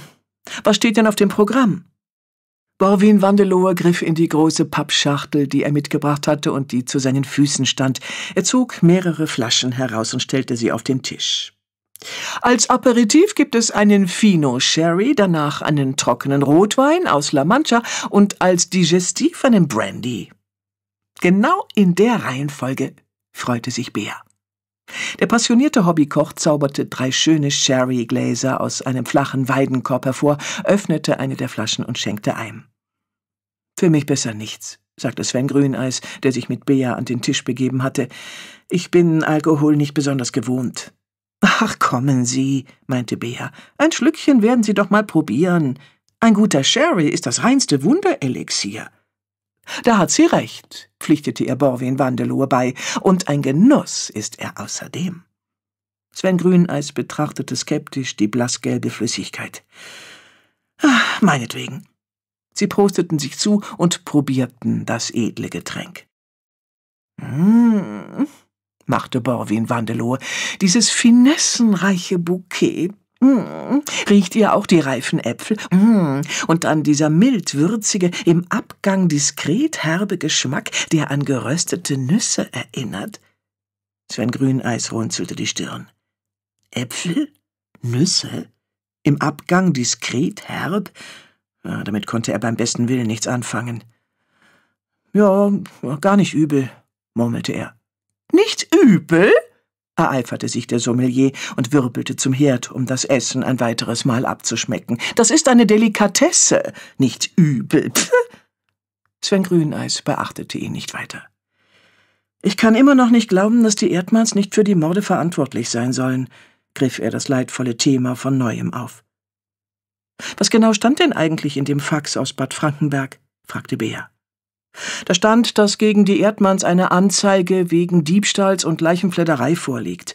Laut Aussage eines Augenzeugen sollen sie am Mittwochmorgen gegen 7.30 Uhr im Nachbardorf Tannenglück noch beim Abtransport einer Verstorbenen den Sarg geöffnet und einen silbernen Ring entwendet haben. In der Öffentlichkeit, wie dreist. Die konnten den Hals wohl nicht voll bekommen. Aber wie dem auch sei, damit haben sie tatsächlich ein lupenreines Alibi. Man kann nicht gleichzeitig hier morden und da fledern. Sven Grüneis nickte zustimmend. Ja. Und als wir Heidi Erdmann heute Morgen auf den Zahn gefühlt haben, wurde ihr sofort klar, dass ihre Schandtaten aufgeflogen sind. Und damit sie nicht zur Rechenschaft gezogen werden können, haben sie das Weite gesucht. Wie sie das so schnell geschafft haben, ist mir ein absolutes Rätsel. Vermutlich haben sie sie knapp verpasst. Bea trank ihr Glas mit einem Zug leer und warf einen Blick auf Dr. Jekyll, der unweit des Tisches auf einem Freisitz aus Kaffeeholz hockte und zufrieden an einem Hirsekolben knabberte. Ich bin jedenfalls heilfroh, dass für Henriettas Bestattung die Ruhebrüder zuständig waren. Der junge Polizist schüttelte sich. Tut mir leid, doch ich finde diesen Gedanken auch nicht sehr erbaulich. Jedenfalls haben wir nun keinen Verdächtigen mehr auf unserer Liste. Ah, so sieht es leider aus.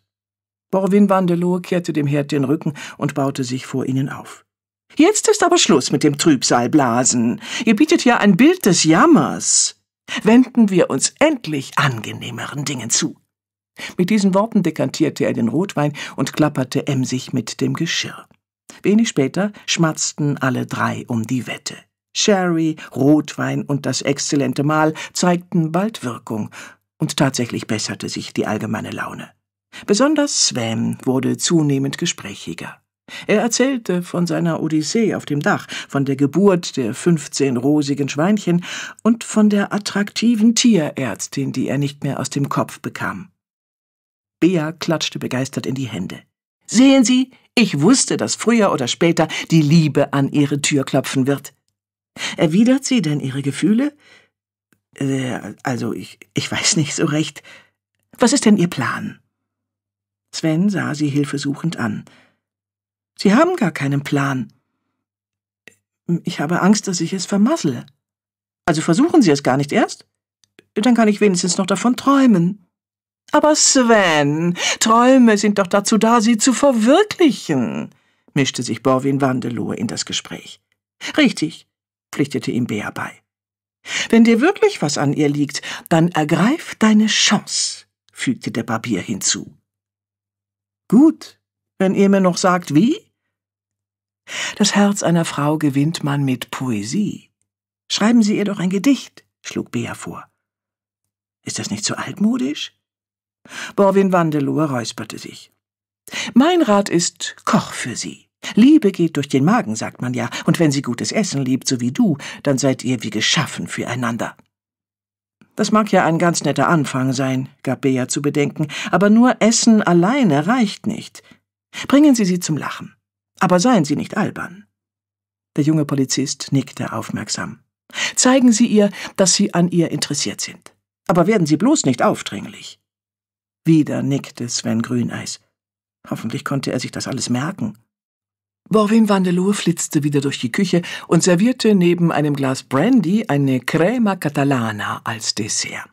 Er füllte eine Miniaturausgabe seines Weidenkorbes mit kleingeschnittenem Obst und hängte ihn an der Sitzstange des Aras auf. Ich wünsche einen guten Appetit, mein Herr Papagei, sagte er wie ein Oberkellner und verbeugte sich. Dr. Jekyll plusterte sich auf und erinnerte so an eine Schneeeule. Papagei? Quatsch! Äh, machte Borwin Wandelohr. Bea klärte ihn auf. Er glaubt, dass er ein Mensch ist, flüsterte sie so leise, dass der Ara sie nicht hören konnte. Borwin Wandelour machte eine entschuldigende Geste in Richtung des Vogels. Ich meine natürlich mein sehr verehrter, lieber Herr Dr. Jekyll. Der Papagei krächzte zufrieden und Bea probierte den Brandy. Das ist Carlos der Erste, Jahrgang 1983, klärte Borwin Wandelohe sie auf, wird unter anderem auch am spanischen Hof serviert. Mm, köstlich. Schmeckt nach diskreten Nüssen und milden Äpfeln, sagte Sven kichernd. Borwin warf ihm einen strafenden Blick zu. Sie lachten, sangen Seemannslieder und waren so ausgelassen und heiter wie schon lange nicht mehr. Als der Sherry, der Rotwein und der Brandy geleert waren, köpfte Borwin eine Ginflasche und mixte ihnen allen einen Gin Tonic. Als Krönung gab er unter den staunenden Augen seiner Freunde in jedes Glas einen Eiswürfel in Form der Titanic hinein. Wisst ihr, was der letzte Satz des Kapitäns der Titanic war? fragte er. Bea lächelte. Von allen berühmten letzten Sätzen hatte sie sich diesen besonders eingeprägt. Etwas Eis für meinen Gin Tonic, bitte. Borwin nickte und erhob sein Glas. Edward John Smith, großartiger Mann, mit einem großartigen Galgenhumor. Auch Bea hob ihr Glas. Auf Kapitän Smith und seinen Galgenhumor. Sie stießen miteinander an und zechten weiter wie Knastbrüder. Selbst Sven, dessen Wangen sich inzwischen gerötet hatten, hielt mit seinen trinkfesten Freunden mit. Sie ist es einfach, sagte er gerade halb zu sich selbst, halb zu den anderen, wobei ihm das Sprechen hörbar schwerer fiel. Sie ist es. Ich war mir noch nie so sicher. Nix. Bea betrachtete den schmelzenden Eiswürfel in ihrem Drink. Von dem stolzen Schiff war nur noch ein bescheidener Krabbenkutter übrig. Sven klammerte sich an sein Glas. Bestimmt hat sie daheim einen Mann mit Bart und wohl, wohl, wohl. Wohl was? Wohlstands Bierbauch. Ach was, meinte Bea, nicht gleich die Flinte ins Korn werfen. Korn? fragte Borwin. Bea winkte ab. Nein, danke, ab noch. Die Küche sah aus wie ein Schlachtfeld. Im Radio lief eine nächtliche Seelsorgesendung und die Kerzen waren allesamt heruntergebrannt. Auf der Fensterbank lag Dr. Jekyll in einen grauen Wollpullover gekuschelt und schnarchte laut. Borwin teilte den restlichen Gin Tonic unter ihnen auf und ergriff noch einmal sein Glas. Er schien von allen Anwesenden der nüchternste zu sein. Auf uns, liebe Freunde, auf uns und auf euch ganz besonders. Darauf, dass euch das Herz nicht schwer werde, was immer auch geschehen mag. Und denkt daran, den Mut verliert man nur, wenn man unterzuckert ist. Versprecht mir, dass ihr es in Zukunft nicht mehr so weit kommen lassen werdet.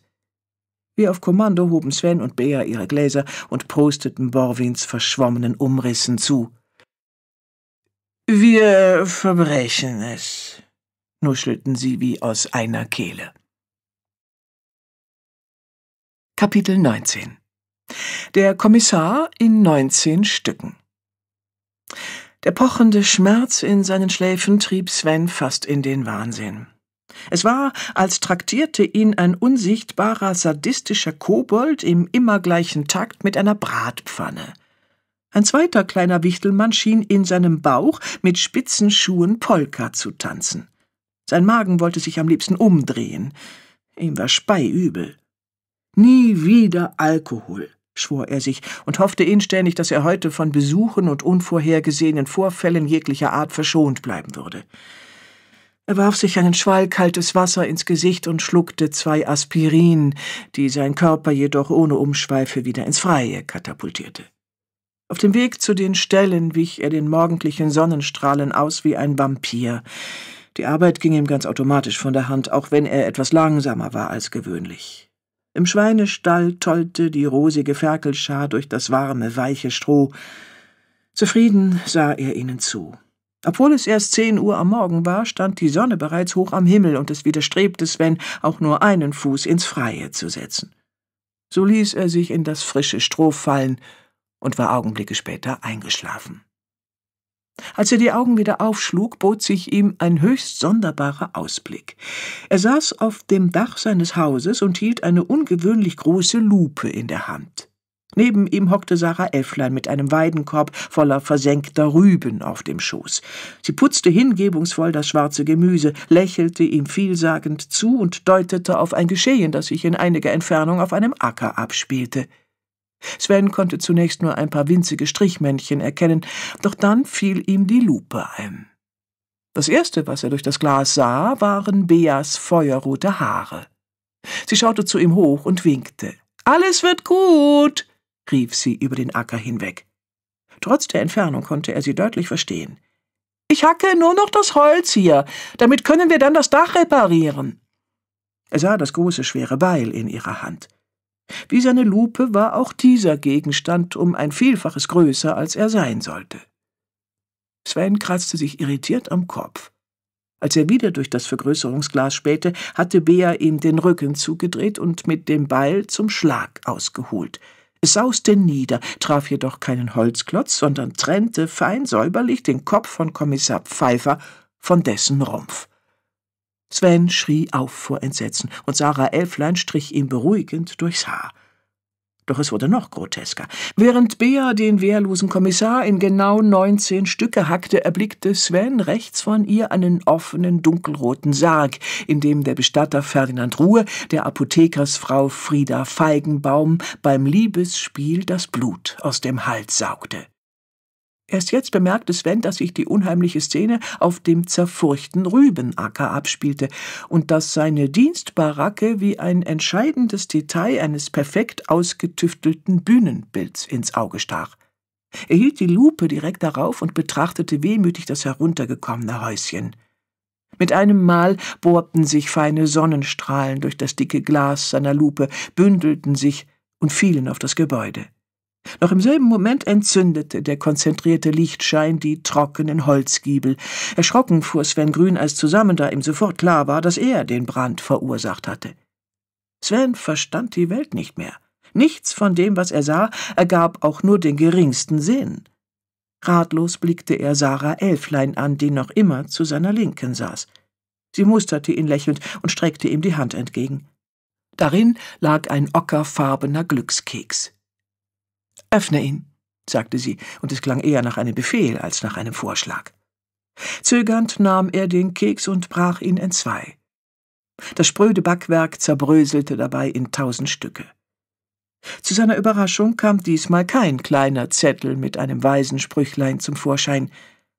Es war in der Tat höchst sonderbar, und ihm stockte fast der Atem, als er den Inhalt entdeckte.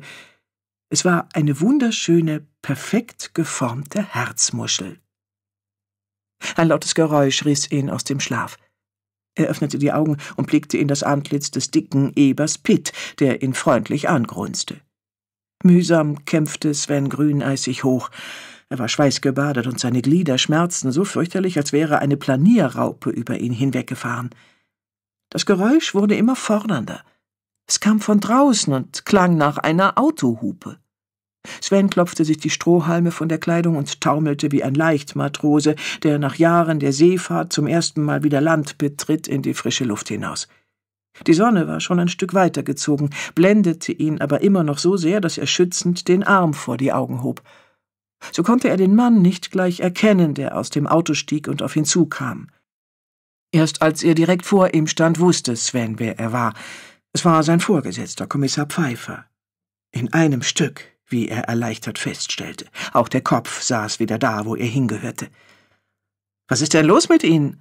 fuhr Pfeiffer ihn an. Ich versuche schon den ganzen Vormittag, Sie zu erreichen. Wieso gehen Sie nicht ans Telefon? Und jetzt hupe ich schon seit fast zehn Minuten. Mein Gott, geht es Ihnen nicht gut? Sie sehen ja aus, als hätten Sie einen Geist gesehen. Sven starrte noch immer mit glasigem Blick auf den Hals des Kommissars. Er musste wohl tatsächlich ein recht merkwürdiges Bild abgeben, wie er so dastand, schwankend wie ein Schiffsmast mit zerzausten Haaren und einem verquollenen, bartstoppeligen Gesicht. Sind Sie krank? erkundigte sich der Kommissar erneut. Sven nickte. Magen-Darm, stieß er zwischen zusammengebissenen Zähnen hervor, und Kommissar Pfeiffer wich gleich ein paar Schritte zurück. Ach du meine Güte, dann sollten Sie besser ins Bett gehen oder zum Arzt. Wieder nickte Sven. Eigentlich bin ich auch nur wegen des Feuers in der Hummelstichler Polizeidienststelle hier. Pfeifers Worte klangen so harmlos, als wäre in der Baracke bloß eine Kerze niedergebrannt. Vermutlich Brandstiftung, fügte er ergänzend hinzu. Glaube ich nicht, knurrte Sven. Wie bitte? Kurt Pfeiffer traute seinen Ohren nicht. Es war das erste Mal, dass der junge Mann ihm widersprach. Wird wohl eher ein Kurzschluss in einem der veralteten Geräte gewesen sein. Naja, das wird sich alles noch herausstellen. Jedenfalls wird es vorerst das Beste sein, wenn Sie, sobald Sie wieder auf dem Damm sind, von zu Hause aus weiterarbeiten. Und selbstverständlich werden Sie mit der neuesten Bürokommunikation ausgestattet. Dann wollen Sie also, dass ich in den Mordfällen weiter ermittle? fragte Sven mit einer Spur von Hoffnung in der Stimme. Kommissar Pfeiffer sah ihn verdutzt an. Natürlich nicht. Der Mörder sitzt in Untersuchungshaft, damit ist der Fall für uns abgeschlossen. Hat Herr Meuselböck denn gestanden? Nein, aber er wird schon noch auspacken. Alles eine Frage der Zeit. Sven seufzte tief. Der Kommissar, der diese Reaktion völlig falsch interpretierte, beschwichtigte ihn. Nur keine Sorge, wir sitzen am längeren Hebel. Sven lächelte gequält und wünschte sich, dass sein Vorgesetzter endlich wieder verschwinden würde. Er torkelte ein paar Schritte auf ihn zu und tat so, als würde er von einem heftigen Würganfall geschüttelt. Pfeiffer duckte sich und trat schleunigst den Rückweg an. Unternehmen Sie jedenfalls nichts, ohne vorher mit mir Rücksprache zu halten, und äh, kurieren Sie sich aus, rief er Sven noch zu, bevor er in seinen Wagen kletterte und davonfuhr. Kapitel 20 Mordermittlung 2.0 der kleine Dorffriedhof war in ein sanftes, warmes Licht getaucht. Es fiel in dichten, goldenen Fäden auf das kurzgemähte Gras, das wie ein weicher Teppich den Boden bedeckte. Die gepflegten, mit glänzenden Granitsteinen eingefassten Gräber waren rund um die Kirche verteilt. Frische Blumen leuchteten in den schönsten Farben. Die alten Bäume spendeten wohltuenden Schatten und flauschige Eichhörnchen äugten neugierig aus ihren Verstecken. Bea saß im Schneidersitz und mit einem Buch auf dem Schoß neben dem Grab ihrer Freundin und genoss die wohltuende Stille und Herrlichkeit dieses Ortes. Ein Totenacker hatte wirklich etwas zutiefst Beruhigendes. Er war der perfekte Rückzugsort, wann immer sie niedergeschlagen, entmutigt oder mit sich und der Welt im Unreinen war. Dann schlenderte sie durch die Reihen, las die Inschriften auf den Grabsteinen und überlegte, welche Schicksale sich wohl hinter den Namen verbargen. Sie kannte unzählige Friedhöfe auf der ganzen Welt, und dieser war zweifellos einer der schönsten, den sie je gesehen hatte. Wie friedlich es hier war. Nicht nur der Friedhof, das ganze Dorf strahlte an diesem Freitagmittag eine unglaubliche Ruhe und Beschaulichkeit aus. So ganz anders, als die Ereignisse der vergangenen Tage es hätten vermuten lassen. Es war, als hielten die Menschen inne und kehrten der Hektik und der Schnelllebigkeit den Rücken zu. Für einen kurzen Augenblick drehte sich das Rad der Zeit anderswo weiter. Ich glaube, ich verstehe jetzt, warum du nach Hummelstich gekommen bist, Hetty, sagte Bea leise. Sie legte das Buch zur Seite, nahm einen kleinen Handgrubber aus ihrer Tasche und lockerte damit vorsichtig die Erde auf. Es war schwerlich zu leugnen, dass dieser Ort über einen ganz besonderen Charme verfügte. Mann, oh Mann, was hast du da bloß für einen spektakulären Abgang hingelegt? flüsterte Bea, während sie das Grab mit roter Torfmyrte, einer eissilbrigen Zwerglockentanne und chinesischem Säulenwacholder bepflanzte. Der Mord an Hetty war zweifellos der Prolog gewesen. Bea dachte an die anderen Protagonisten in diesem Stück, die ermordeten Wirtsleute, die sich als eiskaltes Erpresserpärchen entpuppt hatten, die zwielichtigen Erdmanns, die in einer Nacht- und Nebelaktion das Weite gesucht hatten, der bornierte Kommissar, der den unschuldigen Metzger hinter Gitter gebracht hatte, der einsame Halbtagspolizist, der noch grün hinter den Ohren, aber sehr liebenswert war, der spielsüchtige Apotheker, der seine Frau in die Arme des blasshäutigen Bestatters getrieben hatte, der an Hypertonie leidende Ortsvorsteher und sein rosafarbener Feldwebel und der korpulente, lustige Friseur, der so fabelhaft kochen und erzählen konnte und der das Herz am rechten Fleck hatte. Irgendeine Spur habe ich übersehen, murmelte sie. Und in diesem Moment wurde ihr klar, dass sie selbst eine Figur in diesem Stück war. Welches Ende die Geschichte nehmen würde, lag auch an ihr. Sie war in die Rolle der altersstarrsinnigen Detektivin geschlüpft, eine neue, aufregende Rolle, die sie bis zum letzten auszukosten gedachte. Ich schwöre dir, Hetty, ich werde deinen Mörder finden, und wenn ich für den Rest meines Lebens nach ihm suchen muss. Ja, sie würde ausharren und weiter nach dem Täter forschen, bis der letzte Vorhang gefallen war. Das war sie nicht nur Hetty schuldig, sondern auch ihren neuen Freunden, Borwin Wandelow und Sven Grüneis und nicht zuletzt auch sich selbst. Sie wollte gerade gehen, als sich die Kirchentür öffnete und ein Mann in einem schwarzen Talar ins Freie trat.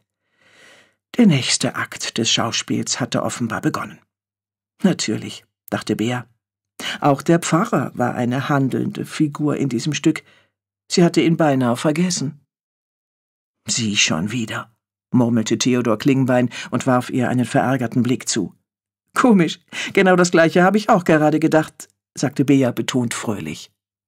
Vor Schreck hatte sie ihr Buch, einen kriminaltechnischen Ratgeber aus Hettys Sammlung mit dem Titel Mordermittlung 2.0 fallen lassen. Der Pfarrer hob es auf, betrachtete kurz das Cover und schnaubte verächtlich. Dann drückte er es ihr in die Hände und musterte sie wie ein lästiges Insekt. Sie bringen also noch immer Unruhe in meine Gemeinde. Es war eine Feststellung, keine Frage. Bea verschränkte die Arme hinter dem Rücken und wippte mit den Füßen auf und ab. Ach, wissen Sie, ein bisschen Unruhe hat noch keinem geschadet. In den Augen des Pfarrers blitzte es ärgerlich. Sie gehören zu den ganz verirrten Schäflein? Seine Stimme war trotz der salbungsvollen Wortwahl so kalt wie eine Gruft. Bea lächelte. Ach ja? Dann wollen Sie mich also auf den rechten Weg zurückbringen. Theodor Klingbein schnaubte. Bei Ihnen ist Hopfen und Malz verloren. Wieder blieb Bea völlig ruhig. Um nichts in der Welt würde sie sich von diesem Schwarzrock provozieren lassen. Vielmehr würde sie ihn aus der Reserve locken. Ja, da könnten Sie recht haben, sagte sie in liebenswürdigem Ton. Der Pfarrer errötete vor Ärger. Eher geht ein Kamel durch ein Nadelöhr als. Er brach unvermittelt ab.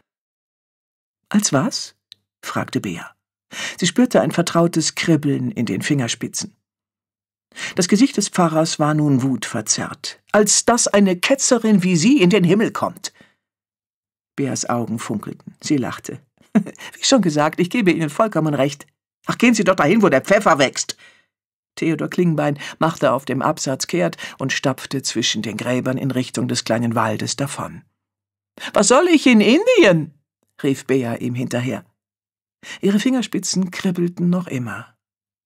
Wie merkwürdig, dachte sie, ein Theologe sollte die Bibel doch in und auswendig kennen. Aber wieso hatte sich Klingbein bei einem so einfachen Bibelzitat verhaspelt? Er hatte es eher wie eine Redensart dahergesagt. Der korrekte Vers lautete schließlich Eher geht ein Kamel durch ein Nadelöhr, als dass ein Reicher in das Reich Gottes gelangt. Neues Testament, Markus Evangelium. Würde ein Pfarrer eine Bibelstelle falsch zitieren, nur um sie jemandem beleidigend an den Kopf zu knallen? Würde ein Mann Gottes überhaupt jemanden bewusst beleidigen, noch dazu grundlos? Seltsam, dieser Pfarrer. Irgendwas war da faul. Und Bea war fest entschlossen, Klingbein auf den Zahn zu fühlen. Kapitel 21 Zwei Kragarme für einen schiefen Kirchturm. Der Turm der Oberkirche von Bad Frankenberg war das schrägste, was Bea je gesehen hatte. Tatsächlich war das 56 Meter hohe Wahrzeichen der alten Kur- und Salzsiedestadt sogar schiefer als der Turm von Pisa.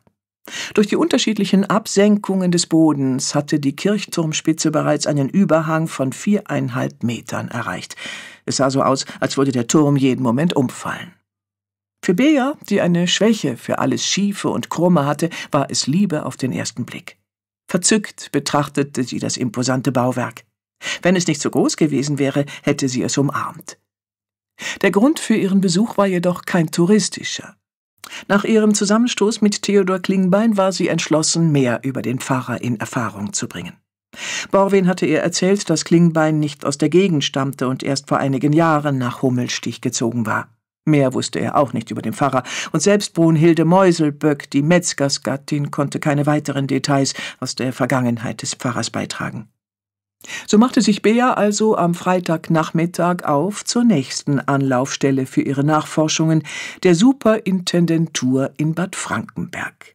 Dabei hatte sie sich zumindest optisch um Normalität bemüht und ihr schlichtestes Outfit angezogen, das aus einer orangefarbenen Karottenhose, einem gelben Blazer mit Kanarienvogelmuster und einem moosgrünen kleinen Filzhut bestand.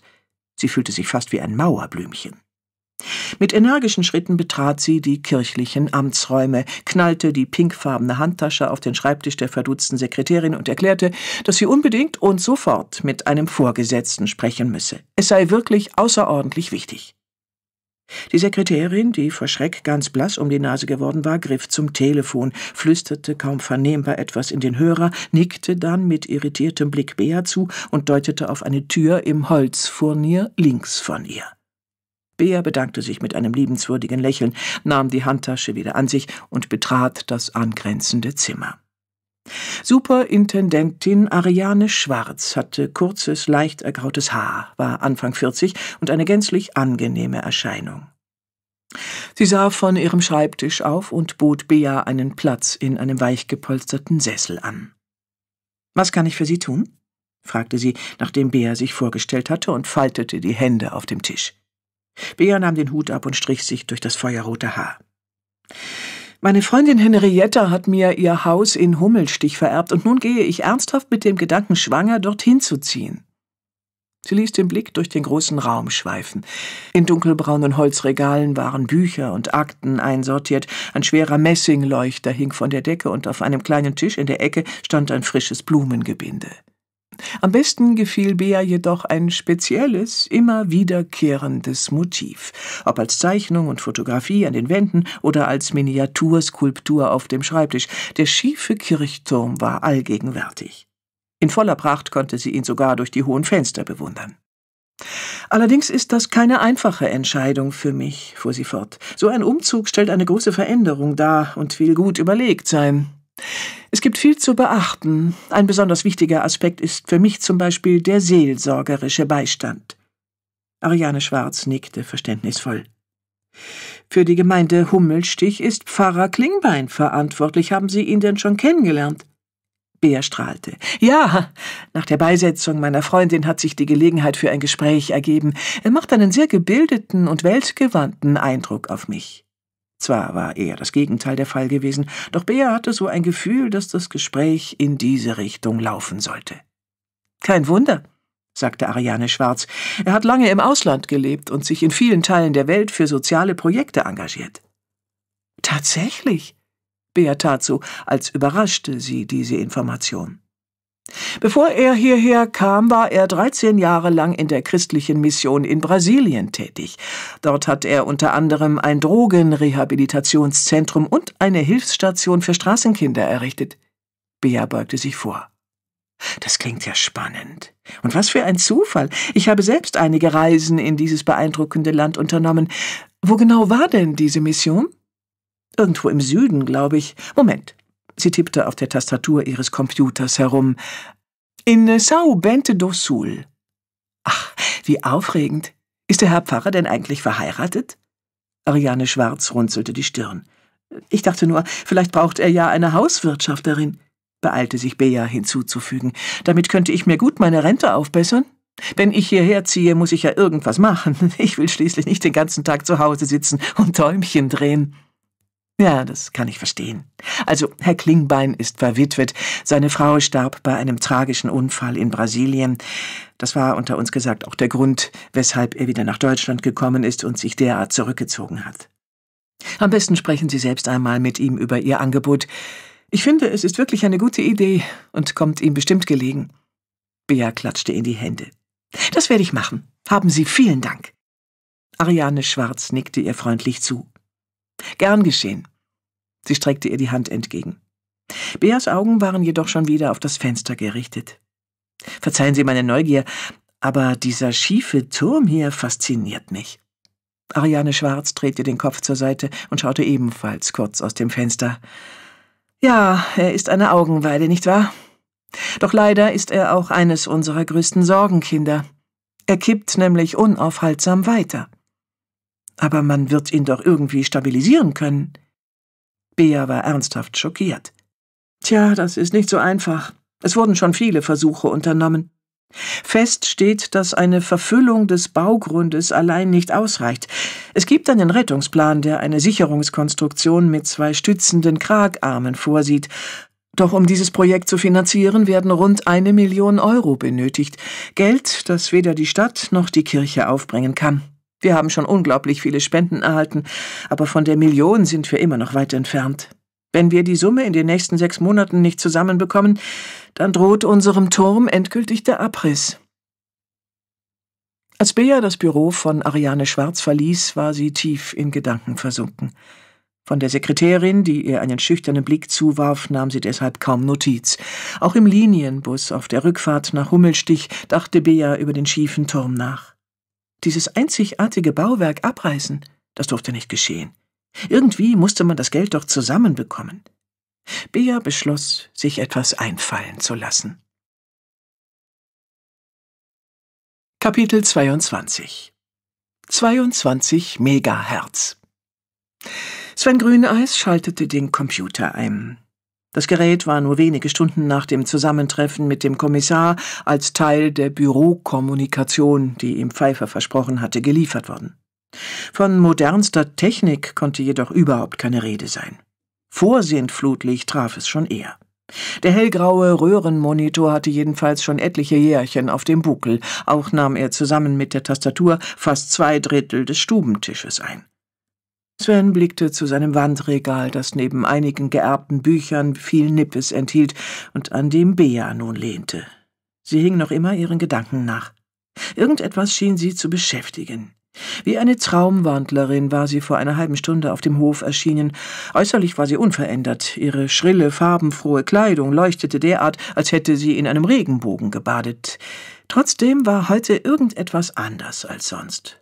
Ob das die Nachwirkungen des gestrigen Gelages mit Borwin und ihm waren? Sie wirkte seltsam still und in sich gekehrt, als belastete sie etwas, etwas, was nichts mit den Ereignissen in Hummelstich zu tun hatte. Minutenlang stand sie einfach nur da und starrte auf die Figuren und Miniaturbauwerke im Wandregal. Dann fing sie an, unruhig im Zimmer auf und ab zu laufen. Wir müssen Nachforschungen zu Theodor Klingbein anstellen, sagte sie schließlich, können wir Ihren Computer benutzen? Stolz wie ein andalusischer Autoverkäufer nickte Sven und Bea grinste. Jetzt schien sie wieder ganz die Alte zu sein. Sven atmete auf. Sie zog sich einen gepolsterten Stuhl heran und setzte sich neben ihm vor den Computer. Zuerst müssen wir mehr über diese Mission in Südbrasilien herausfinden, bei der Klingbein angeblich so lange gearbeitet hat, sagte Bea.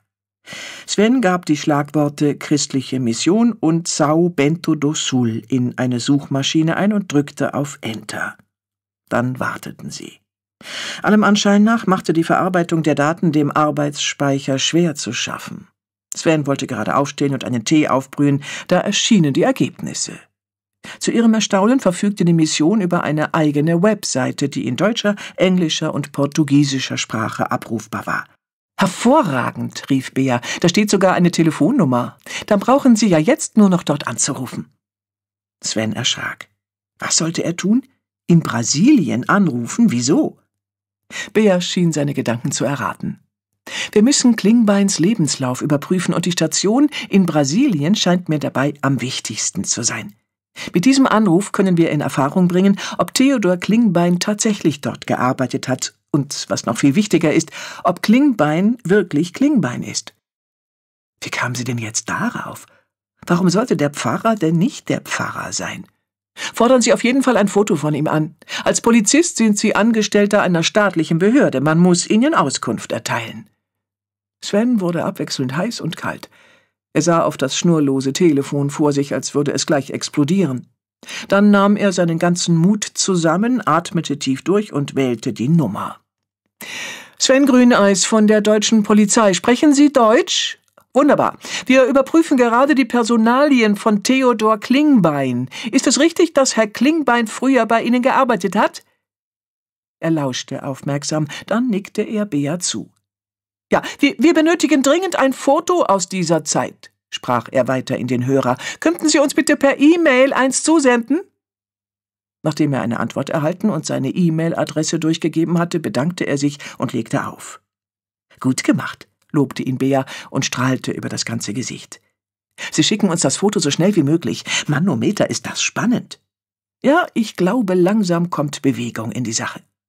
Sven sah auf die Uhr. Ich müsste kurz nach den Ferkeln schauen. Oh ja, rief Bea, da komme ich mit. Sie gingen in den Schweinestall und lugten vorsichtig in die Ferkelbox. Sowohl das Muttertier als auch die fünfzehn kleinen Ferkel lagen dösend im Stroh. Es war ein äußerst friedlicher Anblick, und in die behagliche Stille mischten sich nur wenige Geräusche. Das sanfte Seufzen der Sau und der ruhige, gleichmäßige Atem der Neugeborenen hatten etwas Beruhigendes. Irgendwo raschelte es leise. In diese idyllische Ruhe dröhnte plötzlich das laute Grunzen des Ebers Pitt, der in einer der angrenzenden Boxen auf ein Leckerli hoffte wie ein Presslufthammer. Die Sau hob erschrocken den Kopf, und einige der Ferkel blinzelten nervös, schliefen dann jedoch rasch wieder ein. Nur eines blieb wach und reckte den kleinen Rüssel in die Luft. Es sah die beiden Menschen an, die sich neugierig zu ihm herunterbeugten. Wer bist du denn? Flüsterte Bea, griff durch das Holzgatter und kraulte die winzigen Schweinsohren. Das ist Fips, sagte Sven. Fips, das fröhliche Ferkel. Bea schlüpfte in die Box, setzte sich ins Stroh und das Schweinchen kletterte flink auf ihren Schoß. Ach, Fips, du rosiger Wonneproppen. Man könnte meinen, du wärst aus Marzipan. Sven ließ sich neben Bea nieder. Pass bloß auf, Fips, sie hat dich zum Fressen gern. Bea stieß ihm den Ellenbogen in die Rippen, konnte sich jedoch ein Kicher nicht verkneifen. Mal ehrlich, was passiert eigentlich mit diesen Schweinchen? Wenn sie groß sind, kommen sie zu Mäuselböck. Beas Miene verfinsterte sich. Offensichtlich gefiel ihr die Vorstellung, dass dieser süße Fratz einmal zu Würstchen verarbeitet werden würde, ganz und gar nicht. Für Sven war dies jedoch Normalität. Aus diesem Grund züchtete er die Tiere. Er dachte an Erwin Meuselböck, der noch immer im Gefängnis in U-Haft saß. Sie mussten den Metzger da rausholen, und sie hatten noch eine Menge Arbeit vor sich.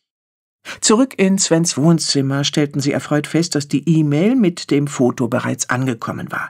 Sven öffnete die Datei, und nach einer weiteren gefühlten Ewigkeit erschien das Bild. Dem Halbtagspolizisten klappte die Kinnlade herunter. Bis auf die Statur und die Haare hatte der Mann auf dem Foto nichts mit dem Pfarrer von Hummelstich gemein. Besonders die Gesichtspartie um Nase und Mund unterschied sich deutlich. Hab ich's doch gewusst, Bea reckte triumphierend das Kinn in die Höhe. Der Pfarrer ist ein faules Ei. Er ist nicht der Klingbein, der in Brasilien gearbeitet hat, aber wer ist er dann? Das ist tatsächlich die große Frage in diesem Rätsel. Bea schaute den Computer skeptisch an. Kommen Sie mit dem Ding auch an polizeiinterne Daten heran? Sven Grüneis nickte. Ja, kann aber etwas dauern. Nach was soll ich suchen? Wissen Sie noch, wann der Pfarrer seine Stelle in Hummelstich angetreten hat? Sven überlegte. Das muss im August vor drei Jahren gewesen sein. Seine Ankunft war ein ziemliches Ereignis im Dorf und wurde groß gefeiert. Dann sollten wir überprüfen, ob in dieser Zeit bzw. kurz vorher irgendwo ein Straftäter entflohen und von der Bildfläche verschwunden ist. Svens Finger flogen nur so über die Tastatur. Wieder und wieder tippte er Begriffe und Zahlen ein, dann aber schüttelte er enttäuscht den Kopf. Niemand, auf den die Beschreibung zutrifft. Mist, murmelte Bea. Er stimmte ihr zu. Wenn wir doch nur einen Anhaltspunkt hätten, einen Fingerabdruck oder so etwas. Bea horchte auf, nahm ihre Tasche und holte ein Buch heraus. Ein Fingerabdruck, natürlich. Wieso bin ich da nicht selbst drauf gekommen? Dieses Buch hier hat der Pfarrer gestern kurz in der Hand gehabt. Sven machte ein betrübtes Gesicht. Leider habe ich nichts hier, womit man die Abdrücke sichern könnte. Bea seufzte und sah ihn tadelnd an. So etwas ist doch in jedem gut sortierten Haushalt zu finden. Alles, was wir dafür brauchen, sind ein Blatt Papier, etwas durchsichtiges Klebeband und gemahlene Gewürze. Curry oder Cayennepfeffer sind ideal. Curry und Cayennepfeffer, dachte Sven. Er konnte sich nicht daran erinnern, das jemals in seinen Lehrbüchern gelesen zu haben. Bea trommelte ungeduldig auf der Tischplatte herum. Sie werden doch Gewürze im Haus haben. Als keine Antwort kam, fügte sie hinzu, zur allergrößten Not geht auch Kohlenstaub. Jetzt lächelte Sven. Er verließ den Raum und kehrte nach etwa zehn Minuten mit einem Schälchen voll schwarzem Pulver und den übrigen benötigten Utensilien zurück. Bea nickte zufrieden. Sie nahm die Sachen und stellte sie auf den Tisch. Dann kramte sie ihren Schminkpinsel aus der Handtasche. Vorsichtig trug sie mit dem Pinsel die pulverisierte Kohle auf den Buchumschlag auf. An den Stellen, an denen es haften blieb, drückte sie Klebestreifen an, strich darüber, zog sie ab und klebte sie auf einen Bogen Druckerpapier. So förderte sie insgesamt acht Fingerabdrücke zutage. Fünf davon waren jedoch so schmal und zierlich, dass es sich nur um Hattys oder ihre eigenen handeln konnte. Die übrigen drei waren wesentlich größer. Sie markierte die Abdrücke mit einem kleinen Kreuz und reichte Sven das Papier. Der junge Polizist staunte nicht schlecht über Beas Einfallsreichtum. Echt klasse, sagte er, scannte die betreffenden Abdrücke ein, öffnete die digitale Verbrecherkartei und startete den Suchlauf. Gebannt hielten beide den Atem an. Eine unendliche Vielzahl mehr oder weniger unscheinbarer Gesichter raste im Schnelldurchlauf an ihnen vorbei. Dann blieb das Bild urplötzlich stehen. Bea und Sven schnappten nach Luft. Ein etwa zehn Jahre jüngeres Abbild des falschen Pfarrers war auf dem Monitor erschienen. Sein richtiger Name ist Andreas Knieriem, las Sven. Er wurde wegen Einbruchs, schweren Raubes und Körperverletzung verurteilt und saß sechs Jahre in der Strafvollzugsanstalt Hannover. Nach seiner Entlassung ist er untergetaucht. Nun, wie wir wissen, ist er danach in die Rolle des unauffälligen Gemeindepfarrers geschlüpft. Aber was geschah mit dem echten Pfarrer, dem wahren Theodor Klingbein? Glauben Sie, dass Kneriem ihn ermordet hat? Hm, das scheint die einzige logische Erklärung zu sein.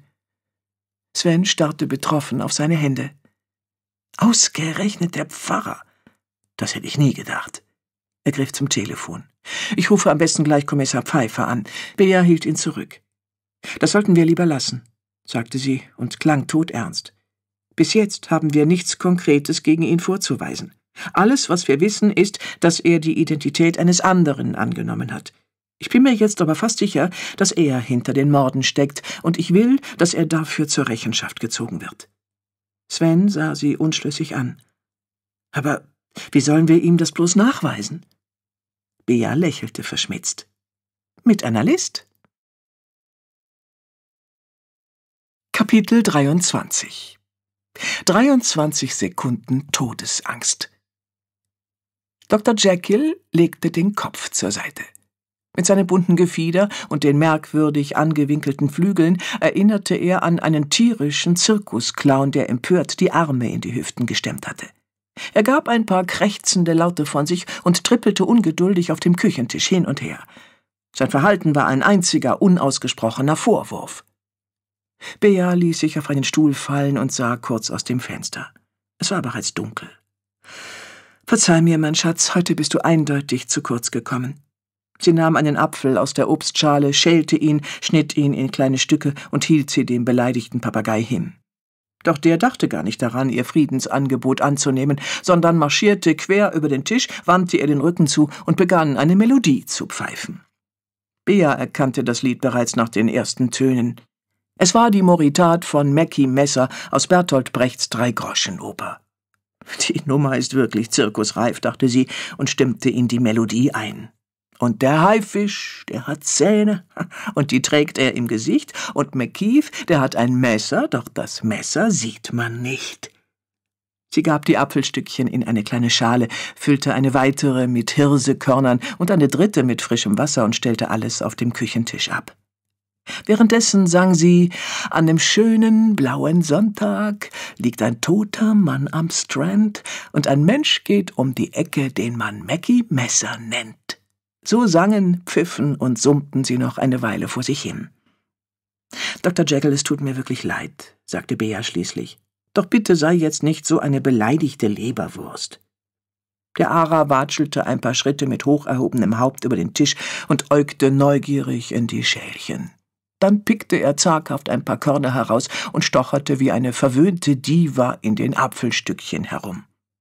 Bea ließ ihn gewähren und nahm sich ihr Notizbuch vor, um die Aufzeichnungen zu ordnen und durchzugehen. Sie war derart in Gedanken versunken, dass sie nicht bemerkte, wie im Flur das Licht erlosch. Als die Melodie von Mackie Messer erneut erklang, dachte sie zuerst, es wäre wieder Dr. Jekyll. Doch der Papagei war noch immer über die Schälchen gebeugt. Bea spitzte irritiert die Ohren. Das Pfeifen kam irgendwo aus dem Flur, der nun völlig im Dunkeln lag. Sie hielt inne. Es war jemand im Haus, das spürte sie mit jeder Faser ihres Körpers. Eine eisige Kälte kroch ihre Beine hinauf, so dass sie sich ganz steif und taub anfühlten. Sie versuchte sich nur auf die Melodie zu konzentrieren. Plötzlich verstummte das Pfeifen. Bea starrte durch die offene Küchentür in den dunklen Flur. Da erschien eine Gestalt im Türrahmen. Bea fuhr die Angst in die Glieder. Der Eindringling war vollständig in Schwarz gekleidet und hatte sich einen Nylonstrumpf und eine Skimaske über den Kopf gezogen, so dass sie sein Gesicht nicht erkennen konnte. In seinen Händen, die in schwarzen Lederhandschuhen steckten, hielt er ein dünnes Drahtseil. Die Furcht schnürte Bea beinahe die Kehle zu. Sie war vor Schreck wie gelähmt. Zwar wusste sie genau, wo das Filetiermesser lag, auch die große gusseiserne Bratpfanne hätte sie gut zu ihrer Verteidigung einsetzen können, doch sie war weder fähig, sich zu bewegen, noch brachte sie auch nur einen einzigen Laut über die Lippen. Mit weit aufgerissenen Augen sah sie, wie der Maskierte langsam auf sie zukam. Er war gekommen, um sie umzubringen. So viel war sicher. Er würde ihr den Draht um den Hals legen und so lange an den Enden ziehen, bis der letzte Funken Leben aus ihr gewichen war. Das nächste, was sie wahrnahm, war ein ohrenbetäubendes, schrilles Kreischen. Dann sah sie, wie sich Dr. Jekyll vom Tisch abstieß, die Flügel ausbreitete und wie ein Wurfgeschoss im vermummten Gesicht des Angreifers landete. Dieser war so überrascht, dass er einen Satz zurückmachte, dabei über eine kleine Fußbank stolperte und das Gleichgewicht verlor. Er ruderte mit den Armen und stürzte zu Boden. Nun war Dr. Jekyll nicht mehr zu halten. Wie eine wilde Bestie hieb er mit Krallen und Schnabel auf das Gesicht des Mannes ein. Dabei zeterte er und schlug so heftig mit den Flügeln, dass man meinte, eine ganze Räuberbande prügelte sich durch die Küche. Bea stand noch immer wie erstarrt da. Sie konnte kaum glauben, was sie sah, und wäre die Situation nicht so todernst gewesen, hätte sie vermutlich laut gelacht. Der Ringkampf zwischen Mensch und Papagei war tatsächlich das Bizarrste, was sie jemals gesehen hatte. Insbesondere da der Mensch, ohne Frage ein ausgewachsener Mann, dem Tier unterlegen war. Er packte den Papagei mit den Händen und versuchte, ihn sich vom Gesicht herunterzureißen, doch der Ara tobte und hackte derart, als wäre er der Vogel Roch höchst persönlich. Bea ahnte, wer der Eindringling war. Sie brauchte gar nicht sein Gesicht zu sehen. Es war derselbe, der sich unter dem Deckmantel der vorgespielten Fürsorge und Barmherzigkeit zu verstecken versuchte. Andreas Knieriem war zweifellos ein eiskalter und gefährlicher Gegner und einer, der nichts zu verlieren hatte. Jetzt jedoch gab er jämmerliche Schmerzenslaute von sich, wälzte sich auf dem Boden hin und her und versuchte noch immer den keifenden Vogel loszuwerden. Dabei stieß er eines der schmalen Regale um, so dass die Gläser, Tassen und Teller, die darin aufbewahrt wurden, allesamt herausfielen und in tausend Stücke zersprangen. Das Regal kippte nach vorn und krachte gegen die Blumenbank, und so mischten sich Blätter, Blüten und feuchte Erde unter die Scherben. Der Angreifer wandte seine ganze Kraft darauf, und mit einem letzten verzweifelten Ruck zerrte er den wütenden Papagei von sich, schleuderte ihn in den Raum hinein und floh wie ein gehetztes Tier aus dem Haus. Im selben Augenblick setzte eine gespenstische Stille ein. Bea hörte nur noch die wummernden Schläge ihres rasenden Herzens. Allmählich beruhigte sich ihr Puls. Sie schüttelte die Arme aus. Dann setzte sie vorsichtig einen Fuß vor den anderen – unter ihren Sohlen knirschte das zerborstene Glas. Noch immer brachte sie keinen Ton heraus. Sie reckte den Hals.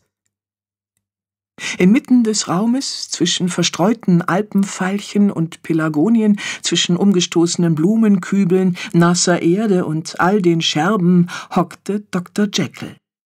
Habakuk, Unglücksrabe, krächzte er mit zitternder Stimme. Dann brach er zusammen und blieb starr und regungslos liegen. Bea erschrak bis ins Mark und stürzte zu ihm. Behutsam hob sie ihn hoch, legte ihn auf den Küchentisch und strich vorsichtig über sein gerupftes Gefieder. Er lebte noch, schien nur ohnmächtig zu sein. Es fehlten zahlreiche Federn, doch das war das geringste Problem. Das Blut, das aus einer kleinen Wunde floss, der merkwürdig verbogene Flügel und nicht zuletzt der Kreislaufkollaps bereiteten ihr weitaus größere Sorgen. Dr. Jekyll hatte sie bis aufs Blut verteidigt. Er war tatsächlich ihr tapferster Gefährte. Kapitel 24 Formular Nummer 24 Sarah Elflein beugte sich über den Vogel. Er war noch immer ohne Bewusstsein, doch sein kleines Herz pochte stark und regelmäßig. Die Blutung am Rücken hatte aufgehört, offenbar war er nur oberflächlich verletzt worden. Vorsichtig betastete die Tierärztin den krummen Flügel. Da hat unser kleiner Freund hier aber noch einmal Glück gehabt, sagte sie schließlich. Wie es aussieht, ist nichts gebrochen. Bea atmete hörbar auf. Das Blut am Schnabel und an den Krallen stammt demnach vom Täter, sagte Sven, der von Bea eine knappe Zusammenfassung der Geschehnisse erhalten hatte und nun Sarah Elflein über die Schulter schaute. Auf jeden Fall sollten wir davon eine Probe nehmen, um später gegebenenfalls einen DNA-Abgleich machen zu können. Er klang wie eines seiner Lehrbücher. Sarah Elflein nahm mit einem Wattestäbchen etwas von dem bereits getrockneten Blut an der linken Kralle auf und reichte es ihm mit einem Lächeln. Sven errötete und ließ das Stäbchen in ein verschließbares Plastiktütchen fallen. Ich schicke es morgen früh gleich zu Kommissar Pfeiffer und dann werden wir uns Andreas Knieriem vornehmen. Wenn er es war, brauchen wir uns nur sein Gesicht anzusehen. Aber wir können ihm noch immer nicht die Morde an Henrietta und den Schimmelpfennigs nachweisen, sagte Bea und klang dabei sehr niedergeschlagen. Sven verschränkte die Arme. Einbruch und versuchter Mord reichen definitiv aus, um ihn für längere Zeit in Gewahrsam zu nehmen. Außerdem ist er vorbestraft. Bestimmt gesteht er die Taten im Verhör. Sarah Elflein, die dem Papagei gerade eine Spritze verabreicht hatte, räusperte sich. Ich muss leider gleich weiter. Bauer Hubertus Stute erwartet heute Nacht ein Fohlen. Ich komme morgen noch mal vorbei und sehe nach unserem Patienten. Jetzt muss er sich erst einmal gründlich ausruhen. Sie klappte ihren Arztkoffer zu und winkte ihnen zum Abschied. Sven lächelte ihr zu. Haben Sie vielen herzlichen Dank, rief Bea ihr nach. Dann holte sie die Flasche mit dem Blutwurzschnaps aus der Diele und goss etwas von der rotbraunen Flüssigkeit in ein Sherryglas. Sie sah Sven fragend an, doch der lehnte dankend ab. Er trat ans Fenster und sah von dort aus zu, wie Sarah Elflein vor dem Haus in ihr Auto stieg und davonfuhr. Bea trank ihr Glas in einem Zug aus, setzte sich auf einen Küchenstuhl und bettete Dr. Jekyll auf ihren Schoß. Sie wirkte erschöpft und mitgenommen. Sie können auf gar keinen Fall hierbleiben. Sven, der sich ihr wieder zugewandt hatte, wippte ungeduldig auf und ab. Es ist durchaus möglich, dass der Täter zurückkommt und es ein zweites Mal versucht. Und ihr Bodyguard ist erstmal außer Gefecht gesetzt. Ich fürchte, dieser Meuchelmörder muss sich zuerst um sich selbst kümmern. Der gute Dr. Jekyll hat ihn ganz schön massakriert. Ist mir egal. Ich werde Sie heute Nacht jedenfalls nicht allein lassen. Bea genehmigte sich ein zweites Glas Blutwurzschnaps. Vielleicht sollten wir uns jetzt gleich noch um Knieriem kümmern, gab Sven zu bedenken, sonst ist er am Ende noch über alle Berge. Das glaube ich nicht. Mein Instinkt sagt mir, dass er noch immer hinter dem Messerset her ist. Ohne das wird er sicher nicht verschwinden. Immerhin hat er bereits drei Menschen getötet, um es in seinen Besitz zu bringen. Ein Grund mehr, weshalb sie nicht hierbleiben können. Ein Lächeln huschte über Beas Gesicht. Sie machen sich definitiv zu viele Sorgen um mich. Das soll wohl ein Witz sein. Der junge Polizist klang ernsthaft verärgert. Tut mir leid, sagte Bea. Sven verdrehte die Augen und seufzte. In Ordnung, schließen wir einen Kompromiss. Um Knieriem kümmern wir uns morgen früh. Dafür packen Sie jetzt ein paar Sachen zusammen und ziehen zu mir, bis wir den Täter dingfest gemacht haben und keine Gefahr mehr besteht. Bea blickte in ihr leeres Sherryglas. Natürlich war sie heilfroh über das Angebot. Zwar hasste sie es, anderen Leuten zur Last zu fallen, doch Sven Grüneis sah gerade ausnahmsweise einmal nicht so aus, als würde er einen Widerspruch dulden. Dieses neue und bestimmte Auftreten gefiel ihr, ebenso wie die liebevolle Fürsorge des jungen Mannes. Außerdem war sie entsetzlich müde und wollte einfach nur noch schlafen. Einverstanden. Sie nahm einen Weidenkorb, stopfte ein kleines Kissen hinein und legte den schlafenden Ara behutsam darauf. Dann packte sie ihr Notizbuch, die Flasche mit dem Blutwurzschnaps, eine Zahnbürste und ein paar Wechselsachen in eine Tasche und nickte Sven zu. Intensiver Kaffeeduft kitzelte ihre Nase. Bea schlug die Augen auf. Sie lag in einem gemütlich möblierten Gästezimmer. Draußen hatte bereits die Morgendämmerung eingesetzt. Sven stand neben ihrem Bett und hielt ein Tablett mit einer Tasse Kaffee und einem belegten Brötchen in den Händen. Guten Morgen. Tut mir leid, dass ich Sie so früh wecke, aber ich habe bereits mit Kommissar Pfeiffer telefoniert. Er wird in einer halben Stunde hier sein. Ich denke mal, dass Sie den Besuch bei Knieriem nicht verpassen wollen. Um nichts auf der Welt, sagte Bea und gähnte. Sie setzte sich auf und Sven stellte das Tablett auf ihrem Schoß ab. Lassen Sie es sich schmecken. Wow, Sie sind wirklich ein Schatz. Sven strahlte über das ganze Gesicht. Dr. Jekyll ist übrigens schon wieder putzmunter. Er hat es sich auf dem Sofa bequem gemacht und prahlt mit seiner Heldentat. Eine halbe Stunde später saßen Bea und Sven in der großen Küche des Bauernhauses Kommissar Pfeiffer gegenüber. Dieser war augenscheinlich schlechter Laune, was vermutlich nicht nur an der Tatsache lag, dass er an einem Samstagmorgen arbeiten musste. Also was ist das nun wieder für eine Geschichte? Ein Raubüberfall? Bea runzelte die Stirn. Ich bin gestern Abend in meinem Haus überfallen worden. Die Absicht war jedoch nicht, mich zu berauben, sondern mich umzubringen. Aha, können Sie Angaben zum Täter machen? Ja, der Täter ist mit hoher Wahrscheinlichkeit Andreas Knieriem, ein verurteilter Verbrecher, der die Identität des Pfarrers Theodor Klingbein angenommen hat und seit Jahren unter diesem Namen hier lebt. Langsam, langsam, langsam, rief Pfeiffer. Sie haben den Täter also zweifelsfrei erkannt. Er ist der Einzige, der einen Grund hat. Haben Sie sein Gesicht gesehen? Nein, er war maskiert, doch die Statur kommt hin. Aber Sie haben seine Stimme gehört? Er hat nichts gesagt, nein. Also mit anderen Worten, Sie wissen eigentlich gar nichts, und Ihre Verdächtigungen sind reine Spekulation. Und was bitte glauben Sie, sollen wir da ausrichten? Jetzt mischte sich Sven ein.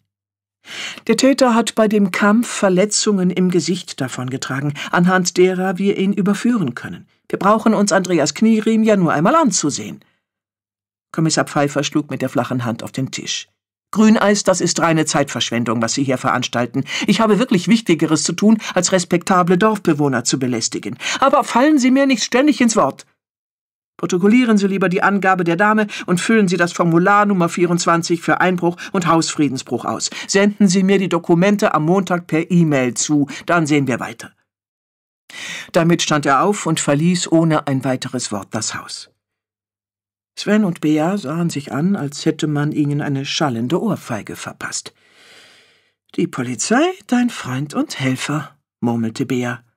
Ist nicht persönlich gemeint. Tut mir echt leid, ich dachte wirklich, dass er etwas unternehmen würde.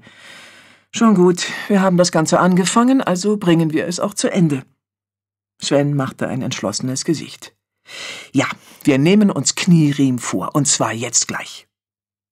Es war gerade erst kurz nach halb neun, als sie an die Tür des Pfarrhauses klopften. Bea trat von einem Bein aufs andere.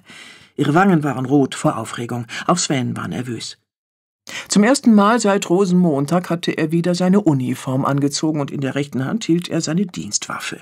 Die linke hatte er zur Faust geballt. Die Tür wurde geöffnet und knarrte dabei so laut, als hätte sie einst zu einem Spukschloss gehört. Der falsche Pfarrer erschien wie ein finsterer Geist im Türrahmen. Ja, bitte? Ach, Sie schon wieder. Bea und Sven starrten mit offenem Mund in das Gesicht des Mannes. Es war heil und unversehrt. Kapitel 25 25 Kisten und Koffer. Das geht doch nicht mit rechten Dingen zu. Sven raufte sich die Haare. Ich hätte meinen rechten Arm verwettet, dass sein Gesicht voller Blessuren ist. Grünschnabel, krächzte Dr. Jekyll. Bis auf einige kahle Stellen sah er schon wieder ganz passabel aus. Er saß auf Beas Schulter und rieb den Kopf an ihrem Ohr. Ich auch. Bea blickte aus dem Fenster, durch das ein dichtes Bündel Sonnenstrahlen direkt in die Küche des Bauernhauses fiel.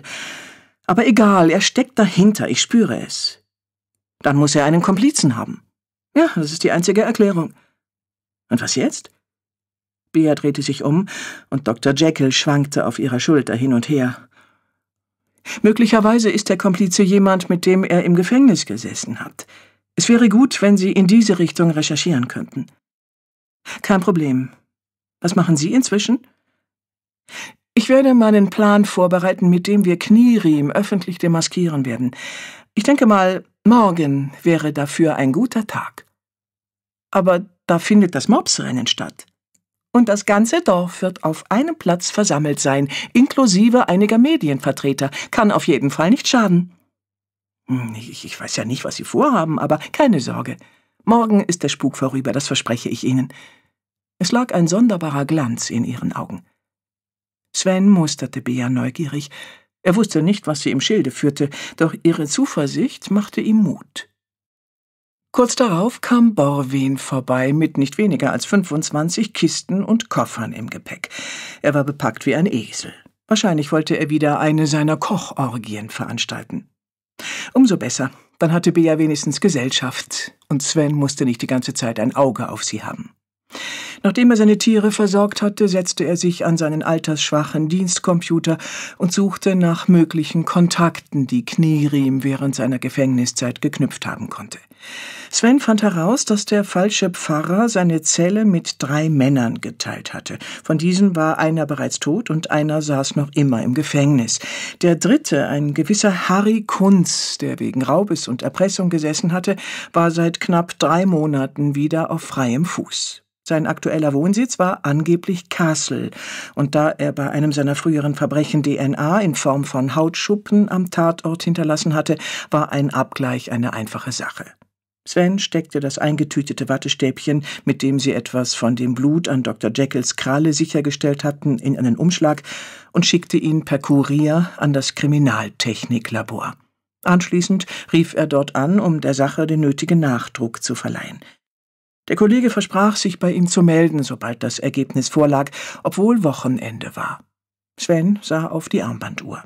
Es war Viertel vor eins und in 15 Minuten hatte er eine Verabredung mit dem Ortsvorsteher Carsten Hulalka, um die letzten Details für das morgige Großereignis abzusprechen. Beim Hinausgehen spähte er noch einmal kurz in die Küche, die sich aus irgendeinem Grund in einen Kostümfundus verwandelt hatte. Bea und Borwen saßen inmitten von Blusen, Röcken und Kleidern, hielten jeder ein Glas Sekt in der Hand und lachten sich über irgendetwas krumm und schief.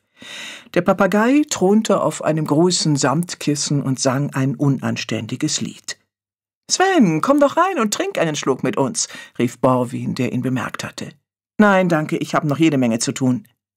Sven verabschiedete sich mit einer kurzen Geste, lief ohne einen weiteren Moment zu zögern aus dem Haus, schwang sich auf den Drahtesel und radelte los. Auf den Straßen des Dorfes herrschte für einen Samstagnachmittag absoluter Ausnahmezustand. Wo normalerweise nur streunende Katzen entlang stromerten, wuselten und hetzten nun aufgeregte Zweibeiner durch die Gegend. Mehr als einmal konnte Sven mit seinem Rad nur knapp einer dieser menschlichen Dampfwalzen ausweichen. Beinahe wäre er so mit Brunhilde Meuselböck kollidiert, die ihr Haar auf riesige Lockenwickler gedreht hatte und ein schweres Kuchenblech schleppte. Vor der Apotheke waren zwei dickbäuchige Männer in eine angespannte Diskussion vertieft. Hier und da erklang lautes Poltern und Türenschlagen, und in einem Hauseingang neben der geschlossenen Fleischerei weinte ein kleiner rothaariger Junge. Sven kannte dieses sonderbare Verhalten der Dorfbewohner gut. Es trat einmal jährlich immer um die gleiche Zeit auf, und er wusste, das Beste, was man machen konnte, war, die Ruhe zu bewahren. Das ganze Jahr hindurch fieberten die Menschen dem Mopsrennen entgegen, und nun, einen Tag vorher, lag so viel Spannung in der Luft, dass man eine Großstadt mit dem daraus gewonnenen Strom hätte versorgen können. Das Tüftlerdorf schlug regelrecht Funken. Bea lachte so schallend, dass das ganze Haus wackelte. Seit Borwins Besuch waren die Schrecken des missglückten Mordversuchs völlig verschwunden. In seiner Gegenwart fühlte sie sich so ausgelassen und unbeschwert, als wäre nichts passiert. Der morgige Sonntag lag wie ein rosafarbenes Zuckerwattewölkchen vor ihr. Sie konnte es kaum erwarten, den gemeinsam geschmiedeten Plan in die Tat umzusetzen. Borwin lächelte sie verschmitzt an. Jetzt war nur noch eins zu tun. Der Bart musste ab. Am späten Nachmittag, als wieder Ordnung in der Küche herrschte und alles an seinem Platz stand, kam Sarah Elflein vorbei, um noch einmal nach Dr. Jekyll zu schauen. Sie war überrascht, wie schnell sich sein Zustand gebessert hatte. Besonders freute sie sich über den gesunden Appetit des Papageis, denn sie hatte ihm Vitaminperlen mitgebracht, die er nun zärtlich aus ihrer Hand pickte. Bea zog eine kleine violette Pappschachtel aus ihrer Handtasche und hielt sie der jungen Tierärztin hin. Zum Dank, dass Sie sich so gut um Dr. Jekyll gekümmert haben, möchte ich Ihnen gerne einen Keks aus meiner Orakelbox schenken. Sarah Elflein freute sich wie ein Kind. Oh, wie aufregend. Ich liebe Glückskekse. Sie griff in die Schachtel und zog einen in Folie gewickelten Keks heraus. Ganz im Gegensatz zu Sven konnte sie es gar nicht erwarten, ihn zu öffnen. Sie entfernte die Verpackung, brach den Keks in zwei Hälften und zog den kleinen weißen Papierstreifen heraus. Darauf stand in einer zierlichen Handschrift ein einziger Satz geschrieben. Sie überflog ihn kurz, dann las sie laut Gesuchte Liebe ist gut, aber ungesucht geschenkt ist sie noch besser. Beas Augen leuchteten, und mit einem Mal sah sie der Grinsekatze aus Alice im Wunderland zum Verwechseln ähnlich. Von wem stammt der Spruch? fragte Sarah Elflein und steckte sich die beiden Kekshälften in den Mund. Von William Shakespeare. Ein wahrer Meister der Worte. Sarah Elflein kicherte und steckte den Papierstreifen in ihr Portemonnaie. Kapitel 26 26 Möpse Der Sportplatz von Hummelstich platzte tags darauf aus allen Nähten. Von überall her waren Besucher und Schaulustige angereist, die von dem ungewöhnlichen Ereignis gehört hatten und sich dieses Spektakel nicht entgehen lassen wollten. Mittlerweile war das Mopsrennen nicht nur für die Hummelstichler eine beliebte Tradition, sondern zog auch jedes Jahr mehr und mehr Menschen aus den umliegenden Städten und Dörfern an. Im Zentrum des Interesses standen in diesem Jahr 26 ausgefallene Vehikel, die sich mit ihren stolzen Besitzern an Bord ordentlich aufgereiht auf einer grünen Wiese präsentierten. Viele waren der Jahreszeit entsprechend mit hellgrünen Blätterranken geschmückt, andere waren mit Luftballons, Wimpeln und Fahnen verziert. Scharen von Neugierigen drängten sich um die Gefährte, um sie wie seltene Museumsexponate zu begutachten und mit den Konstrukteuren zu fachsimpeln. Direkt neben dem Sportplatz war eine kleine Bühne aufgebaut, auf der eine 15 Mann starke Blaskapelle Marschmusik spielte. Gegenüber, auf der anderen Seite des Sportfeldes, hatte man den Schankwagen sowie einen Grill platziert. Dort standen bereits gut drei Dutzend Menschen an, die fröhlich miteinander schwatzten und ihre Nase sehnsüchtig dem Duft von Bratwurst und Rostbrätel entgegenreckten. Hinter einer uralten Gulaschkanone stand Brunhilde Meuselböck und schöpfte mit einer riesengroßen Kelle Erbsensuppe auf die Teller. Ihre Haare, eine Pracht aus perfekt geformten Locken, hatte sie zu einem hübschen Kranz aufgesteckt. Nur wenige Meter entfernt begann der Kuchenbazar, wo der Verein der Hummelstichler Landfrauen eine schier endlose Auswahl leckerster Süßspeisen anbot. Der Sportplatz war außerdem von vielen kleinen Buden umringt. Da konnte man sich mit Bierkrug schieben, die Zeit vertreiben, Rosenbowle trinken oder Produkte des Korbmachers erwerben.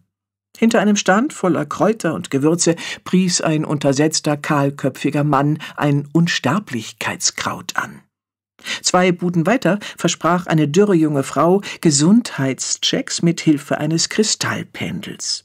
Pünktlich um 10 Uhr begrüßte Carsten Hullalka die Zuschauer und gab den Startschuss für den Wettbewerb. Das Publikum hielt den Atem an, als sich die selbstgebauten Fahrzeuge geräuschvoll und jede Menge stinkender Abgase ausstoßend in Bewegung setzten. Zuerst wurde das Gefährt in der Kategorie schnellster Mops gesucht. Dazu musste in kürzester Zeit eine gerade Strecke von 150 Metern zurückgelegt werden. Es folgte der Wettstreit um den kräftigsten Mops. Dabei wurden nach dem K.O.-Prinzip zwei augenscheinlich gleich starke Fahrzeuge mit einem Abschleppseil verbunden, und wer es schaffte, den anderen aus dem gekennzeichneten Bereich zu ziehen, der hatte gewonnen. In der Kategorie gelenkigster Mops musste ein mit Holzstämmen und Regenfässern errichteter Parcours abgefahren werden.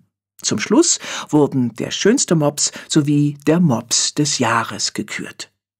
Die dreiköpfige Jury, die aus Carsten Hullalka, dem Apotheker Karl Feigenbaum und dem Pfarrer Theodor Klingbein bestand, wandelte mit Klemmbrettern und Stiften bewaffnet über den Festplatz und nahm die Fahrzeuge kritisch in Augenschein. Die insgesamt größte Beachtung und damit auch die meisten Pokale erhielt Martin Gerber für seinen grün lackierten Gabelmops. Rein optisch waren Fahrer und Gefährt kaum voneinander zu unterscheiden, denn beide sahen aus wie riesengroße Heuschrecken. Doch das skurrile Duo war nicht nur schön anzusehen. Aufgrund der Wendigkeit des Mopses siegte Gerber auch im Hindernisrennen, und obwohl der Einzylinder-Moped-Motor den weitaus stärkeren Vier- und Sechszylinder-Motoren der Gelenkmöpse in Kraft und Ausdauer eigentlich unterlegen war, konnte er doch durch sein erheblich geringeres Gewicht in puncto Geschwindigkeit und Beschleunigung überzeugen. Als alle Urkunden, Pokale und Anstecknadeln verteilt waren, griff Carsten Hulalka erneut zum Mikrofon. Liebe Freunde, liebe Gäste, es ist mir eine große Ehre, nun einen Überraschungsgast anzukündigen. Ich habe selbst erst heute Morgen davon erfahren. Im selben Augenblick bog eine große schwarze Limousine um die Ecke und zog die Blicke aller Anwesenden auf sich. Fast geräuschlos glitt das elegante Fahrzeug heran und bahnte sich den Weg durch die staunende Menschenmenge. Die Leute rätselten, wer wohl in dem Auto sitzen mochte, und versuchten vergeblich durch die getönten Scheiben einen Blick ins Innere zu erhaschen. Hier und da hörte man Ausrufe der Bewunderung. Das wird vor allem Sie, lieber Theo, freuen, sagte Hulalka und zwinkerte Klingbein zu, der neben ihm auf der Bühne stand. Der Pfarrer erbleichte. Die Limousine hielt neben der Bühne an und zuerst kletterte der Fahrer, ein junger Mann mit schwarzem Anzug und Chauffeursmütze, heraus. Er umrundete das Fahrzeug, öffnete die hintere Tür und half einer vornehm gekleideten Dame beim Aussteigen. Sie war klein und drall, mit schlanken Beinen, trug ein mondänes, royalblaues Kleid und einen großen, breitkrempigen Hut, an dem eine lange Feder steckte. Um ihren Hals und an ihren behandschuhten Fingern glänzten edelste Schmuckstücke. Offenbar war sie sehr wohlhabend. Bitte begrüßen Sie ganz herzlich die Gräfin von Falkenstein, rief Carsten Hullalka. Die Menge johlte und spendete so viel Applaus, als wäre Queen Elizabeth II. höchstpersönlich zu Besuch gekommen. Tatsächlich war das Publikum wie geblendet von der noblen aristokratischen Ausstrahlung des so plötzlich erschienenen Ehrengastes. Auch glaubten viele, diese Frau schon einmal irgendwo gesehen zu haben. Carsten Hulalka griff nach Theodor Klingbeins Arm. Unser über alle Maßen geschätzter, hochverehrter Pfarrer ist nämlich ein wahrer Held rief er ins Mikrofon, um sich wieder Gehör zu verschaffen. Der Lärm ebbte ab und die Zuschauer lauschten. Auf der Stirn des Pfarrers bildeten sich winzige Schweißtropfen. Vor einigen Jahren, als er noch in Brasilien lebte, hat er die Gräfin aus einer gefährlichen Notlage gerettet.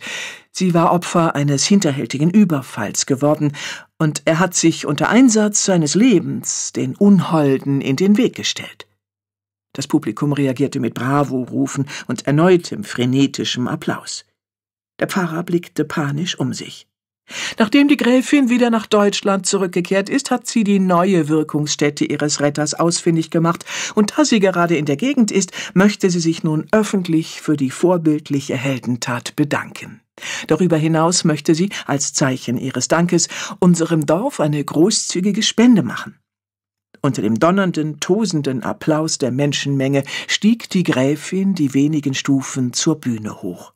Sie hob zum Gruß huldvoll die Hand und schritt würdevoll, wie es sich für eine Dame ihres Standes gehörte, auf Karsten Hulalka zu. Der Ortsvorsteher hielt noch immer den Pfarrer am Arm fest, der nun krampfhaft auf seine Schuhe starrte. Welch unermeßliche Ehre, Sie kennenzulernen, gnädigste, sagte Hulalka und vollführte eine tiefe Verbeugung, wobei er dem Pfarrer mit sich riss. Die Gräfin nickte wohlwollend. Sie kam noch einen Schritt näher und musterte den Pfarrer von oben bis unten. Dann wich sie plötzlich zurück. Das ist er nicht, rief sie und ließ mit ihren Worten, die voll bitterer Enttäuschung waren, das Publikum abrupt verstummen. Das ist nicht Theodor Klingbeim, erklärte sie noch lauter und entsetzter als zuvor. Die Menge hielt den Atem an. Alle starrten wie gebannt zu dem Mann mit dem weißen, ringförmigen Stehkragen über dem Hemd. Das stimmt, erscholl da eine Stimme aus dem Publikum. Mit einem einzigen Satz sprang Sven Grüneis auf die Bühne und packte den falschen Pfarrer am Handgelenk. Der richtige Name dieses Mannes ist Andreas Knieriem. Die Leute tauschten fragende Blicke. Sven ließ die Bombe platzen. Er ist ein skrupelloser Verbrecher, sagte er in das noch immer eingeschaltete Mikrofon. Nun hatte selbst der letzte Hummelstichler mitbekommen, dass sich auf der Bühne ein Skandal abspielte. In der Menge wurde es unruhig. Einige sahen verängstigt aus, andere schienen nicht glauben zu können, was sie gerade gehört hatten. Fotoapparate und Handys wurden gezückt. Überall erklang entsetztes Getuschel. Sven räusperte sich. Der eigentliche Zündstoff kam ja erst noch. Frau von Marstein und ich haben ihn schon eine ganze Weile beobachtet und unser Verdacht hat sich nun bestätigt. Dieser Mann ist der Mörder, nach dem wir suchen. Er hat Henrietta von Eichhorn sowie Bertha und Lutz Schimmelpfennig umgebracht. Unter den Menschen machte sich wilde Empörung breit. Carsten Hullalka sah aus, als würde er gleich in Ohnmacht fallen, und die Gräfin rümpfte voller Abscheu die gepuderte Nase, kehrte dem ganzen Geschehen den Rücken, stieg in ihre Limousine und fuhr wieder davon. Nichts als haltlose Anschuldigungen, schimpfte Knieriem. Sie können mir nichts beweisen. Darauf hatte Sven nur gewartet. Seit dem Anruf von der Kriminaltechnik, bei dem er erfahren hatte, dass der DNA-Abgleich einen Treffer gelandet hatte, wusste er, wie er Knieriem festnageln konnte. Leugnen ist zwecklos. Vor etwa einer Stunde ist Harry Kunz, ihr Komplize, verhaftet worden. Er hat bereits alles gestanden. Das war freilich bloß ein Bluff, doch von Bea hatte er gelernt, dass ein solcher Trick manchmal wahre Wunder bewirken konnte. Und so war es auch diesmal. Andreas Knieriem riss sich das Collar aus dem Kragen und funkelte die versammelte Menschenmenge böse an.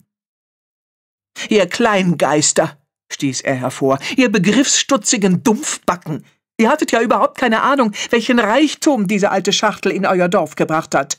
Walnussgroße Edelsteine, alle zusammen ein Vermögen wert. Niemand von euch hätte dieser Versuchung widerstehen können. Sven verstärkte den Griff um Knierims Handgelenk, und mit einem leisen Klicken schnappten nur Sekunden später die Handschellen zu. Mitten in der Menge sah Sarah Elflein mit leuchtenden Augen zu dem jungen Polizisten hinauf. Für einen Moment begegneten sich ihre Blicke, und Sven lächelte ihr zu. Zum Glück konnte sie nicht sehen, dass seine Knie so weich wie Karamellpudding waren. Kapitel 27 27 Karat. Bea zog einen imaginären Hut vom Kopf und vollführte eine Verbeugung, die fast bis auf den Boden reichte. Eure Durchlaucht, ihr wart phänomenal. Auf dem samtenen Polster des Ohrensessels thronte Borwin Wandelow. Er hatte das royalblaue Kleid samt Korsett, die Handschuhe, den riesigen Hut mit Feder und die Absatzschuhe von sich geworfen und rieb sich die geschwollenen Füße. Nur der Schmuck und die dicke Make-up-Schicht im Gesicht erinnerten noch an die Maskerade. Er wedelte affektiert mit der Hand. Stets zu euren Diensten, gnädigste, stets zu euren Diensten. Bea brachte ihm die Tasche mit seiner Kleidung, die sie vorsorglich in ihrem Haus deponiert hatten, sowie einen Waschlappen und eine Schüssel mit warmem Wasser, damit er sich abschminken konnte. Das ist doch vortrefflich gelaufen, sagte sie. Ja, und ein Spaß war es obendrein. Hast du ihre verzückten Gesichter gesehen, als ich auf die Bühne gestiegen bin? Ach, es war wie im Märchen, einfach unbezahlbar. Er tunkte die Hände in die Waschschüssel und klatschte sich einen Schwall Wasser ins Gesicht. Das liegt daran, dass du ein großartiger Schauspieler bist. Du bist in der Rolle der Gräfin ja regelrecht aufgegangen. Ich glaube, dass niemand auch nur den geringsten Schimmer hatte, dass du in diesem altmodischen Fummel gesteckt hast. Bea reichte ihm ein Handtuch und er rubbelte sich das Gesicht trocken. Jetzt sah er fast wieder aus wie vorher, nur der schwarze, gezwirbelte Schnurrbart fehlte. Sie köpften eine Flasche rubinroten Sekt und stießen auf die geglückte Scharade an. Wenig später klopfte es an der Haustür und Sven trat ein. Er strahlte über das ganze Gesicht. Wir haben es geschafft, rief er und hob triumphierend die Arme. Knieriem hat gestanden und Kunz haben wir auch geschnappt. Voller Übermut stürmte er auf Bea zu, stemmte sie in die Höhe und drehte sich mit ihr im Kreis. Sie lachte, und als er sie wieder absetzte, küsste er sie auf die Wange. In seinen Augen explodierten die Endorphine wie Feuerwerkskörper. Bea schenkte ihm ein Glas Sekt ein und drückte ihn sanft auf das Sofa. Jetzt hol erst mal Luft und dann schön der Reihe nach. Zu ihrer Überraschung leerte er das Glas in einem Zug. Borwin kicherte. Also, ich habe Knieriem zu Kommissar Pfeiffer nach Bad Frankenberg gebracht und dort hat er dann ausgepackt, hat uns die ganze Geschichte erzählt.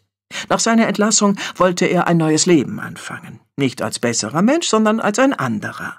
Er wollte eine Identität, die ihm Schutz gab, in der er nicht mehr der verurteilte Verbrecher war, sondern jemand, der nicht geächtet wurde und der nicht ununterbrochen im Visier der Polizei stand. Dann nahm er einen Anhalter mit, Theodor Klingbein, den echten Pfarrer.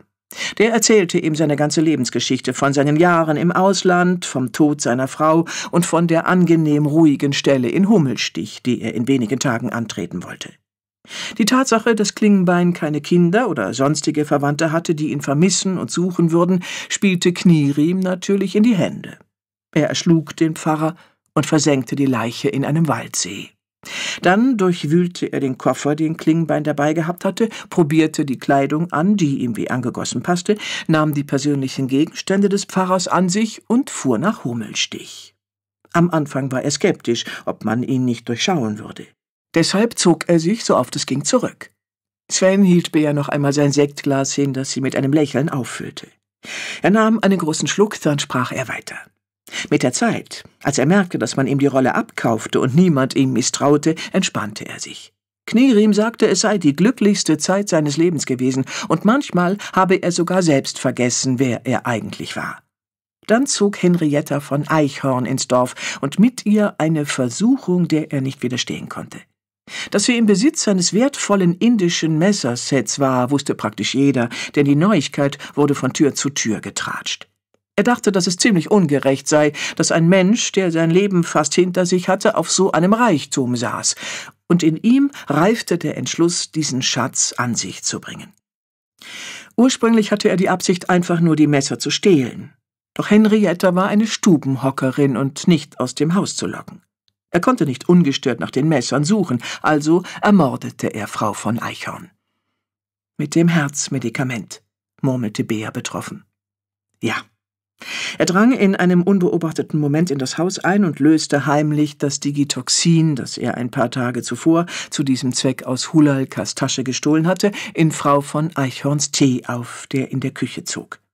Nachdem Henrietta von Eichhorn ihn getrunken hatte und sich in ihrem Sessel nicht mehr rührte, durchsuchte er das ganze Haus.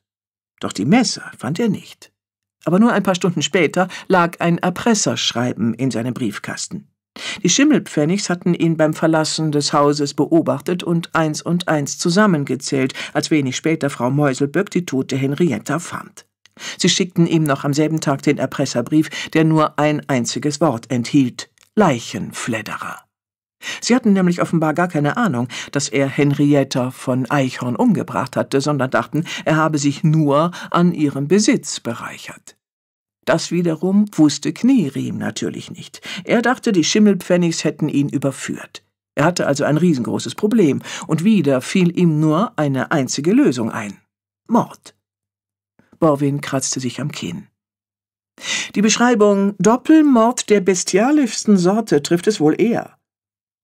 Sven nickte nachdenklich. Mit der außerordentlichen Brutalität wollte er vom Mord an Henrietta ablenken. Genau, das hatten wir ja vermutet, sagte Bea und bedeutete Sven mit einem kurzen Lächeln fortzufahren. Knierim beschaffte sich Erwin Meuselböcks Axt, um eine falsche Fährte zu legen und ihn in Verdacht zu bringen. Was bei Kommissar Pfeiffer ja auch bestens funktioniert hat. Nach seiner blutrünstigen Tat riss er noch schnell die ihn belastende Seite aus dem Erpresserbüchlein, dann versuchte er erneut, das Messerset an sich zu bringen. Er sah Bea an und nahm ihre Hand. Er hat dich auf Schritt und Tritt verfolgt, und als du bei Borwin warst, brach er bei dir ein. Da er die Objekte seiner Begierde wieder nicht finden konnte, verwüstete er das Wohnzimmer. Was ist mit dem Komplizen, diesem Harry Kunz? fragte Bea. War er von Anfang an in die Sache involviert? Nein, Kunz kam erst später dazu, erst als Knierim dich aus dem Weg räumen wollte. Ich glaube, er hatte einfach Angst, dir persönlich gegenüberzutreten. Ist das dein Ernst? Ja, so sieht's aus. Du jagst skrupellosen Mördern Angst und Schrecken ein.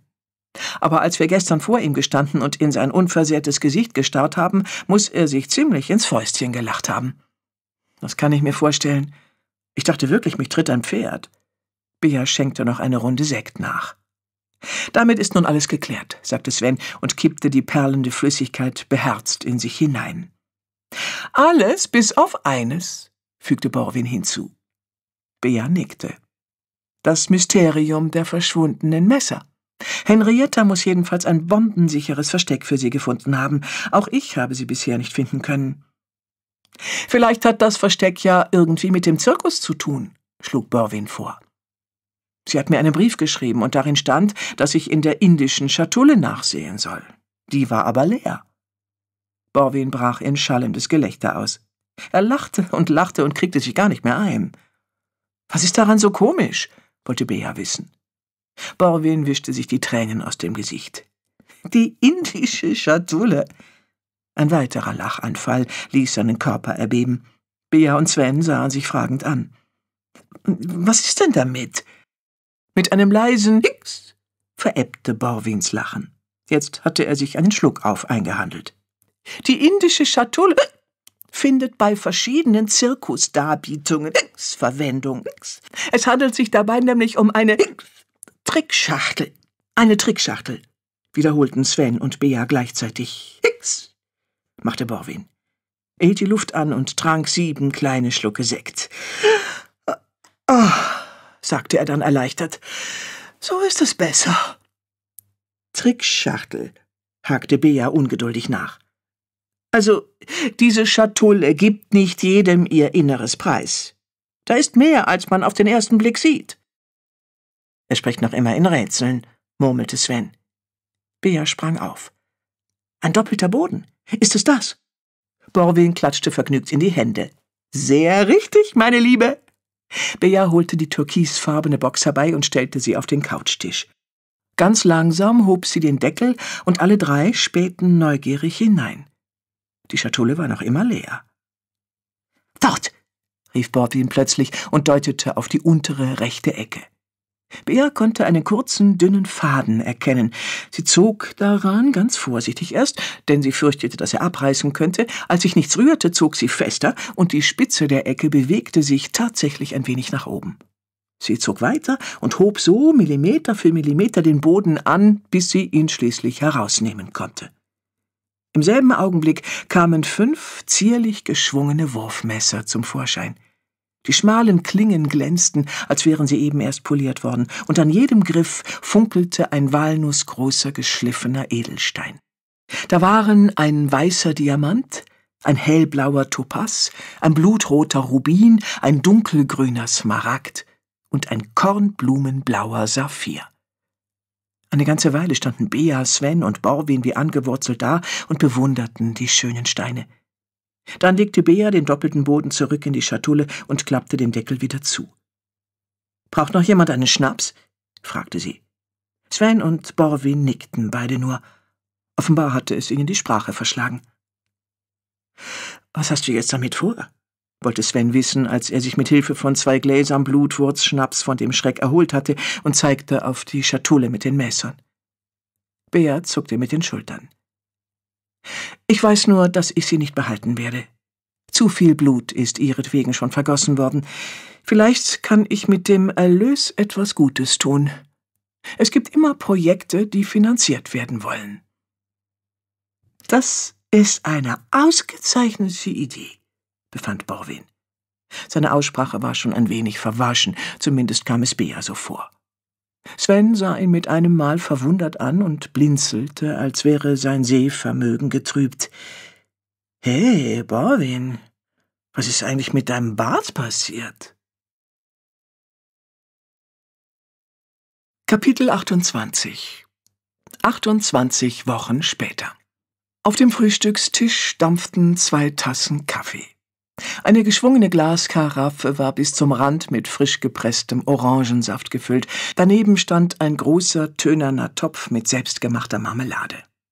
Sven Grüneis sog den köstlichen Duft von Toast mit Speck und Spiegeleiern ein und blickte liebevoll zu der schönen Frau, die ihm gegenüber saß. Der raue Herbstwind klatschte nasses, welkes Laub gegen die Fensterscheiben und pfiff eine stürmische Abschiedsmelodie. Für die kommenden Tage war Schnee vorausgesagt. Bald würde es Dezember sein, und sie würden ihr erstes gemeinsames Weihnachtsfest feiern. Er und Sarah und das Kind, das sie erwartete. Sein Kind. Was war er doch für ein Glückspilz. Auch das marode Dach war repariert, und sie standen finanziell so gut da, dass sie sich für die Feldarbeit sogar eine Hilfskraft hatten leisten können. Das alles hatten sie Bea von Marstein zu verdanken. Er dachte an ihr gemeinsames Abenteuer zurück und wusste, dass es ihn hatte stärker und reifer werden lassen. Tatsächlich war ihm, als wäre sein Rücken während der Ermittlung ein ganzes Stückchen breiter geworden. Von seinen Vorgesetzten war er für die Lösung der Mordfälle ausgezeichnet und befördert worden. Von überall her waren Stellenangebote ins Haus geflattert. Er hatte sie alle abgelehnt. Nichts auf der Welt würde ihn von hier wegbekommen. Hier war seine Familie, sein Zuhause. Das Leben in Hummelstich hatte wieder zur Normalität zurückgefunden. Das Wirtshaus war von den Heinemanns übernommen worden und lief besser als jemals zuvor. Die Mäuselböcks betrieben weiter ihre Metzgerei und gehörten zu den beliebtesten und angesehensten Bürgern im Dorf. Der Apotheker hatte sich mit seiner Frau versöhnt und wegen seiner Spielsucht eine Therapie begonnen. Die Ruhebrüder, die nun das Bestattungsmonopol im Dorf besaßen, hatten ein großes Fest organisiert und ihre zukünftige Kundschaft zu Wurst und Bier eingeladen, eine Versuchung, der kein Dorfbewohner hatte widerstehen können. Selbst die vakante Pfarrstelle war mit einer jungen, engagierten Pastorin besetzt worden. Die Wunden, die das grausige Verbrechen in das Dorf gerissen hatte, halten langsam aber sicher ab. Trotzdem war Sven manchmal etwas wehmütig zumute. Am meisten vermisste er seine Freunde.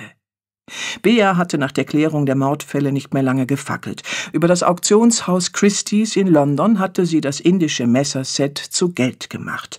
Wie hoch der Erlös genau gewesen war, wusste er nicht, doch es musste eine stattliche Summe gewesen sein.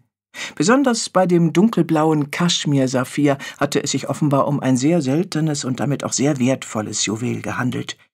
Jedenfalls hatte Bea ihm und Borwin eine äußerst großzügige Summe geschenkt. Borwin konnte sich davon eine rund um die Uhr Versorgung für seine kranke Mutter leisten und erfüllte sich den lang gehegten Traum einer Weltreise.